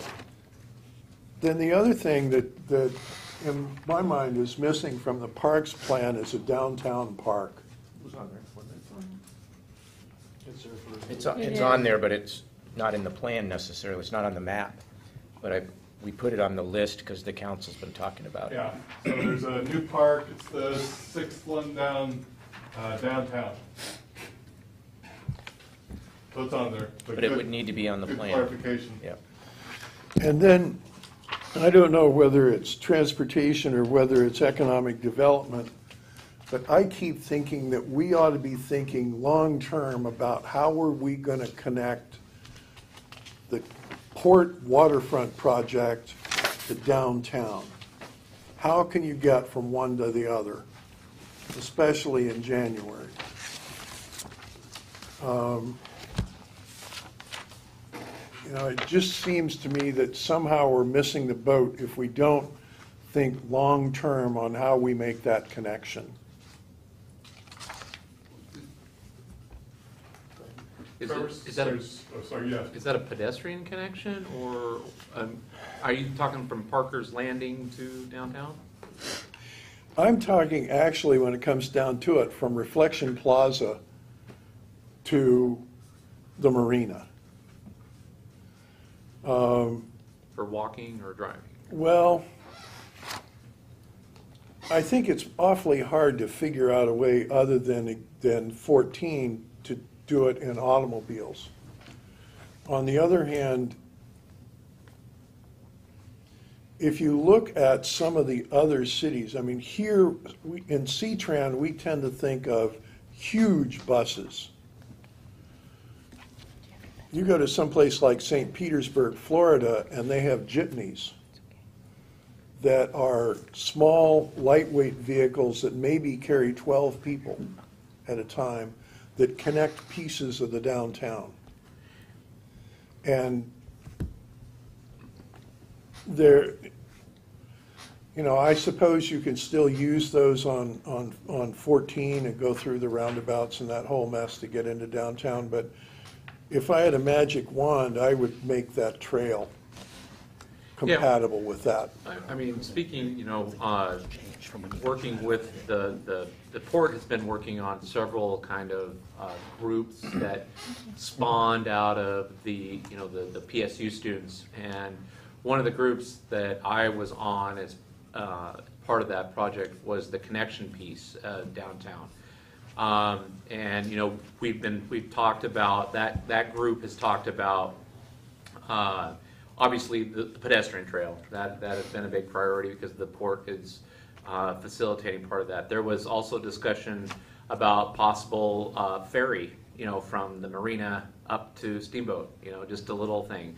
The other part that never- was. never occurred to me. Yeah, a the, idea. what we also talked about was possibly a, a, like a, like a trolley that Mhm. would run from, from downtown, uh, down C Street. And so there was actually discussion along about C Street. Um, We've done improvements, in the sidewalks have been done along there on the north side. And uh, there was also some discussion about maybe doing it on the south side or maybe making a, a- another, uh, is it, I guess it would be B Street, you know, maybe a lower impact street, you know, so maybe less traffic, more pedestrian traffic. But those have been some of the discussions that have come out of that, uh, that group. But that con- C Street has been really kind of the connection, um, you know, from a, uh, you know, that get on a trolley in downtown and then just take it right down to the marina.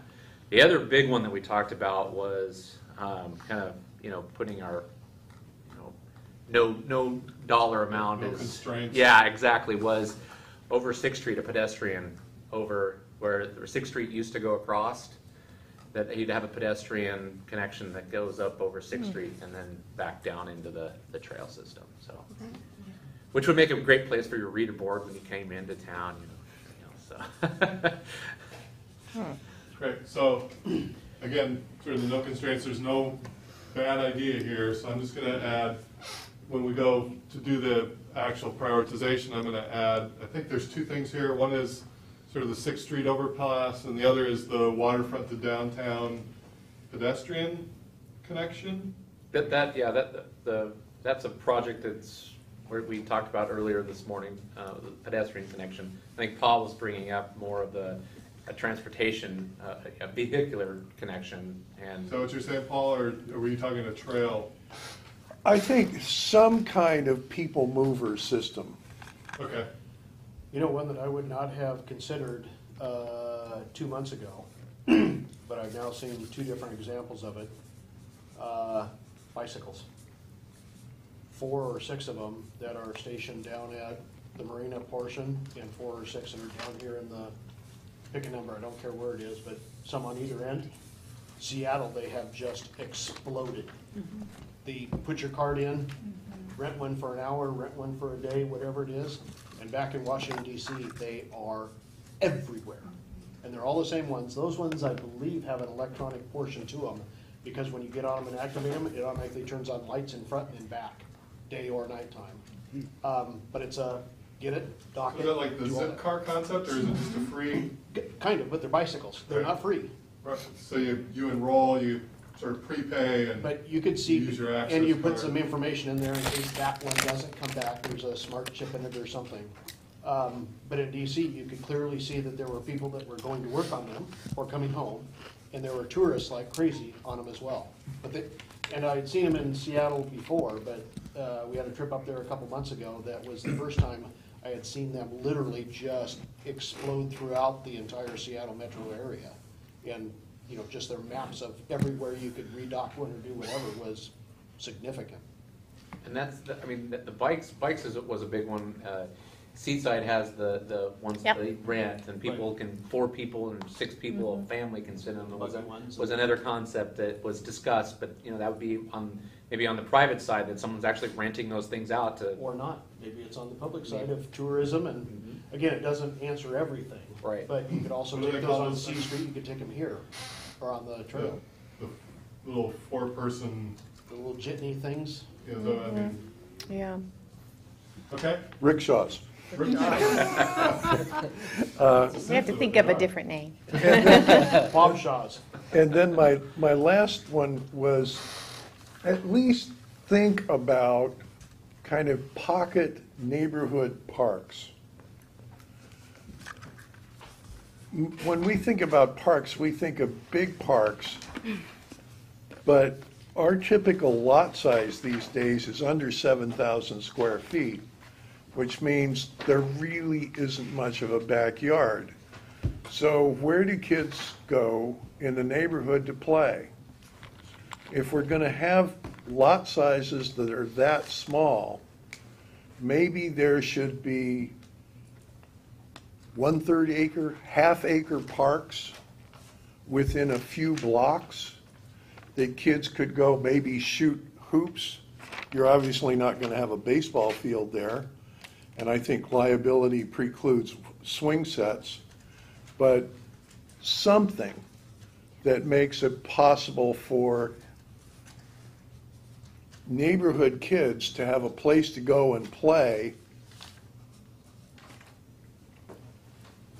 which, Richfield. if, if they have, now they have to get mom to take them to the park. Well, I think Paul hit the nail on the head with that one. I mean, you pretty much have to get in your car and, you know, age-appropriate st- recreational things for kids. There just really isn't a lot of that stuff in the city. I mean, we need a, a public pool, a partnered pool with the school district, you know, for seniors. Eh, I noticed there's rec centers up there, but the pool was not in there. I mean, there's kids that drown every year, you see it in the newspaper, in the rivers around here, and there's just, you know, there's not a Will and Rob Center like there is in Camas, which is attached to the school. There just, there aren't any indoor play centers, at least that I know of, for, for kids around here. And I think that, you know, just to add that pool to the rec center. And then the piggyback on his sign thing, I think that there should be some sort of sign that lets you know you're entering Washougal from the east side on Third coming from Camas. Um, You know, uh, and maybe partner with Camas to clean that area up From the more. side? Yeah, from the east side, coming in on Third. Um, on the west side, yeah, sorry, west side. West There's going t- east. Yeah, west going east. There's a tiny one there at the credit union, entering Washougal. I've never seen it. You know, I don't know, and, you know, it just, this is a lot of, maybe because a lot of their people don't come through there, they don't take care of it or clean it up as much.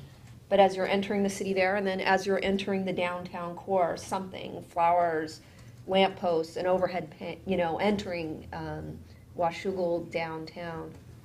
Um, I think those would. Well, there's like one, the one in Vancouver, when you come off um, onto Mill Plain, there's that, you know, mon, it's a monument sign for the, you know, the Angelo building there, Right. where Denny's used to be. Something like that would be nice. And I'd, I'd put Shepherd Road on that list too. Where is Ford Street? I see six million dollars that we need to pay Ford Street. Industrial Park. And is that our responsibility? Uh, Right now, it's a Port Street. I thought, yeah, I didn't think we had any streets in the port anymore. Mm-hmm. Yeah, index thirty-seven. At city right away? Okay, Index. but Ford is not. She said four. But Okay, a so that question. can come off. I had about the rec center, is, is, is it possible for us to partner with a YMCA? Or, I mean, I know there's grant agencies in Southern California that for One of those scenarios, at the split diamond. Places such as ours, where our socioeconomic is lower in areas where they specifically promote these youth-type rec centers. Is there anything like that in Washington State, or? Well, it's actually what Yeah, there's a lot of them, and that's what Jack Will Rob is, Yeah. uh, between the city and the school and uh, the Boys and Girls Club. The Kroc Foundation, McDonald's, is probably the largest nationally in terms of funding rec centers. They put a multi-million dollar one into Salem, Oregon within the past handful of years. It's probably the nicest building in Spokane. Um, There is a potential opportunity coming forth that um, hasn't picked up a huge amount of steam yet, but since the school bond has gone through, and they will be at some point dropping Jemtegaard for all intents and purposes, um, the questions have started to be asked if there are one or two of those pods, specifically like the uh, gymnasium one or the gymnasium one in the administrative and cafeteria area, if those are in good enough shape and can be rehabbed as they put the schools up above to capture those for youth activity centers. The only poten, well, one of the potential downsides is it's outside the city and It's out way on the out east there. end. Oh, I wouldn't But there are existing buildings that are in the air that are permitted for what they are. Yeah, but that's, that's in the gorge, and there's design limitations on what you can do out there. Not for the buildings that are there. That's, and that's what I mean, that they're already existing, they're already permitted. There are Okay. uh, a lot of jurisdictions, not a lot, jurisdictions have used uh, Parks and Recreation Districts, so you can create a separate taxing district to help fund both the capital and the operations. You know, been some discussion in this community about that several years ago, but Okay.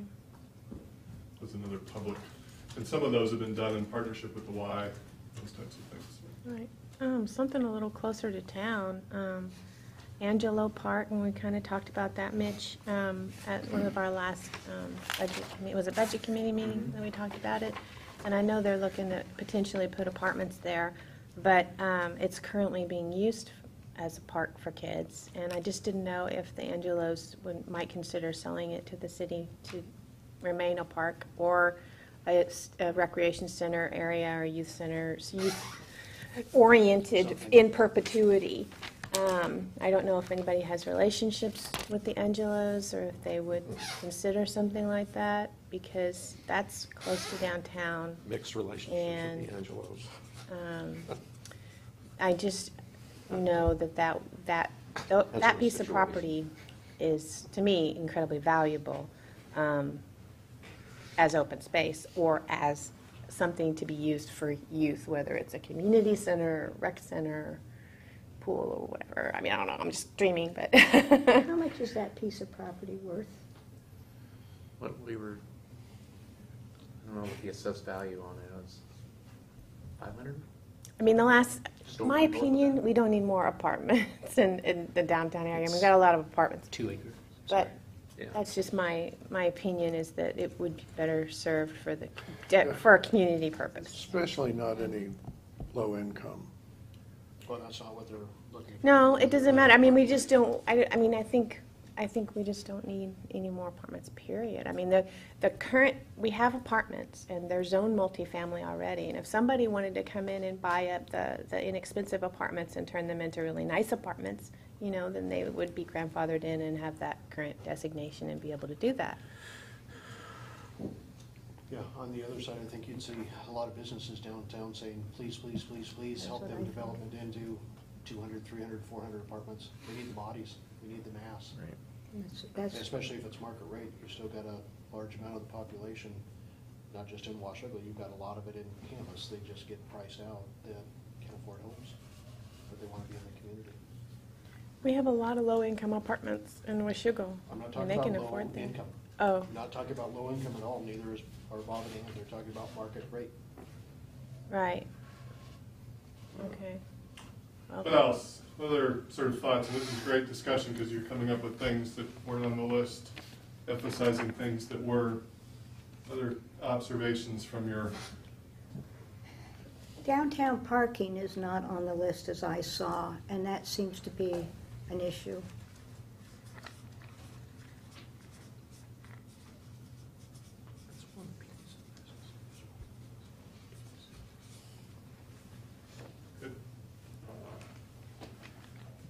what else?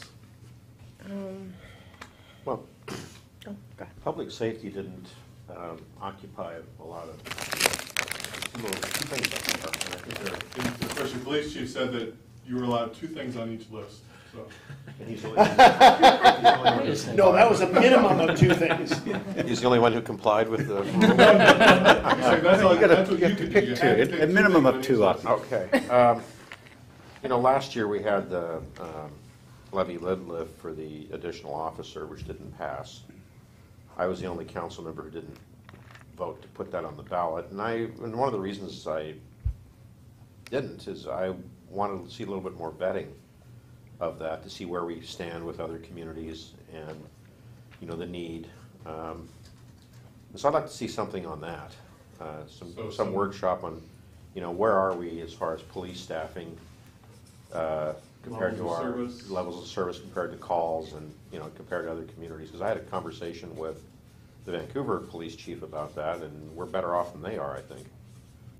Uh, Actually, we're, we're per officer, uh, one of the higher uh, calls per officer in Clark County. Even more in Vancouver? Mhm. Okay. And the other thing there, which I think is really important, based upon the survey, community survey, is, uh, I think code enforcement issues were ranked fairly high in the list, list of concerns in the city. It's sort of in that, close, but not quite into that Right. bottom right quadrant, it was in the bottom left, close to And I'd be interested in seeing on some proposals to enhance our code enforcement. So that's up there, so when you prioritize, you can Yeah. take that into account. This is sort of the season where those code enforcement things too, right, the grass starts Start growing. picking up now. Yeah. What else? I I saw that we had somebody, we were thinking of somebody to promote the city, um, an information officer. My question is, do we need a, a grant writer, a, a part-time position for somebody that specifically goes out and, you know, because all the administration seems so busy doing their other jobs, i- is that something, and I know you contract out for certain, uh, Halverson and other people to look into grants, but w- would it be better in, in one spot searching for grants for the city? I don't know. Possibly. Could be, yeah. I mean- Everybody, all the jurisdictions that I work struggle with that. You know, the ones that have tried it get disappointed on the return. Um, You know, a lot of the places find that the relationships that they have are places where you can get the bigger money, Right. so they don't, uh, it's, but it's a struggle. Some are very successful, but others, And we straddle both sides. Suzanne on the park side is phenomenal at writing grants and getting, them- getting them accepted and funded. Uh, Trevor's team, Jim, uh, sidewalks, some of the street programs, some of our intersections, they do a phenomenal job doing that. And we do that with in-house people. You know, Lloyd, we pay, David, what is it, seven thousand dollars a year? And he does, he does a little bit of that and some advising, but it's more delivering the messages and using his Rolodex uh, to help get those things into the system and or better refine them. Um, I think, Trevor, we don't have, do we have Wallace still writing some of our grant applications, or are they just managing them once we've got them? We have assistance intermittently depending on the capital improvement. Like, uh, we leverage Brown and Caldwell in constructing the wastewater treatment plant to look at low-interest loan preferred dollars with the revolving fund. Uh, Other projects, um, you know, DOE consideration ecology, like the fueling station and stormwater improvements. Um, We leverage the, the firm just for some, some expertise, depending on exactly what the ask is inside the application. Otherwise, we typically do the heavy lifting internally. So it can go both ways. Um, I think, Frankly, in the you know, to the extent that there are grant, state grant sources, I mean, most jurisdictions are pretty tuned in terms of how to access those, and you guys have been really successful. I thought you were talking more about the ones Pri- that, private industry yeah, too, you yeah. don't know about, Yeah. that you just Foundation. hire somebody to Foundations, go yeah. Right. comb the weeds to try and find something that you don't, yeah, it's not a state program or anything, it's just There- a foundation or something. There are service providers that will provide that service for you, and, you know, we receive their solicitations pretty regularly. Um, Different payment arrangements that they have for Yeah, that. if they get it, and they don't get it. I don't know if there's any, there may be some that'll, you know, front, Percentage of? yeah, and, and, and and they don't get anything unless they get a grant. Um, But if we had, if we had uh, a part-time professional in the office that was coordinating and facilitating and overseeing and tracking and organizing. I mean, we just do it with our middle managers now. Right. And then Trevor and I and Jen, we basically keep track, try to keep track of it all. It's certain, I mean, any resource like that would be helpful to us. Now, whether, you know, the ROI on it, it, it, you know, it would take some time to discover that, but I certainly wouldn't say no to that help. That help would be helpful, but it would cost us, you know. Jennifer, did you have a question a moment ago? Oh, um, I just had a a few more- more things on my list, so I'll just let everybody Yeah. else talk and then come back to me. A Couple of comments. If you look at the pie chart of revenue for the city and compare it to other cities, we get a significantly larger percentage of our revenue from grants than most cities anywhere close to our size. Significantly more. So especially Jim and Suzanne are doing great work on that. That's all public money. You make a good point about private money both Portland State and Clark College actually teach classes in grant writing. And it may be possible to become a class project, like we did with the strategic study.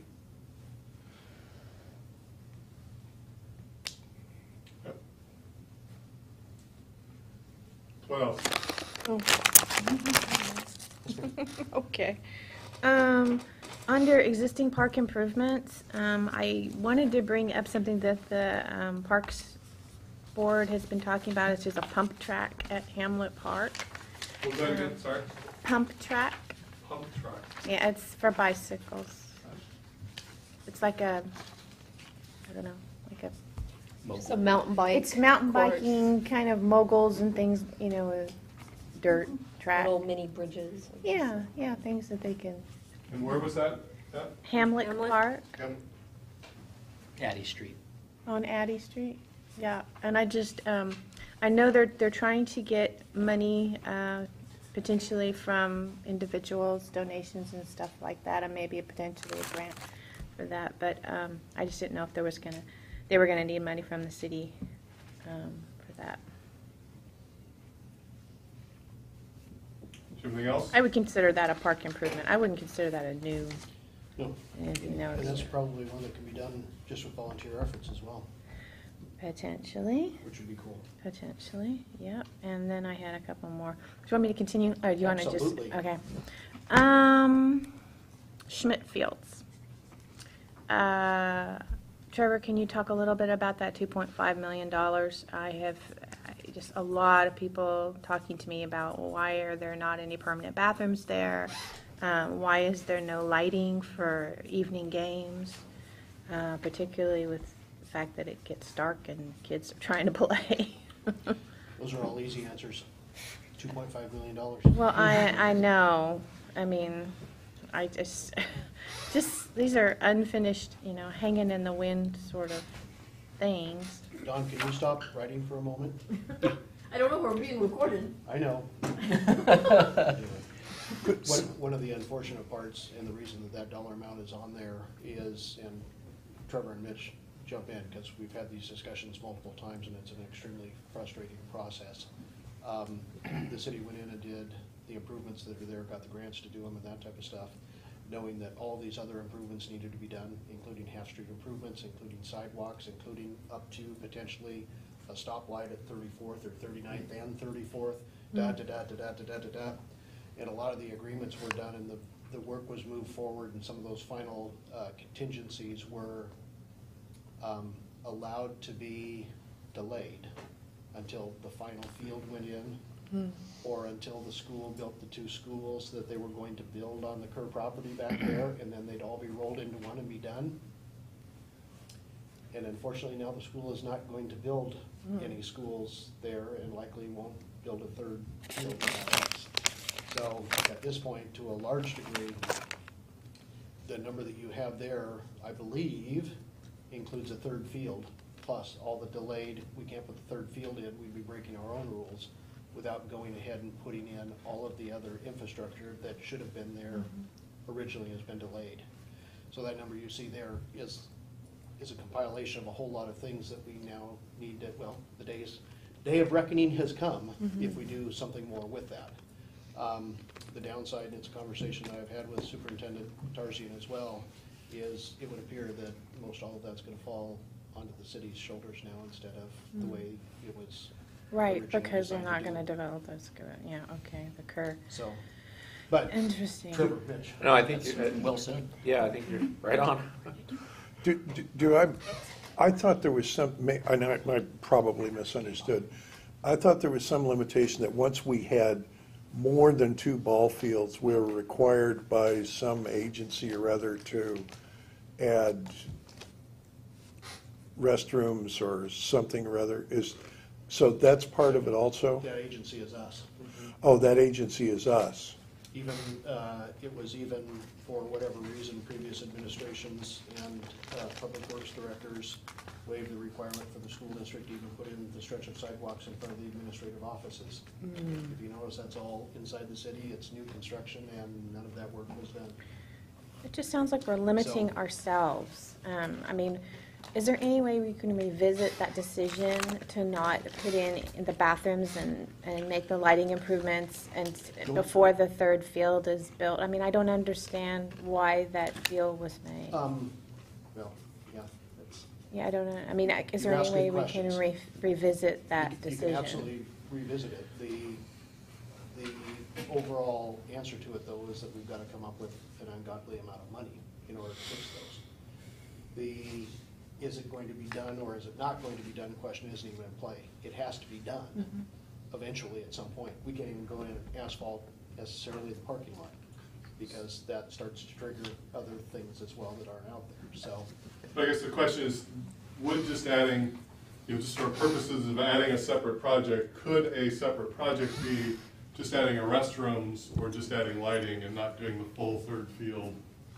Yeah, I mean, Well, that, that probably wouldn't uh, necessitate uh, the improvements that we're talking The about. All, all the improvements for, uh, were, were reviewed and looked at and approved. The, the, the issue was, is that based on traffic for one field and then two fields, and then an analysis will have to be done for the third field, was that we weren't gonna hit those thresholds that we would need to do all these frontage improvements. We were still under that threshold. And the, the idea and the notion was, is let's get the fields in, um, you know, let's, uh, do what we can, and we'll kind of kick the can down the road. We know that the school is planning on putting, you know, other buildings up there. We'll get it all at that time. That has changed. Yes. Um, and So we so, need to there is that. still approved, you know, there's, there's plans that show the, uh, snack bar with the, with the, um, concession, concessions storage, stand. I don't think lighting. lighting was ever on that, that, that's a new one, but, I mean, we could definitely look at it, but, um, it, it's, it, you know, if they came in and, and we had conversations with Little League last year about coming in and doing that work.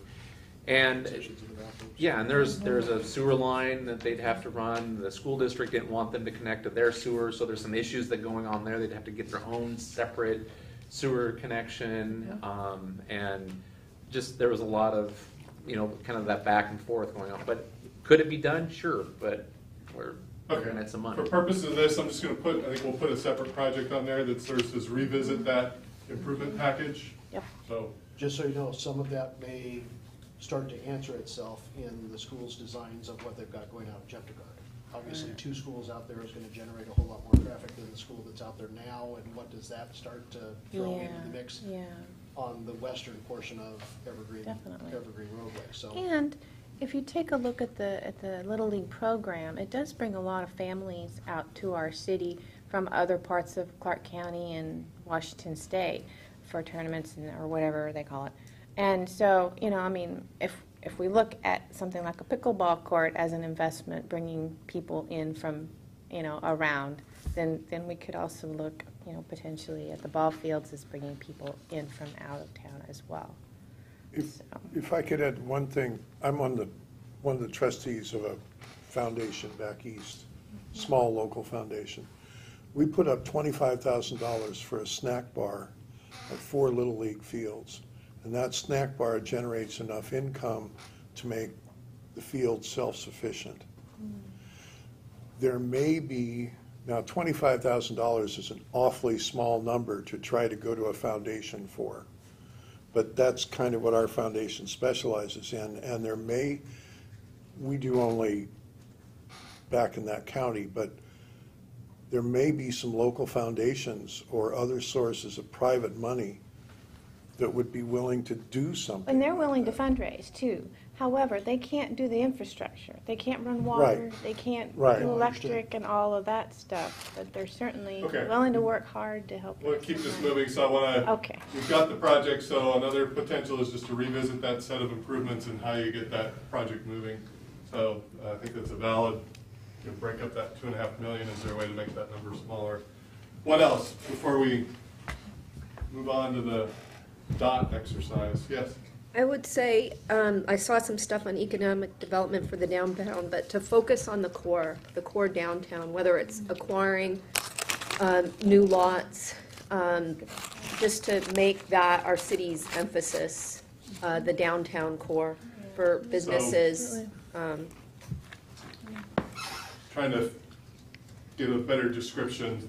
Um, You know, some jurisdictions have done uh, downtown sub-area plans where they try and identify some focused investments or some uh, planned action ordinances that streamline permitting in those areas or make the case for public ownership and investment in some capacity. I mean, is that, I, you know, whatever way we can acquire more area or encourage people to acquire business area in there to, to let the people that own businesses there now or vacant storefronts, how important, uh, getting people into those stores and, uh, businesses, how important it is to the city to not have vacancies and stuff.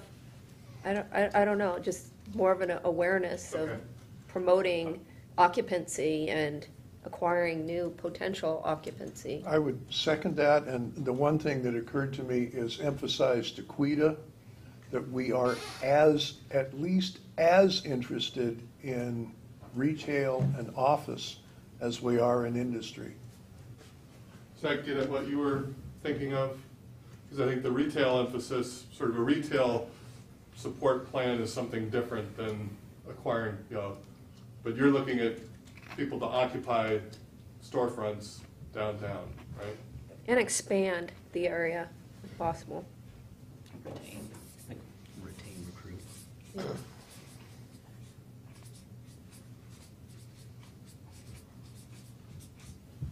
Okay, Um, I was intrigued by the mayor's comment about, uh, in the back and forth on the uh, apartments going in, the Angelos. Um,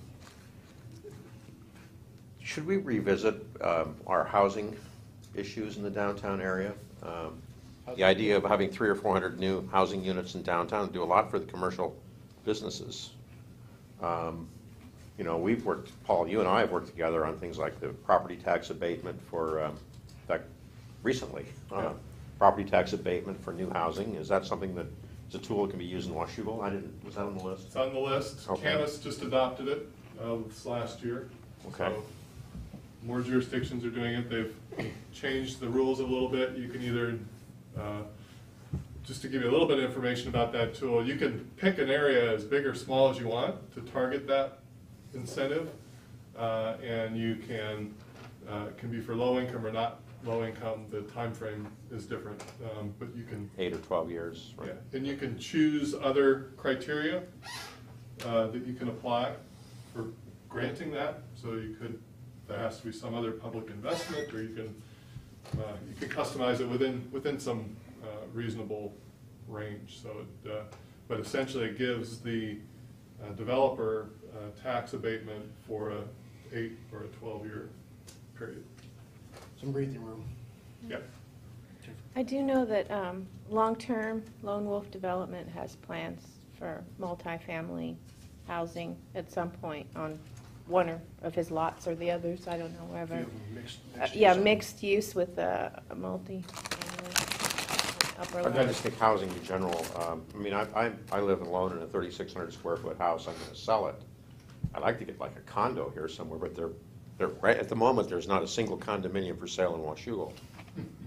Um, That's the other thing, these things can, the tax abatement can be Yeah. used for condominiums, for ownership. It is, um, are we okay to talk about the discussions between the Lone Wolf and Angelo? You're okay to talk about? According to the Lone Wolf side, Yeah. uh, when they got word of uh, what Bob and Ann were looking to do down on the Angelo Fields, they are encouraged and, I don't know if gratified's the right word. They're happy to know that there's another developer in town that is willing to do that and add some more rooftops in the downtown. And are not afraid of it, but they also own an awful lot of retail and service uh, square footage in the downtown that they know need people as well. I think their biggest um, issue was if it was gonna be low rent or subsidized housing versus market, market rate. When they heard that it was market rate, what Bob's plans were for the property, they came away smiling, so. For whatever that's worth. What else? Good news is that you're having a lot of good discussion. My bad news is my promise of getting you out early might have to sacrifice. What else? I mean to stymie the No discussion. one's gonna talk now. Yeah, I know. Uh, you've come up with actually a lot of things, and, and, you know, when you think of the things that are on the list, some of these are quality of life measures, some of these hit transportation. Um, It'll be interesting to see how you prioritize these versus some of the other larger um, concepts, investments, things that, that are already on the list uh, as well. Some of these are uh, intriguing, I think, um, and important. So what I'd like to do is um, enlist Rose for her handwriting. Um, Take, give us a couple of minutes and we'll add these to the lists that are on the flip charts. You can take a break. And then when you come back, we'll have you um, put the dots on. And what I'd like you to do, each gets, of you gets 10 dots. And so this,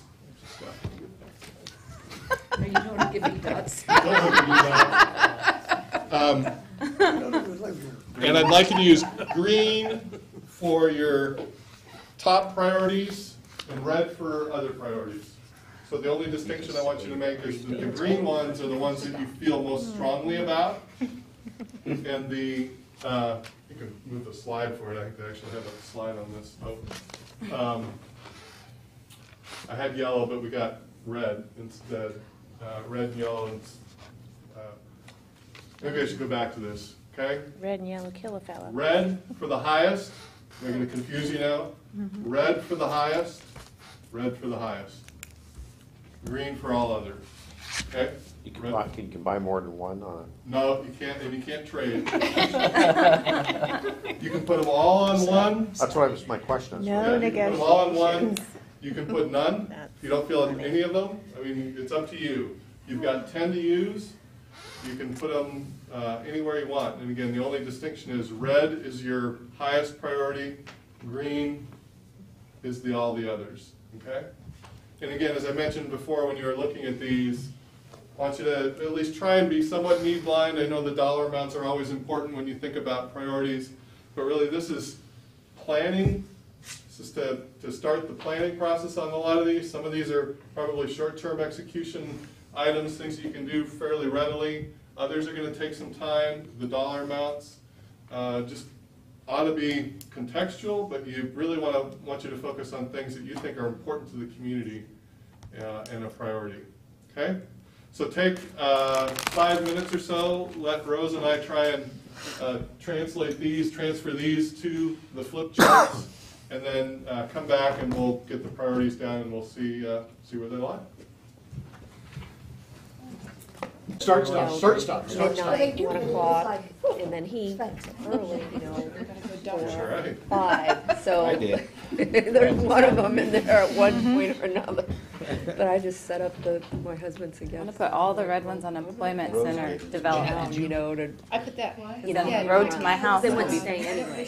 I'd have to, Jim, Yeah. she contacted me via Yeah. email. on their own. they I will. asked her to complete It's, the it's app. not a big deal. We should have two now. It was If you don't think I captured your item correctly, let me know. We can That's really edit the it. problem. Put it on the left. Is a little bit of the noise Uh, there, because the they right. were sleeping. My little boys. Snore, so. Details, huh? You know, it's, Again, you red always. is your highest priority, there go. No, green, Far right. In the tail on the. Oh, red is high. Who's your blindfold? Red is high, green is other, I misled you, red is high, I know. So you start changing, uh, right? So Dave and Connie are really here. That's where you start This changing. here simulcast. Dave. The things you wanna learn more about, and the attendance moving forward, oh, Put it up there. You'll go to right to Connie. I don't get stickers.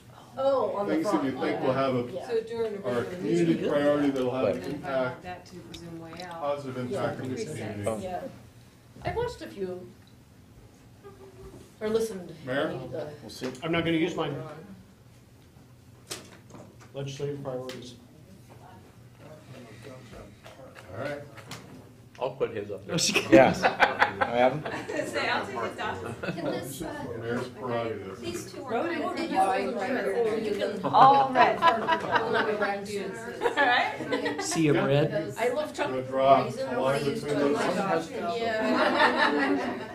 I only wanna use one God. Well, maybe I'll put one on. It's all in it. economic Yes, development. the Psyche, So, the session. What I'll do is put, uh, See, what's all those other areas go, then you No, gotta- they're not for sale. They're not for sale. Okay, how much? Five minutes Okay, for the, just an update to the update. perfect.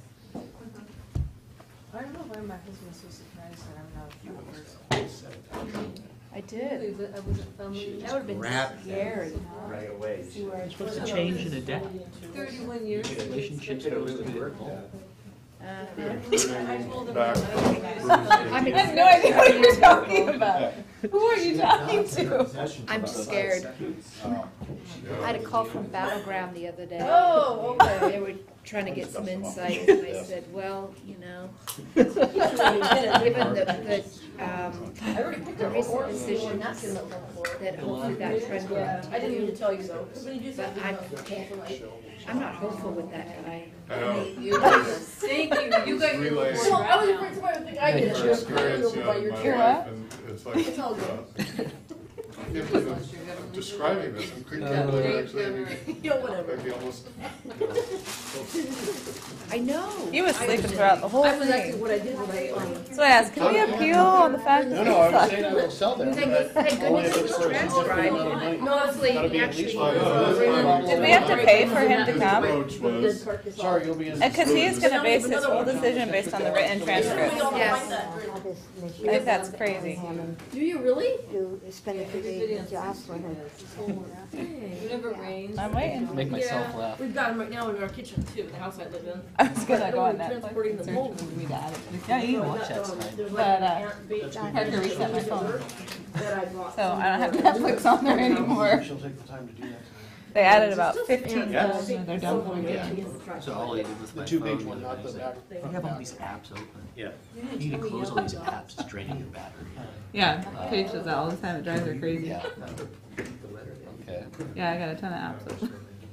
I got time with Maria while I was back in DC, but I didn't. Oh my god, you're Time to funny. interject. Oh, you saw it, didn't Twelve you? people that were Yeah, typing I in know, different I know, sides, it gets crazy. typing It down gets crazy. Yeah. So it's the Uh, G.I. Joe. Yeah. The brick, the The brick. brick I keep thinking I should take a trip back and see everybody while I still know them. Oh my goodness. They don't seem to be having any ones here as much fun as they were with it. Uh. Oh, jeez. I'm sure sometime in my life. You don't want to, you don't forget that here. Yeah. It's probably gonna be my. Yeah. No. Funny, I did some work over in Washington County. I mean, it's gotta But be she was also possible. second there, so. It's just gonna be hard for everybody. I'm gonna see Patty next week, gonna do the, the Jefferson Jackson or whatever it is, dinner. Yeah, on the Hill. yeah. I'll see Patty then, I don't see Maria there. It was interesting, Change how on they tag team each other. You're in there For so long. forever. Yeah. So, You get a little new.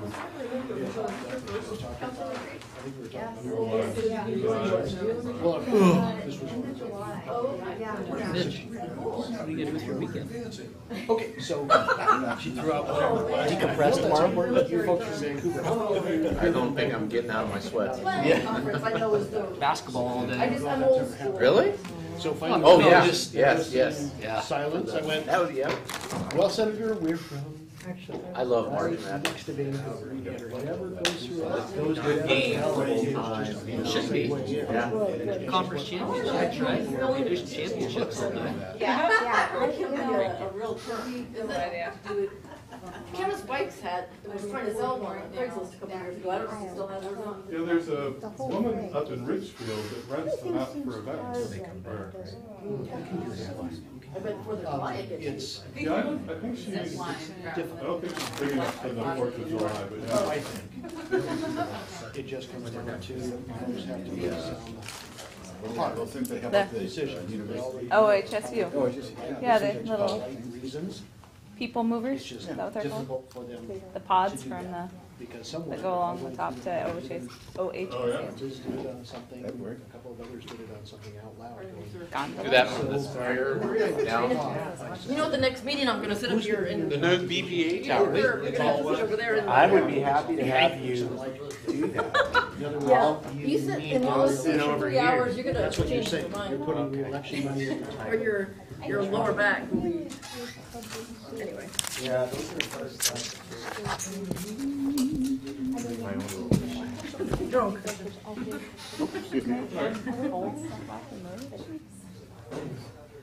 Jeez. Yeah, it's very, it's very discouraging. I rock myself back to sleep. That's how you know. I'm That's me. Okay, so is everybody done? heck, God.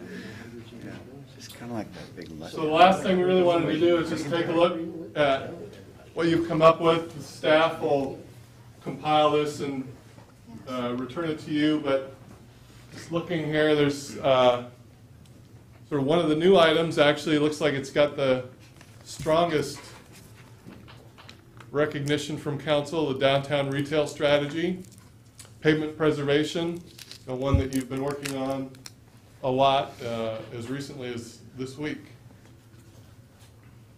See others, uh, code enforcement, the Schmidt Field, revisit that capital project, that discussion you just had, see if you can't do something that wouldn't be the, the full improvement. Multifamily tax credits, take a look at that program. City Communications, another one with two. And I think Twenty-seven. Twenty-seventh Street is another one with, with two. Uh, Downtown Park is another one. Well, it's almost unfortunate we don't have an extra half an hour unless everybody has it or council has it afterwards to then take the, the twos and three, the upper ones and condense the list down to just those and do it again. You got a lot of ones and twos in there. A lot of ones and twos. I think it's good to understand that some people want to talk more about this, and you can get that from, from both the compilation as well as the, the ones. I'm open, it's your, it's your retreat, it's your planning session. The other thing you can do is do that, take a workshop session. uh, Fifteen minutes and yeah, and, uh, and have a discussion. Um, uh, Crown Road, think that got two as well. So I think this will help you sort of identify, at least across the areas, things that are more important than others, give you a chance to sort of talk about new things, as well as context for some of the existing things. So hopefully it was a useful exercise. This kind of priority setting is something that I think is indicative, you know, you talked about some best practices. but in terms of your planning, your budget development, uh, your, just your community engagement, it's a good exercise to go through. Think about not only the framework that you have for setting past priorities, check in on the progress that you've made on things that you identified before, and then in this exercise, think to the future, things that you want to keep that pipeline full. So you got to keep thinking not just what your grant applications are going for now, but things that you aren't doing that you think will have an impact. I mean, you guys have a long track record of continually to make those kinds of improvements, and this is the kind of exercise that uh, can hopefully help you to sift through those things that are really going to have the best, uh, the most impact for the community. So, Mayor, any thoughts, comments other than feeding back? No, I think, uh, like I said, it it will be interesting to see all these listed down on a list of what came out on top and where they are, and uh, potentially to redefine it a little bit more. But again, just like the strategic plan is in what we're doing at a staff level and going into budgeting and the the initiatives we want to pull off for the next year, I think this is going to help us get even closer to that, and what's really combining this with uh, public surveys, start really making some concrete uh, advances on what the public's looking for as well. Council, any thoughts in terms of what you see up here? Any observations, ahas? Can I ask a question? The, uh, the one that has the four red dots, which one is that one? The, this one right here? That's the pavement preservation. Oh, okay. Yeah, that's high priority. Okay, good. Okay. Well, thank you for letting me be a part of this, and you've got one, the public comment, I guess, is that? You're it, though. By And you're from Ridgefield. Dawn, Dawn Dawn can And say Dawn, something. The session went very quickly. She's staff today. Oh. Role reversal. Let's, um, I know Jennifer has some uh, Oh, just questions a- or comments that you've got on I just have a couple of things. Um, basically about, you know, potential policy or code changes we, I, I've been thinking about over the years, or the past couple of years. Um, parking space allocation for downtown, um, how's that working out for us? And do we want to think about potentially changing that for new businesses that come in? We've talked about it and kind of batted it around, and, I mean, right now, our, our parking space allocation is pretty low for new businesses that come in, and I'm just not sure that that's working out real well for us, now that we actually have businesses that that are, need parking. that need parking. Yeah, thank you. Oh, so you're talking about uh, the parking, The amount of parking parking we space require when they build? for, and I don't know if that's a a designation or a rezone, I mean, I don't think it's a Require more rezone. parking? It's a code A requirement. code requirement, Right. yeah, correct, that we need to look at, maybe take another look, since, since we've actually got activity and businesses coming in, how's that all working for us, or do we really need to change that? Um, Also, design standards for downtown. Um, I would really like the city to think about narrowing down some design standards uh, for facades, because don't put this in the paper, Don. Mm-hmm. I'm not crazy about 1887 Main, the way it looks and how it presents itself. I think it's too industrial for our town. Personally, I just, I've heard a lot of people say that as well, and these are citizens coming to me saying, why would you let somebody build a concrete and steel type building in our downtown? Where's the brick? Where's the, the, you know, the color? I mean, it's just a gray building with, you know, a lot of industrial look to it. Anyway, so I really think we should take a look at our design standards, and I really like the, the big building that was put down there that The which? Wolf. The, the original building that he put in, I think has a lot more character and, and, you know, should be potentially carried through to any new construction happens. Mitch is making notes feverishly. Mm-hmm. So both- Awesome. Both fall in him. Awesome. And the other thing we already touched on, which was the visitor center, which is not really a policy thing, but then I'm done. That's it for now. Joyce? You had your hand up a moment ago. I can't remember. No, I wanted to thank Paul. That was what Yes, wanted thank I wanted you, to Paul. thank you very That's- much for I coming and concur. Thank you that. so much for doing that. Uh, I'll say this is, uh, of the, this is my third annual retreat. I think it's the best one we've had. I do too. I do Good. too. And this room works well, I I agree. think this works just fine. yes. This is Plus, great. we're able to capture it all for everybody that wants to see it later. Maybe that's why we have no public here. Yeah. They can see reruns or something. Any other items from council members? Staff, anything that we haven't touched on, things that are burning? It's not, it's just, I need to um, just put up that long-range financial thing one more time for a quick clarification. So we got to figure out how to do that, though. Right there. So, um, there's a new number for 2016, and I will own this. I had not given Jennifer some feedback that she was waiting from, for me, and I forgot to give it to her. Um, It has to do with uh, Fund 125, and um, uh, we budgeted to use 266, or whatever number, $267,000 of Fund 125 that set aside, uh, and to transfer it to the general fund in 2014.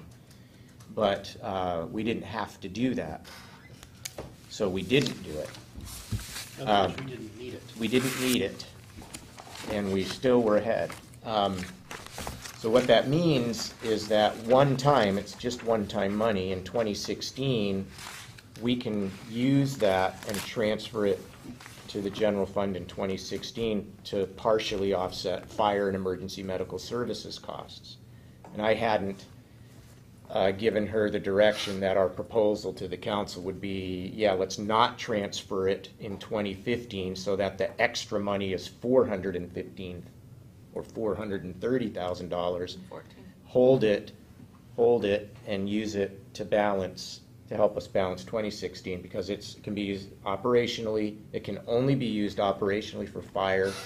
You could buy a fire truck with it, but you can only, you know, use it for fire stuff, can't be used for anything else, so, um, It can be used to pay our obligation to um, funds going over to Camas? Absolutely, yeah, that is our fire operation expense. So um, typically, that's what we've been doing year over year. I had just, I hadn't closed that little last part of the loop with Jen, and so she had left that out.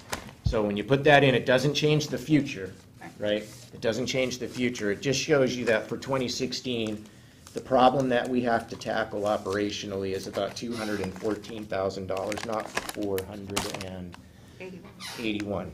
So it's better news. Um, Well, Dave, now you just need to work on 17, and that's the end of my term. and I'm I'm okay. Okay, so